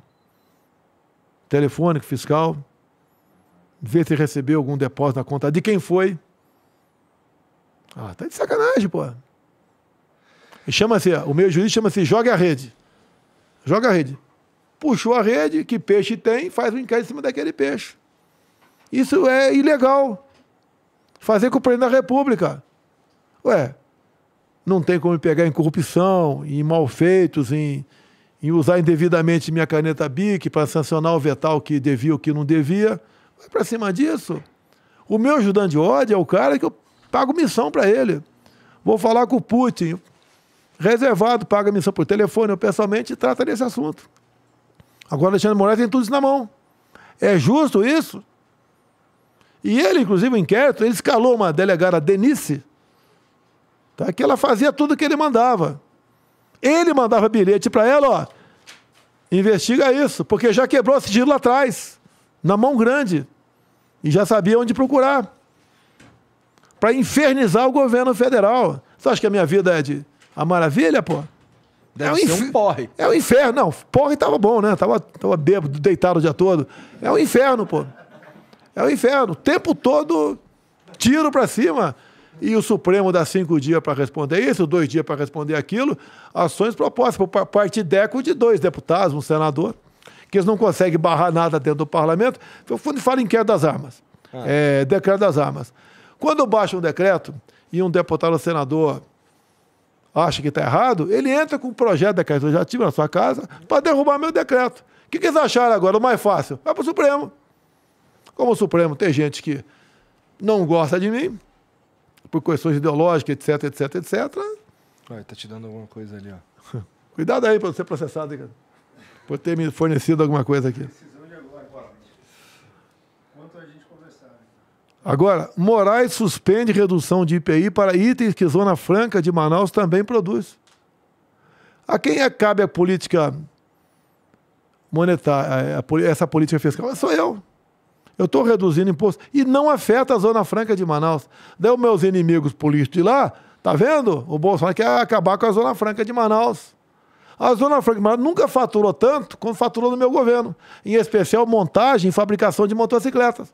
Por coincidência, depois comecei a fazer tu é motocicleta. pelo- motoqueiro, pô. Motoqueiro, pô, o pessoal não gosta, né? Motociclista. né? Quem falou motoqueiro foi o, o tal de Omar Aziz. Eu quero, É tu que vai aquele na um frente da motoca? Quanto é um 71 ao quadrado? Faz as contas aí. Vamos botar o número do Omar Aziz. Bota aí um 71 ao quadrado aí. Tá? Entendi. Tá. É, cara, e assim, a... você percebe como. Ó, a mídia.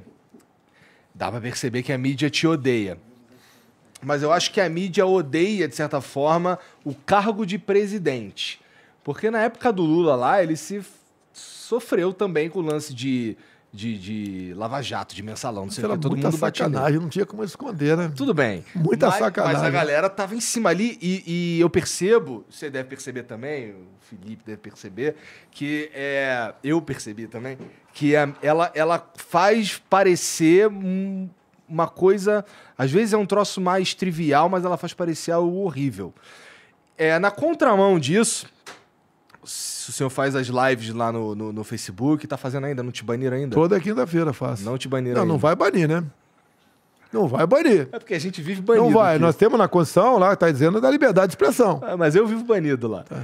É, mas enfim, é, o, o meu ponto é o seguinte: é, qual que é, na tua opinião, a importância da, da internet, das mídias sociais em 2022 para o cenário político brasileiro, especificamente, vai? Porque assim, para você é muito importante. Não, para todo mundo é importante. Para quem tem o que falar. Quem não tem, não vale nada.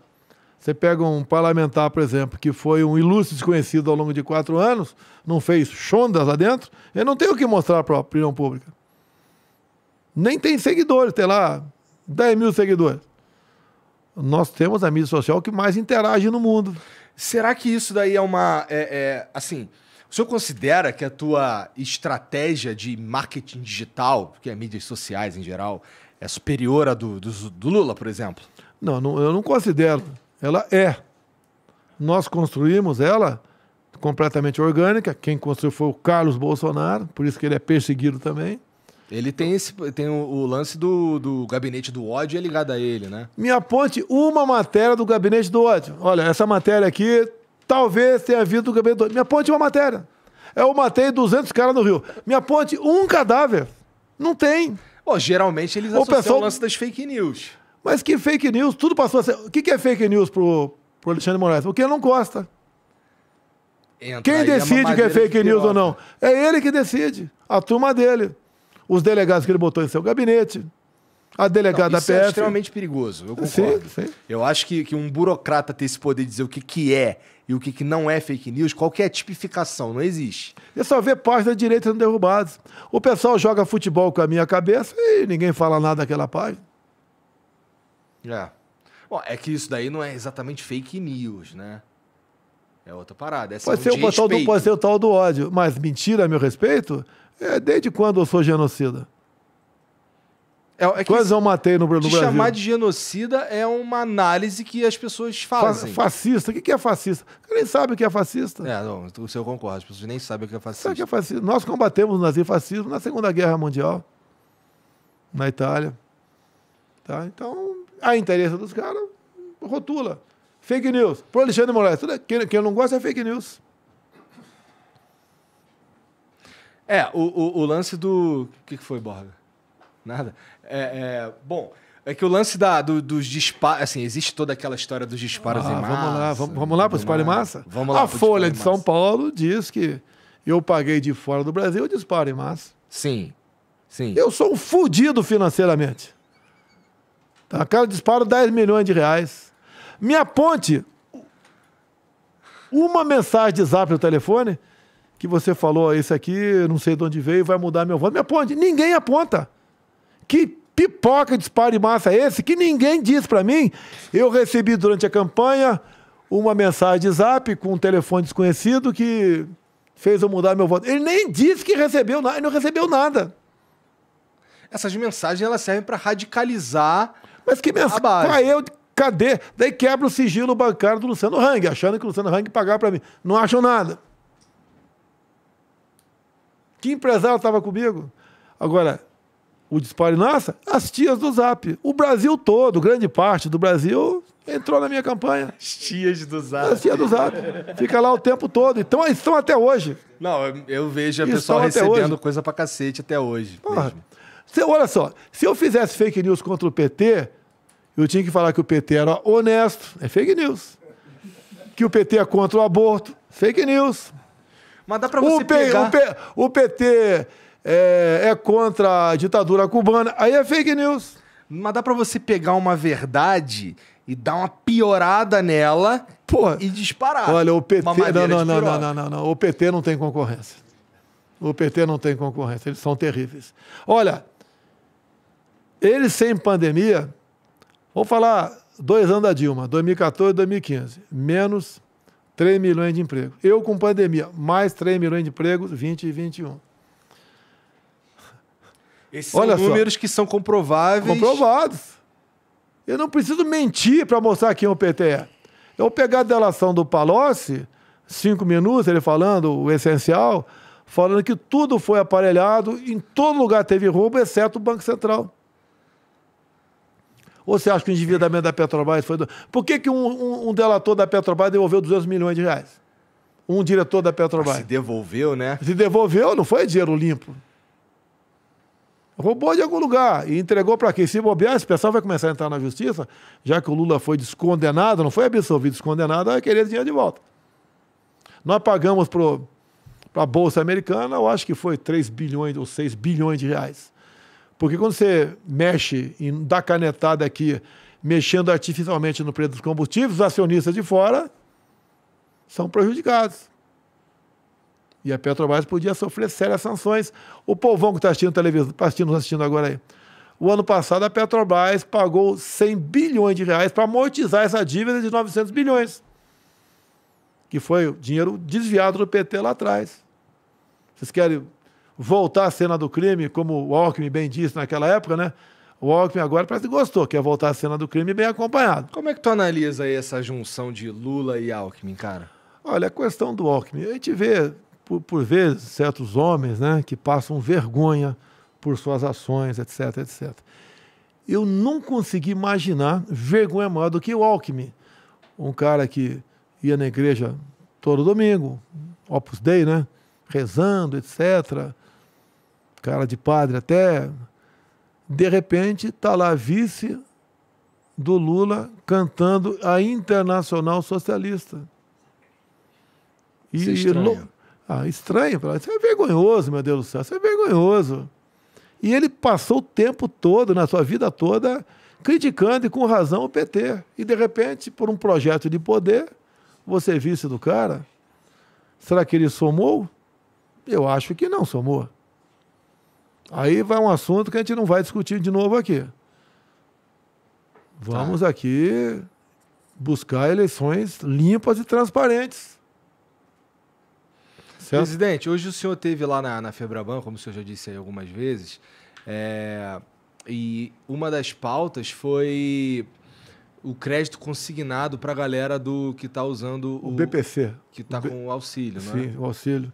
É, o Como, B- como é que vai funcionar isso? Porque, Por que, presidente... que nós pedimos lá? Ah, Esse é um dinheiro garantido para eles. A, a chance de calote é zero, porque desconto em folha. tá, mas esse, esse empréstimo ele precisa Agora- ser quitado até o final do, do auxílio. Porque senão um a problema, senão a é uma princípio, crueldade. quem entra no auxílio dificilmente sai. Mas esse auxílio acaba. Não, não, não, só se no outro governo acabar, nós temos responsabilidade para continuar dessa forma.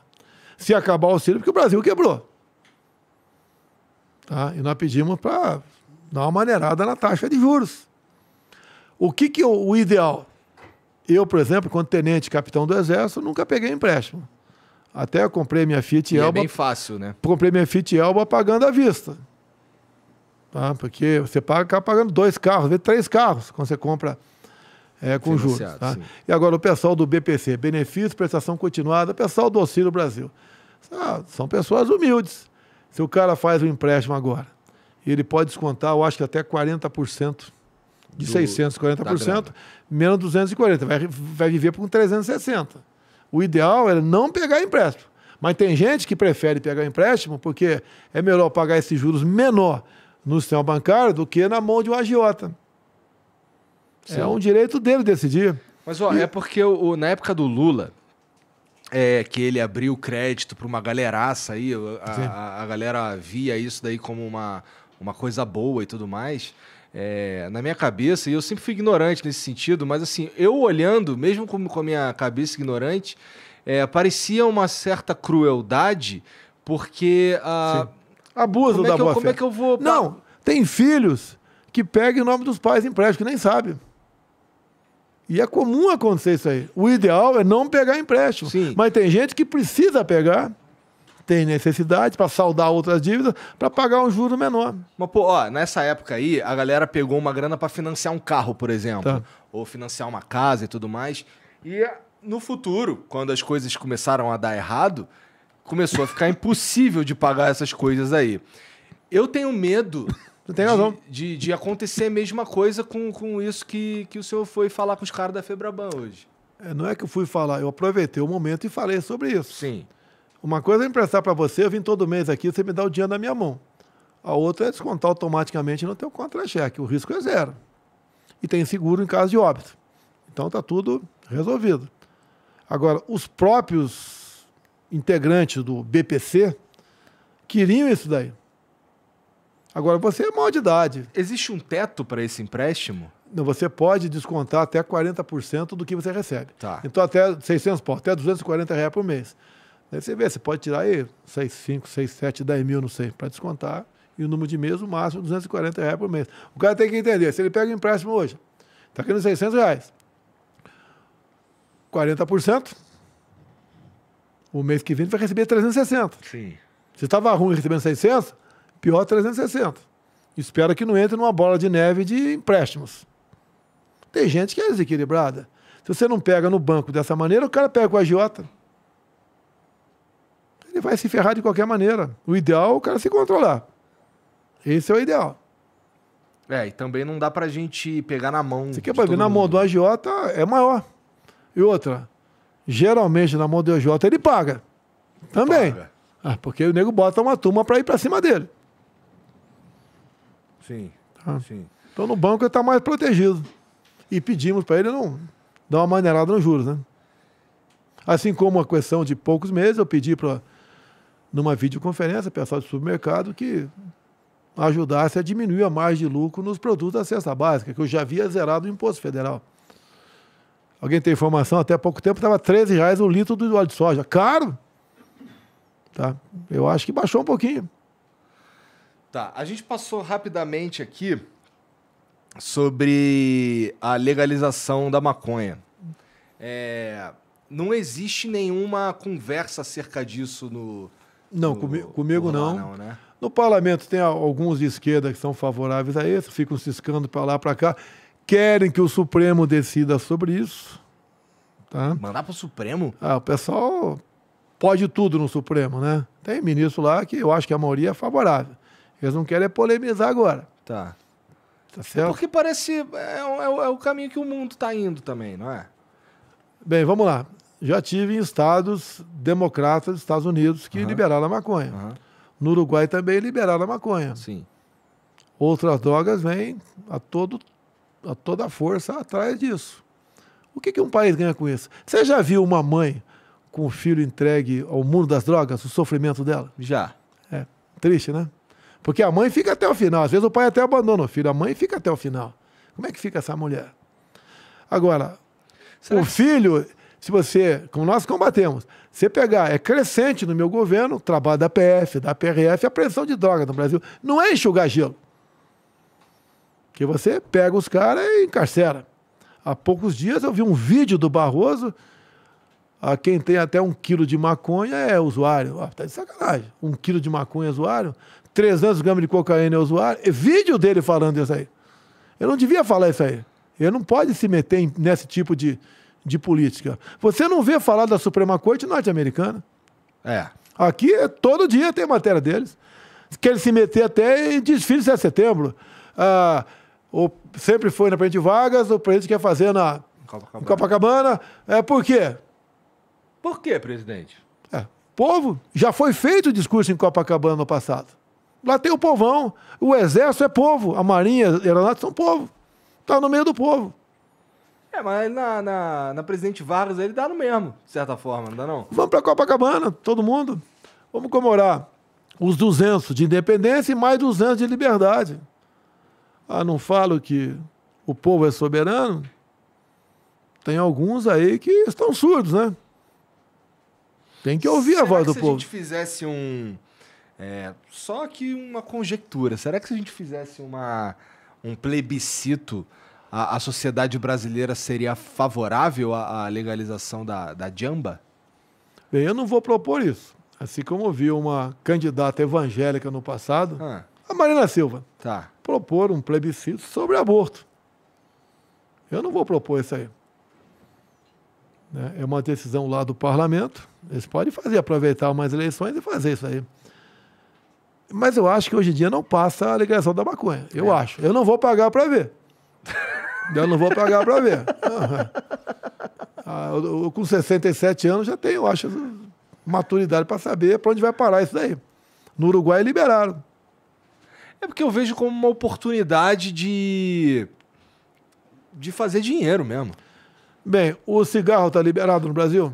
Mas é que o cigarro aqui é 80% de imposto, aí tem contrabando, não tem jeito. Mas tu acha que ia ser diferente? Se tivesse menos imposto, eu acho. Não.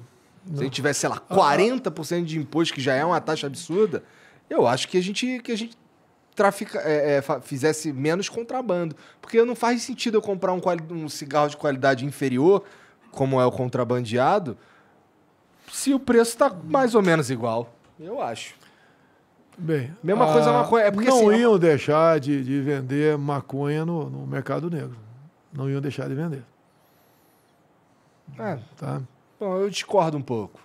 Eu acho que. Eu Você, acho que- vamos lá.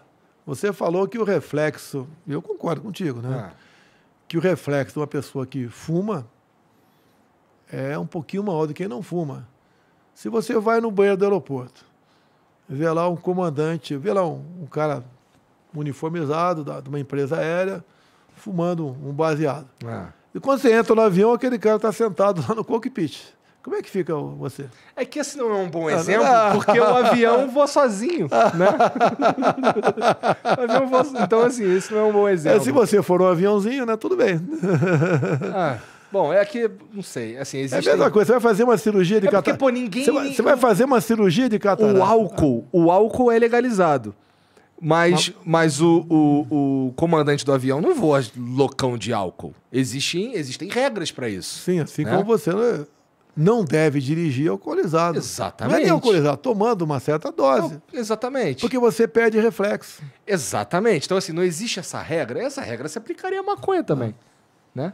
Mas isso, é- isso é uma discussão que a gente vai longe e a gente nunca vai concordar. Aí vai do presidente. arbítrio, da minha liberdade, da tua É. liberdade. E as leis quem faz é o parlamento, no caso. Eu participo e a minha participação é contra, é no vetaço lá. Quem quer legalizar, vota no outro cara, né? Tu viu uma, uma cantora aí famosa? É. Eu tô dando maior apoião, legaliza aí, cara. Tu lembra disso? O senhor já viu... Esse cara não era eu. Depois, depois eu vou pedir pro... Pra, vou mandar pro Felipe aqui pra ele te mostrar um vídeo do Michael Kister. Que é esse cara aí? puta?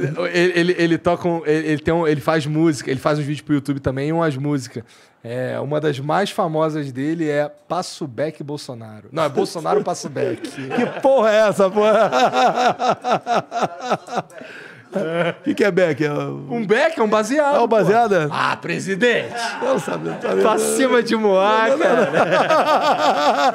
tu acha que eu, que eu eh, fumo no escondidinho? Tá de sacanagem comigo. Não, você já, você já viu aí uns tabletes de maconha que, que sai com a tua foto aqui assim? Via, via, nego vai, vai, via, via, via, via. Curti com a minha cara, né? Cadê meu celular, gente? Vamos, deixa eu ver aqui, tem umas perguntas pra gente, pra gente finalizar. Caralho, vai dar meia-noite, cara. É, o senhor fala pra caramba, mas eu vou finalizar aqui, ó. Tô quase dormindo aqui. cara. Tá, não, eu vou, eu vou o mais rápido possível aqui, ó. O Zeca Padoguinho mandou. salve, salve família. Boa noite, presidente. O que você acha de a BR do mar que você sancionou ter dizimado grande parte dos mercantes brasileiros? Manda beijo pra minha avó Beth e Lemos. Beijo, presidente Bolsonaro 2022. Um beijo pra avó, pra Beth, né? Eu não sei o que tá BR falando. do mar. Ah, BR do mar. Pô, nós temos água no Brasil à vontade. Você tinha que botar um marco nisso aí. Ah. Facilitar esse tipo de comércio no Brasil, de transporte no Brasil, é só isso. Ninguém maltratou ninguém. Tá? E o parlamento foi basicamente deu os ares final nisso daí. Qual o grande problema do Brasil? O preço da mão de obra.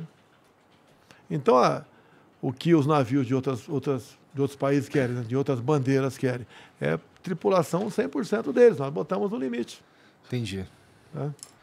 O Diego Silves mandou. Boa noite, presidente. Gostaria de saber a opinião do senhor sobre as novas camisas da seleção brasileira. É esse ano que o Hexa vem? Abraços. Não, não é porque eu sou brasileiro. Eu acredito na garotada. Não é porque o técnico não gosta de mim. Mas tu não vai cornetar o Neymar, né? Não, eu me dou bem com o Neymar, já conversei, É. conversei com ele algumas É. vezes, tá? Vou torcer para a seleção nossa. Até porque, né? Se bem que a a- o jogo, a, a Copa é depois das, depois das eleições, né? Bom, é, a minha opinião sobre a camisa é que eu não gostei muito da azul, não. Mas a amarela tá bonita. O questionador MZ soltou aqui uma espinhosa. Bolsonaro, você acabou de. Você acabou com o combate à corrupção. Colocou um petista engavetador na PGR, sancionou a emenda do PSOL, restringiu a delação premiada, vetou merda. um projeto que limitava os poderes do STF e ainda deu bilhões para o Centrão, que em campanha dizia que não iria se aliar. Valeu a pena? Pô, um fake news monstro. Como é que eu acabei com a Lava Jato? Como é que eu acabei com ela? Que, que mania. Porque eu falei lá atrás, no que depender de mim, não vai ter mais Lava Jato, porque não tem corrupção no meu governo. Centrão. Já expliquei aqui. Eu fui de partido do, do dito Centrão. Não quer dizer que todo mundo lá é errado. Como é que eu vou aprovar uma proposta de emenda à Constituição, por exemplo, para diminuir combustíveis, sem contar com 308 votos lá dentro? E os partidos de centro têm mais ou menos 300 deputados. E outra coisa, é regra do jogo. Você votou para presidente, votou para deputado, para senador. E eu tenho que conversar com essas pessoas. Eu, no passado, enquanto parlamentar, como se votava, por exemplo, liberando emendas que não eram impositivas, eu era contra isso. Agora, nenhum parlamentar pode falar que está votando propostas minhas, porque as emendas são agora impositivas. Como o tal do orçamento secreto também, é impositivo também. Entendi. Presidente, ó, não tá aqui não, mas. Porra, depois o senhor me ajuda a conversar com o Flávio, porque aquele lance lá da, da rachadinha que ficou faltando aqui, ó. Ah, você quer que ele venha aqui? Ele vem conversar contigo aqui. É? Que eu te perguntei se eu Sem falou problema. que. Ele responde por ele, cara. É, foi exatamente o que o senhor falou. É. Ele falar que ele comprou um apartamento de 6 milhões, é verdade. Qua- é, 60% financiado no BRB de Brasília. Ué, qual o problema?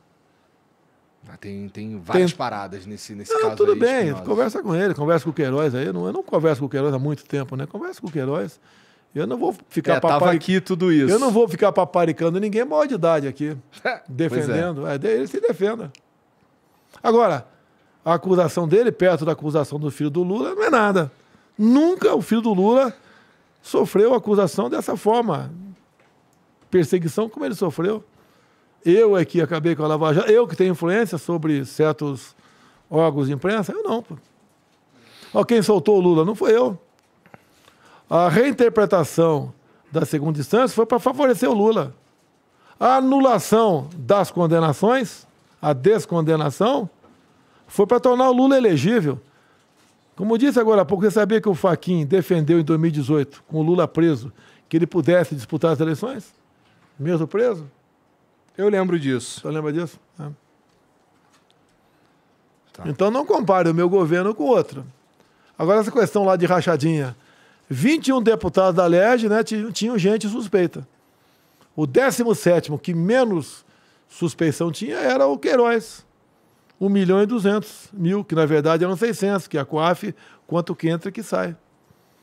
Ninguém, não. A Rede Globo que mais bateu em mim, por que, que não quer discutir comigo com a rachadinha ao vivo? Discuto com a Rede Globo, conversando com o Tecla Duran, que duas vezes por mês entregava pacote de 100, do- 100 mil dólares lá no estacionamento da, da Rede Globo, né, para a família Marinho. Ah, por que, que não vai para frente esse assunto? E ficaram batendo em mim três anos na questão desse rachadinho. Sim. Não é nem pelo Flá, para atingir a mim. É, porque assim, é, o- o- os filhos do senhor são talvez aí uma das principais, tirando a pandemia, uma das principais fontes de, de crítica. Né? É, é, eles, eles tentam. na verdade, o governo acaba atingido é, por causa dos seus filhos. né? Olha, onde está a mala de dinheiro? Uma acusação de rachadinha. Alguém foi denunciar meu filho de funcionário dele? Quebraram o sigilo da minha família toda, toda. Até a minha, minha a avó da minha esposa se ferrou nessa, a avó dela se ferrou nessa história. Quebraram sigilo, foram atrás, fizeram barbaridade. E daí, em cima de tudo quebrado, os caras fazem história que bem entender, verdadeira ou não. Ninguém fez isso com ninguém no Brasil, nesse sentido. Diz que os filhos do Lula têm fazenda por aí, etc. Ué, ninguém investiga.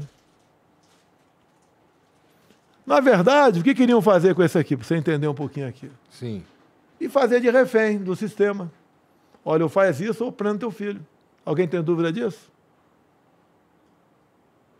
É uma análise. Tá? Não, não. Você. É o tal negócio, né? É você acreditar em umas coisas ou não. Por que, que para um vale e para outro não vale? Toda semana alguém arquiva um processo do Renan Calheiros, né? do Omar Aziz. Sim. E fica em cima da rachadinha o tempo todo, pô. Vai pro pau todo mundo, pô. Eu não vou passar a mão de cabeça de filho de ninguém. Defendi a minha esposa, que o, cheque do cara foi para mim. No primeiro dia. Eu não esperei acontecer. Primeiro dia para mim o cheque. E dava menos de, durante 10 anos, menos de um salário mínimo por mês. Corrupção. Ah, vai a merda, porra. O poder que tem de se vender emenda. lá. Não é porque é impositivo, se o cara quiser vender, ele vende emenda. Dá para um prefeito picareta, que existe, né? Não são todos, né? Existe. Ó, quero 20% dessa emenda aí. Senão não te dou emenda do teu município. E acontece, infelizmente acontece. Há escândalos ambulâncias, tanta coisa aconteceram. Não é que não me pegou, não tem nada a meu respeito. Vai para cima de mim, pô. Agora, covardia é ficar seguindo esposa, vó da esposa, minha sogra, meus, meu irmão em São Paulo. Covardia, pô. Covardia. É aquela história da, que tem ali da a tese jurídica, joga a rede. Com toda respeito, joga a rede em cima de você. Se você for quer ca- casar, tua esposa, teus irmãos, teu cunhado, teu pai, tua tia, eu vou pegar alguma coisa. Vai que a tua tia comprou um carro de um cara que é traficante. Ela não sabia que era traficante. E comprou. Nem duvido, não. É verdade. Pô, como é que você vai? Eu vou falar agora que você tem ligação com, com o tráfico. Quando eu assumi, olha só, logo que eu assumi, antagonista. Ganhou o carro do, do empresário de São Paulo. Land Rover, placa tal. Falei, "É, o carro é meu. Ganhou um carro. Peguei e apresentei o DOC. Realmente o empresário ofereceu o carro para mim de graça. Eu não aceitei. Eu paguei 50 mil para não ter o rabo preso. É igual aposentadoria, não quero receber, para ninguém me encher o saco, apesar de ser legal. Tá certo. O Aprovados PF 2021 mandou. Fala, Igor. A PF tá com mais de 2 mil cargos vagos. Dá uma força pra gente, pede pro Bolsonaro chamar o restante dos aprovados do concurso de 2021, além dos 625 já convocados. Isso, isso. Abraço, Igor e Ó. presidente. A primeira leva foi, a segunda foi, estamos na terceira, fora já do previsto no edital. Né? Foi no limite do edital, mais 625. O que, que eu tenho falado para ele? Agora, eu nem posso prometer isso daí, porque vai ser. Eu estou prometendo algo que eu sou presidente, é usando o cargo público para ganhar voto desses caras. Uhum. O que, que eu posso dizer da PF e da PRF? São lucrativas para o Brasil. A quantidade de drogas, de numerário, de munição apreendida, enorme. É compensador. É um investimento você ter um quadro de PF PRF maior. Nós já temos, com essa, com essa nova 625 que estão cursando agora, que vão se formar em meados de outubro, tá? já vão um recorde de número de PRFs. É um pessoal que eu gostaria, inclusive, de fazer a reestruturação deles. Mas daí começou. Outra categoria falou: ó, se reestruturar a PRF, eu também quero. Eu entro em greve. Eu paro isso, eu paro aquilo. E várias outras categorias. Agora, você pode ver, aqui está o topo da Polícia Federal. Todos em curso superior, todos, sem exceção, todos. Topo da PF. Aqui está o topo do agente da PF. E o topo da PRF está aqui embaixo. Eu queria, pelo menos agora, botar a PRF junto com o topo dos agentes, que todos em curso superior. De cima para baixo, pressão. Se aumentar aqui, também quero. Mas, pelo amor de Deus, cara. Vocês já estão ganhando 29 mil por mês no topo. O PRF está a metade disso. Não foi possível fazer. Vamos fazer no futuro. Entendi. Agora, você pode ver, né? Próprios colegas outros remam contra. E havíamos reservado o recurso para reajustar, fazer a, não só da PRF, bem como do pessoal do sistema prisional. É que é o nome aí? Os agentes prisionais, hein? DEPEN. O Departamento de Polícia Penal, né? Que ganham lá embaixo. Então, o cara que está lá em cima, quando você quer aqui embaixo subir um pouquinho, eu também quero subir aqui, senão faço isso, faço aquilo. Esse é o espírito, não é má vontade minha. Até outras categorias, né? vigilância sanitária, etc.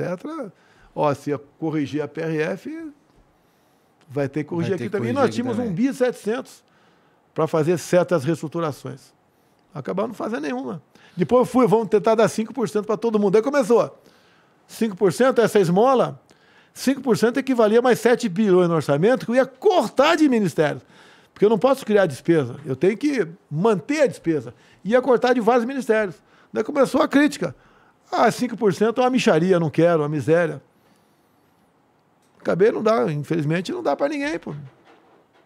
Entendi. Pegamos essa grana toda e entrou lá na- nessa PEC aí que vocês falam mais de Kamikaze. kamikaze, tá? Pergunta se o pessoal, os, os 20 milhões de pessoas que recebem o Auxílio Brasil estão chateados com isso, ganhar mais, vibraram para ganhar mais 200 reais por mês. 200 reais. O Habib Jarrouj mandou aqui, ó. Bolsonaro, você vive com medo do Ciro Gomes, por isso não vai ao debate? Tem medo de ser ainda mais exposto? Com todo respeito, que eu vou só ler o que ele está dizendo. É, ser ainda mais exposto como burro que é? Pô, eu posso ser burro, né? Sim. Para mim não, não vai pegar isso aí. Olha o meu ministério, o que nós produzimos mesmo com pandemia, com guerra lá fora. Criamos o Pix. A gente Falou chama de. Dia do Fiéis. Não, eu vou no debate, eu vou no debate. É Dia do Fiéis. Mas não tô falando desse Tá. Jornal Nacional, não. Tô falando debate. Olha, Na cara do Felipe. O, o, o Ciro é um cara que. né, Aí fica me chamando de ladrão, corrupto, só não me chamou de outras coisas a mais, né? Pô, debater com um cara desse, pô. Tá debater com um cara a minha desse. grande crítica a esses debates, O inclusive, cara, é autorita- como... o cara autoritário é um cara que tem uma certa inteligência, assim, mas não sabe usar. O irmão já foi ministro do Lula, acho que ele foi ministro também. Vou procurar ver um pouco mais da vida dele, não me interessei com isso aí. Que é debate? É xingar outro? É atacar? Vamos falar de proposta de Esse é o governo. problema do debate, na minha opinião, do você- jeito que ele é realizado hoje em Entrar dia. na vida pessoal das pessoas? Que vira, por exemplo, o Lula falando do- de um aspecto pessoal do Bolsonaro, Ah. fala de um aspecto pessoal do Ciro e vira um circo. Eu assisto. Você tem que comparar meus quatro, meus quatro anos de governo agora com os quatro anos. É, ver os números da economia que estão aí. O Brasil, as suas relações né, internacionais. né, Como é que está o pessoal mais humilde? Nós somos um dos países que estamos é, diminuindo o percentual de pessoas na linha da pobreza. A linha da pobreza é você ganhar um dólar e 90 centavos por dia. Quanto que paga por dia o Auxílio Brasil? 20 reais. 4 dólares. De 1,90 para 4 é o dobro, né? Estamos bem ou não estamos bem? Tratando com dignidade as pessoas. Se passa fome no Brasil, alguns passam fome. Muita gente passa mal. Mas não é o que existe aí fora. A Europa está com alguns países com desabastecimento. Nós aqui estamos bem ou não estamos bem? Bem, a Não, gente não tá. em relação a outros países, você tem que fazer comparações. Olha para onde está indo a Argentina. O quem esperava o Chile estar na situação que se encontra, lá com uma, uma constituinte em andamento, onde só tem barbaridade. Um terço do Chile, o pessoal quer tornar reserva indígena, o último terço do Chile, que é um país comprido, né? É, querem liberar drogas, querem acabar com os carabineiros. Olha, quando tivemos greve de policiais aqui no passado, sempre criticado a policial. Quando teve greve, foi alguns, alguns estados do Nordeste, viu a desgraça que foi. Saque ao luz do dia. A PM não está indo bem, ó. Logo a PM não vai ser perfeita nunca, né? Mexer com o povo, uma, uma guerrilha constante. Agora a PM é muito melhor funcionando dessa forma do que sem PM. É igual o ateu, né? Quando o avião está caindo, ele fala, meu Deus do céu, quando está sendo assaltado, cadê o 90? Certo? O André HRF mandou: parabéns ao Flow e ao presidente pela coragem. Presidente, você acredita que a mídia tradu- tradicional está morrendo? Os números mostram isso, as vendagens de jornais caindo cada vez mais. Eu mesmo, quando assumi, eu cortei a assinatura de jornais e revistas em todos os ministérios. Chegava lá uns 500 exemplares por dia. Cortei. É quase só fake news, pô. Só mentira. Só desinformação. Não aproveita nada. Como é que eu faço para não me envenenar? Eu não leio jornais. De vez em quando meu assessor fala, ah, você viu o Estadão? Eu não vi, o que, que foi? Aí, falei, pô, legal, não dá bola não. Toda semana estavam trocando o ministro meu, fazendo fofoca de acordo com o que ia na- no meu gabinete ou na, no Alvorada, na minha casa. Não tem mais informação do Alvorada. Se um empresário fosse no Alvorada e o outro fosse lá na presidência, pronto, olha, o que, que ele está tramando? Cortei secreto por 3 mil anos. É um direito meu, está na lei. Quem vai na minha casa? Quem eu quero. Você quer que todo mundo fique sabendo quem vai te visitar? Por que, por que, que- Se você me falou aqui que com, sei lá, 600 mil pessoas vendo que você não tomou a vacina, por que, que tu colocou um, um sigilo de 100 anos no teu Não, é, cartão? o, o que acontece? É meu cartão de vacina pessoal. Para eu ir para qualquer outro país do mundo, tem que apresentar o cartão de vacina. Aham. Eu tomei todas as vacinas na minha vida. Todas. Eu No G20. Então tu botou só de sacanagem, só pra É, irritar. lógico. tá bom. por que você quer saber meu Daqui a pouco tu vai querer saber a cor da minha cueca. Vou ter que mostrar para você. Tá bom. Isso é, isso é privacidade minha, pô. Quer saber quem foi, Tá bom. de acordo com o cara foi visitar? Ih, rapaz, foi ver o presente ou foi ver a primeira dama? Ah, Entendi. é que porra é entendi, essa? Entendi, entendi. Ah, é merda, pô.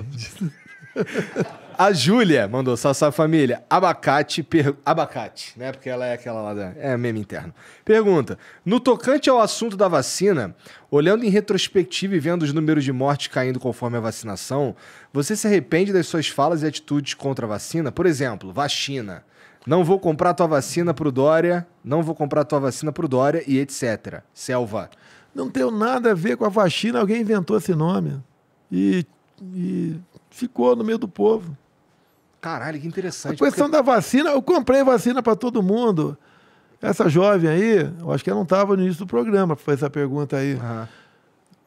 Se você visse numa bula de um remédio, eu, fabricante, não responsabilizo por efeitos colaterais. O que tem de gente morrendo de trombose por aí? Qual ori? Não sei, não pegou, não sei. Aumentando o número de mortes por trombose. Você vai comprar isso daí? Eu eu falei para o parlamento, olha, eu compro, mas alguém tem que ser responsabilizado. Eu usei a figura de linguagem, vira jacaré, né? Pô, quem foi falar essa pipoca aí? Tá, o mundo caiu na minha cabeça, tá certo? E o Congresso aprovou. Se alguém, porventura, tiver um efeito colateral o mais esquisito possível, ninguém vai cobrar de mim. Eu acho que é na Itália. Milhares de processos indenizatórios em cima da vacina. E começaram já a dar ganho de causa. Processos indenizatórios. Vou dar uma pesquisada Na Itália. nisso. Bom, o JP Ventura mandou aqui, ó. Senhor presidente, não votei, não votaria e não votarei no senhor e discordo de toda a sua agenda política nacional e externa. Mas é assustador questionar a sua facada. Como é trabalhar todos os dias com esse questionamento no Brasil e no mundo? Ele está duvidando da facada? Não, não, não. Ele acha um absurdo duvidar da facada. Ah, bom, tudo bem. Olha, a agenda externa, eu falei aqui do nosso fertilizante na Rússia. E estaremos com toda certeza caindo a metade da produção de, de dos commodities do campo, né? Soja, etc. Sem, sem, sem a soja da Rússia. Como é que eu estou péssimo lá fora? O mundo todo faz negócio conosco. O, o o pessoal do Golfo do Pérsico, Golfo Pérsico. Ninguém quer ficar dependente só de um país para sua segurança alimentar. O Brasil faz negócio com o mundo todo, honra seus contratos. Ou tu acha que o Putin me atendeu porque eu, eu sou o galeguinho dos olhos azuis? Tá? E, o, e o presidente da Ucrânia, tal, Zelensky. Zelensky queria falar comigo por quê? Tá? Quando eu vou em reuniões aí de, de G pelo mundo, etc, etc, o pessoal pede um montão de bilateral comigo. Tá? Com o Trump, muito bem tratado com o Trump. Depois veio o Biden, segurou um pouquinho, depois fui lá, fui bem recebido por ele. O mundo tem interesse no Brasil, a nossa política é excepcional. A ministra Tereza Cristina, da Agricultura, fez um trabalho excepcional. Temos comércio com o mundo todo. O O Já Carlos tá tranquilão com o Biden? é, o, o Biden, é a idade eu pegou um pouco mais, um pouco antes, né? Do, tem gente com. Antes eu não sei porque ele tá bem coroa mesmo, Tá. né? Eu não sei qual a idade dele, 70 É, e poucos coroa. anos, tá? Vê pra nós aí, Ele, favor. mas ele, eu conversei com ele, ele começou, fizemos duas reuniões. 79. É, não tá tão velho assim, não. No, no meu tempo lá atrás era velhão. O meu pai, meu pai faleceu com 68 anos. Eu tô Nossa. com 60. Meu pai estava acabado com 68 anos. Ah, Naquele tempo lá atrás, a, a expectativa de vida era bem abaixo disso. Uhum. Hoje tá, tá lá em cima. Bem melhor. É. Tá? O Biden, quando começou a primeira reunião com ele, não, tinha umas 30 pessoas, ele falou sobre a Amazônia. Ah, Olha, nós aqui acabamos nossas florestas nos Estados Unidos. Fez uma minha-culpa, foi sincerão. Depois teve, quando acabou a reunião, eu levantei, eu não falo inglês, né? Se bem que a imprensa fez um fake news, que eu sabia o inglês não é tão mal assim, ele pegou, ele pegou um tradutor meu ali falando, pensou que era eu, né? Quem foi a pessoa? Foi da Globo, quem foi? Helena Catanhede, tá? Elogiou meu, meu inglês, né? E eu não falo inglês. Eu, inglês para mim é let's go, né? I love you. Tá? Acabou meu, meu inglês aí. Mas eu pedi uma particular com ele. Daí tive uma particular com o Biden. Eu, Biden, o meu, o meu intérprete e o intérprete dele. Onde foi discutido aqui. Perguntei sobre a Ucrânia, etc, etc, etc. Eu não, posso, recente isso, presidente. eu não posso falar porque o negócio é reservado. Mas foi recente? Isso foi quando é que foi? Em fevereiro, março? Foi, não, foi agora. Julho? Agosto? Agora, agora, julho, Tá, mais ou menos. agora, foi foi agora, foi agora. Foi agora. Temos negócio com os Estados Unidos também, mas nosso maior parceiro é a China. Sem problema nenhum com a China. Tá. Ó, O pessoal do campo está vibrando. O IP Milo Oficial mandou: Presidente, qual a opinião do senhor sobre jovens que querem seguir a carreira militar? Continências do IPMIL, Instituto Padrão Militar. Olha, é questão de vocação. Ah, Pra mim Eu- não serve, não. eu, você ficou um ano lá, né? Fiquei um aninho lá. Um aninho lá. Quase eu, que eu virei PM, cara. Eu fiquei 15 anos no Exército. Cheguei de, de, de aluno, escola preparatória de cadência, até capitão. Depois entrei na política. Tá? Quem quer seguir a carreira militar. E tem muita oportunidade. Você vai para lá, é, tá cada vez mais aberta a carreira militar, né? O cara vai ser combatente de infantaria, cavalaria, artilharia. Vai ou ser vai QCO. o QCO, esse vai lá em Salvador, faz a escola lá, vai ser de intendência, comunicações, material bélico, engenharia. É, então ele vai ser o que ele quer. Ela faz o IME, que não é fácil. O Tarcísio fez o IME, por exemplo. O Marcos Pontes, que é um baita do ministro, fez o ITA. Tá? Vai seguir carreira. E um dia, se quiser sair, você sai, vai servir a pátria em outro lugar, fazendo outra coisa. Todos nós somos brasileiros. pô. Agora, a carreira militar é a mais democrática que existe, né? A é última tudo aqui, igual para todo mundo. O Zezinho, 1991, mandou: Presidente, quanto à reestruturação prevista para as forças, para as forças de segurança, Ele só Deve mandou, ser PF e PRF. mandou isso em uma, pergu- é uma pergunta meio mal construída. Lutamos para a sociedade e servim- servimos de impulsão para sua campanha. O senhor disse que não há dinheiro, apesar de haver reserva no orçamento. Após isso, o senhor surgiu com 40 bi de auxílio para os caminhoneiros. Lula preso. Bem, olha só. Não foi 40 bi para caminhoneiro.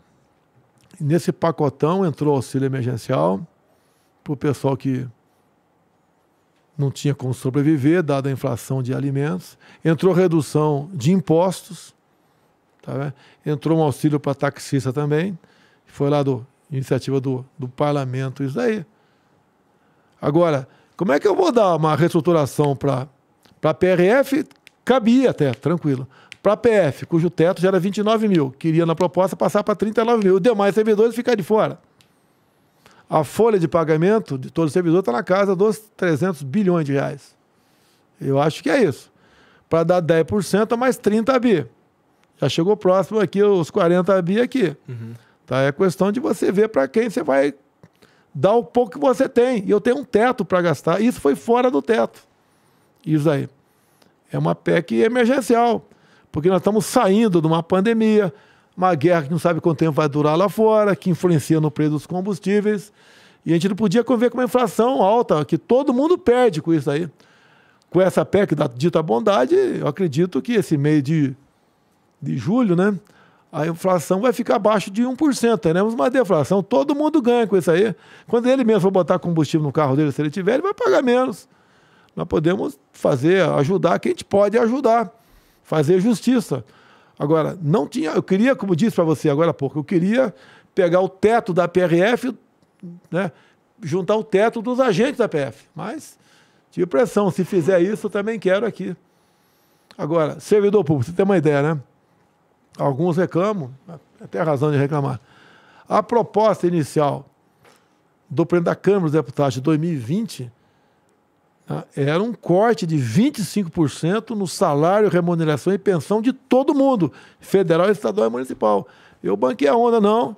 Congela por dois anos. Se tivesse cortado os 25% lá atrás, mesmo com outros reajustes agora, não teria recuperado os 25% ainda. E daí fui massacrado ainda por parte da imprensa, né, de governadores, falando que eu congelei o salário. O congelamento do salário, depois que nós descartamos essa proposta de corte de 25%, foi mais videoconferência. Todos os governadores concordaram. E daí passou liso, sem nenhum voto contrário, no Congresso, a questão do congelamento, até o final do, do, do, do, do ano passado. Bom, presidente, muito obrigado por ficar todo esse tempo aqui com a gente. 5 horas e 15. É. É recorde de tempo aqui ou você Eu ficou acho mais? que é. Se, não, ficou recorde, vai aumentar. esse recorde, Vai, vamos bater esse recorde. Não, acho que É já recorde? é. Então tá batido o recorde. Tem quantos assistindo aí? Ó, nesse momento tem 422. Tá, chegou a bater quanto o pico aí? 574. É recorde também ou não? É. Recorde. E daí? Você, é você, que- você é- ganha é- alguma coisa com isso ou não? É, que- é que o senhor fala muito, né? Posso ser cancelado amanhã. Olha aí. Ou se bobear daqui a cinco minutos.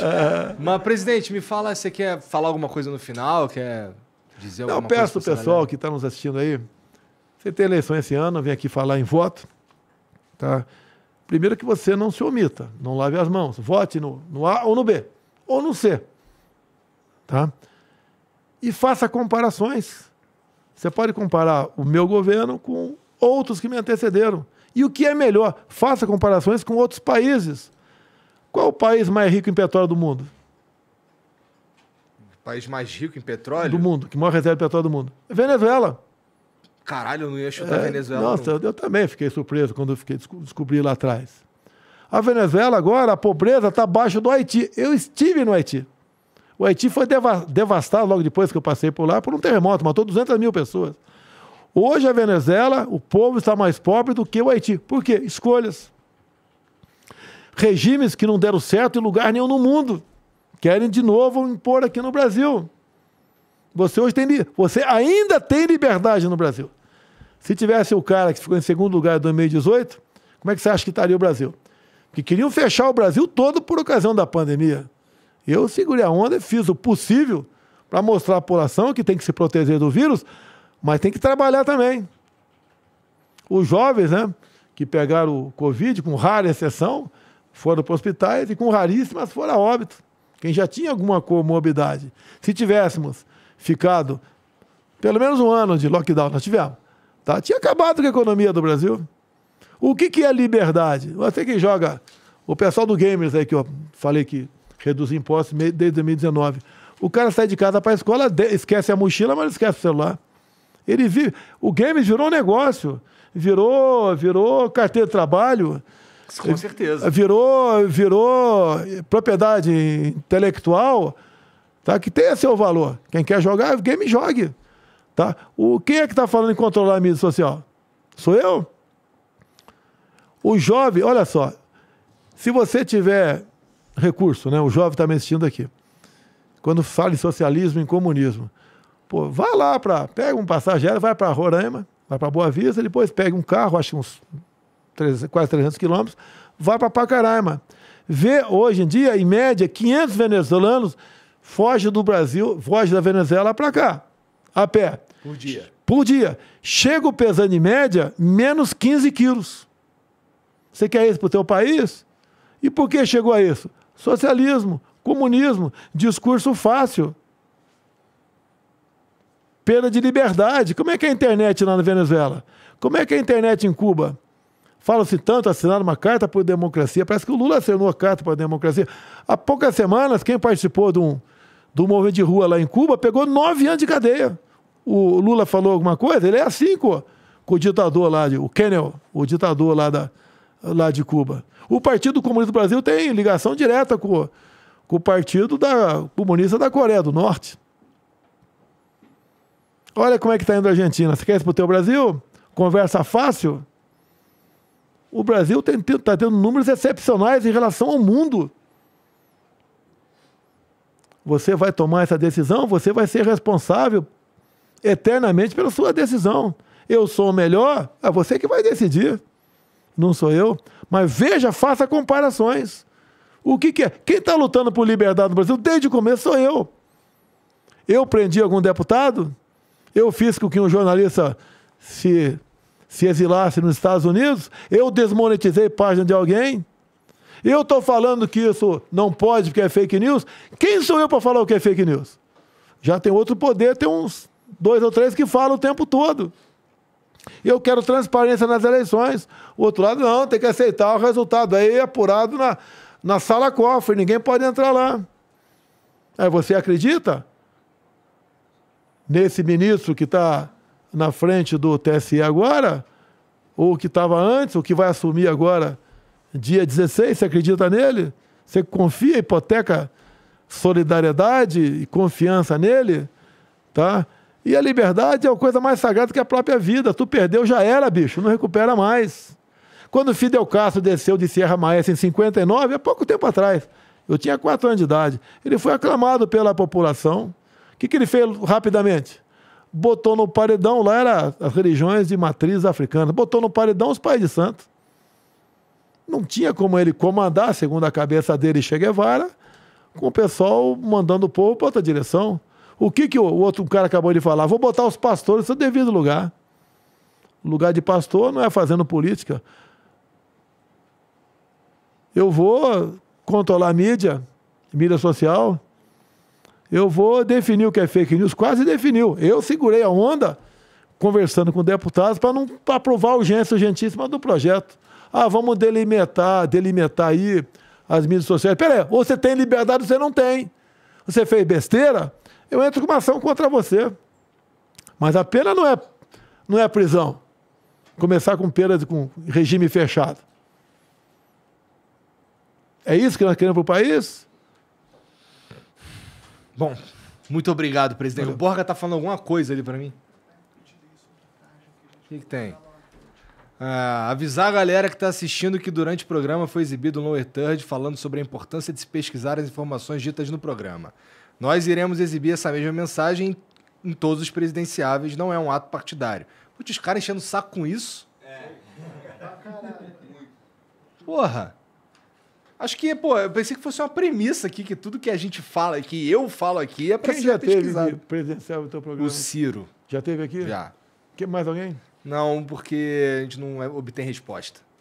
Você, a princípio, convidou os demais. Então. Convidei, convidei. Todos. Mas, pô, muito obrigado, presidente, por vir aí.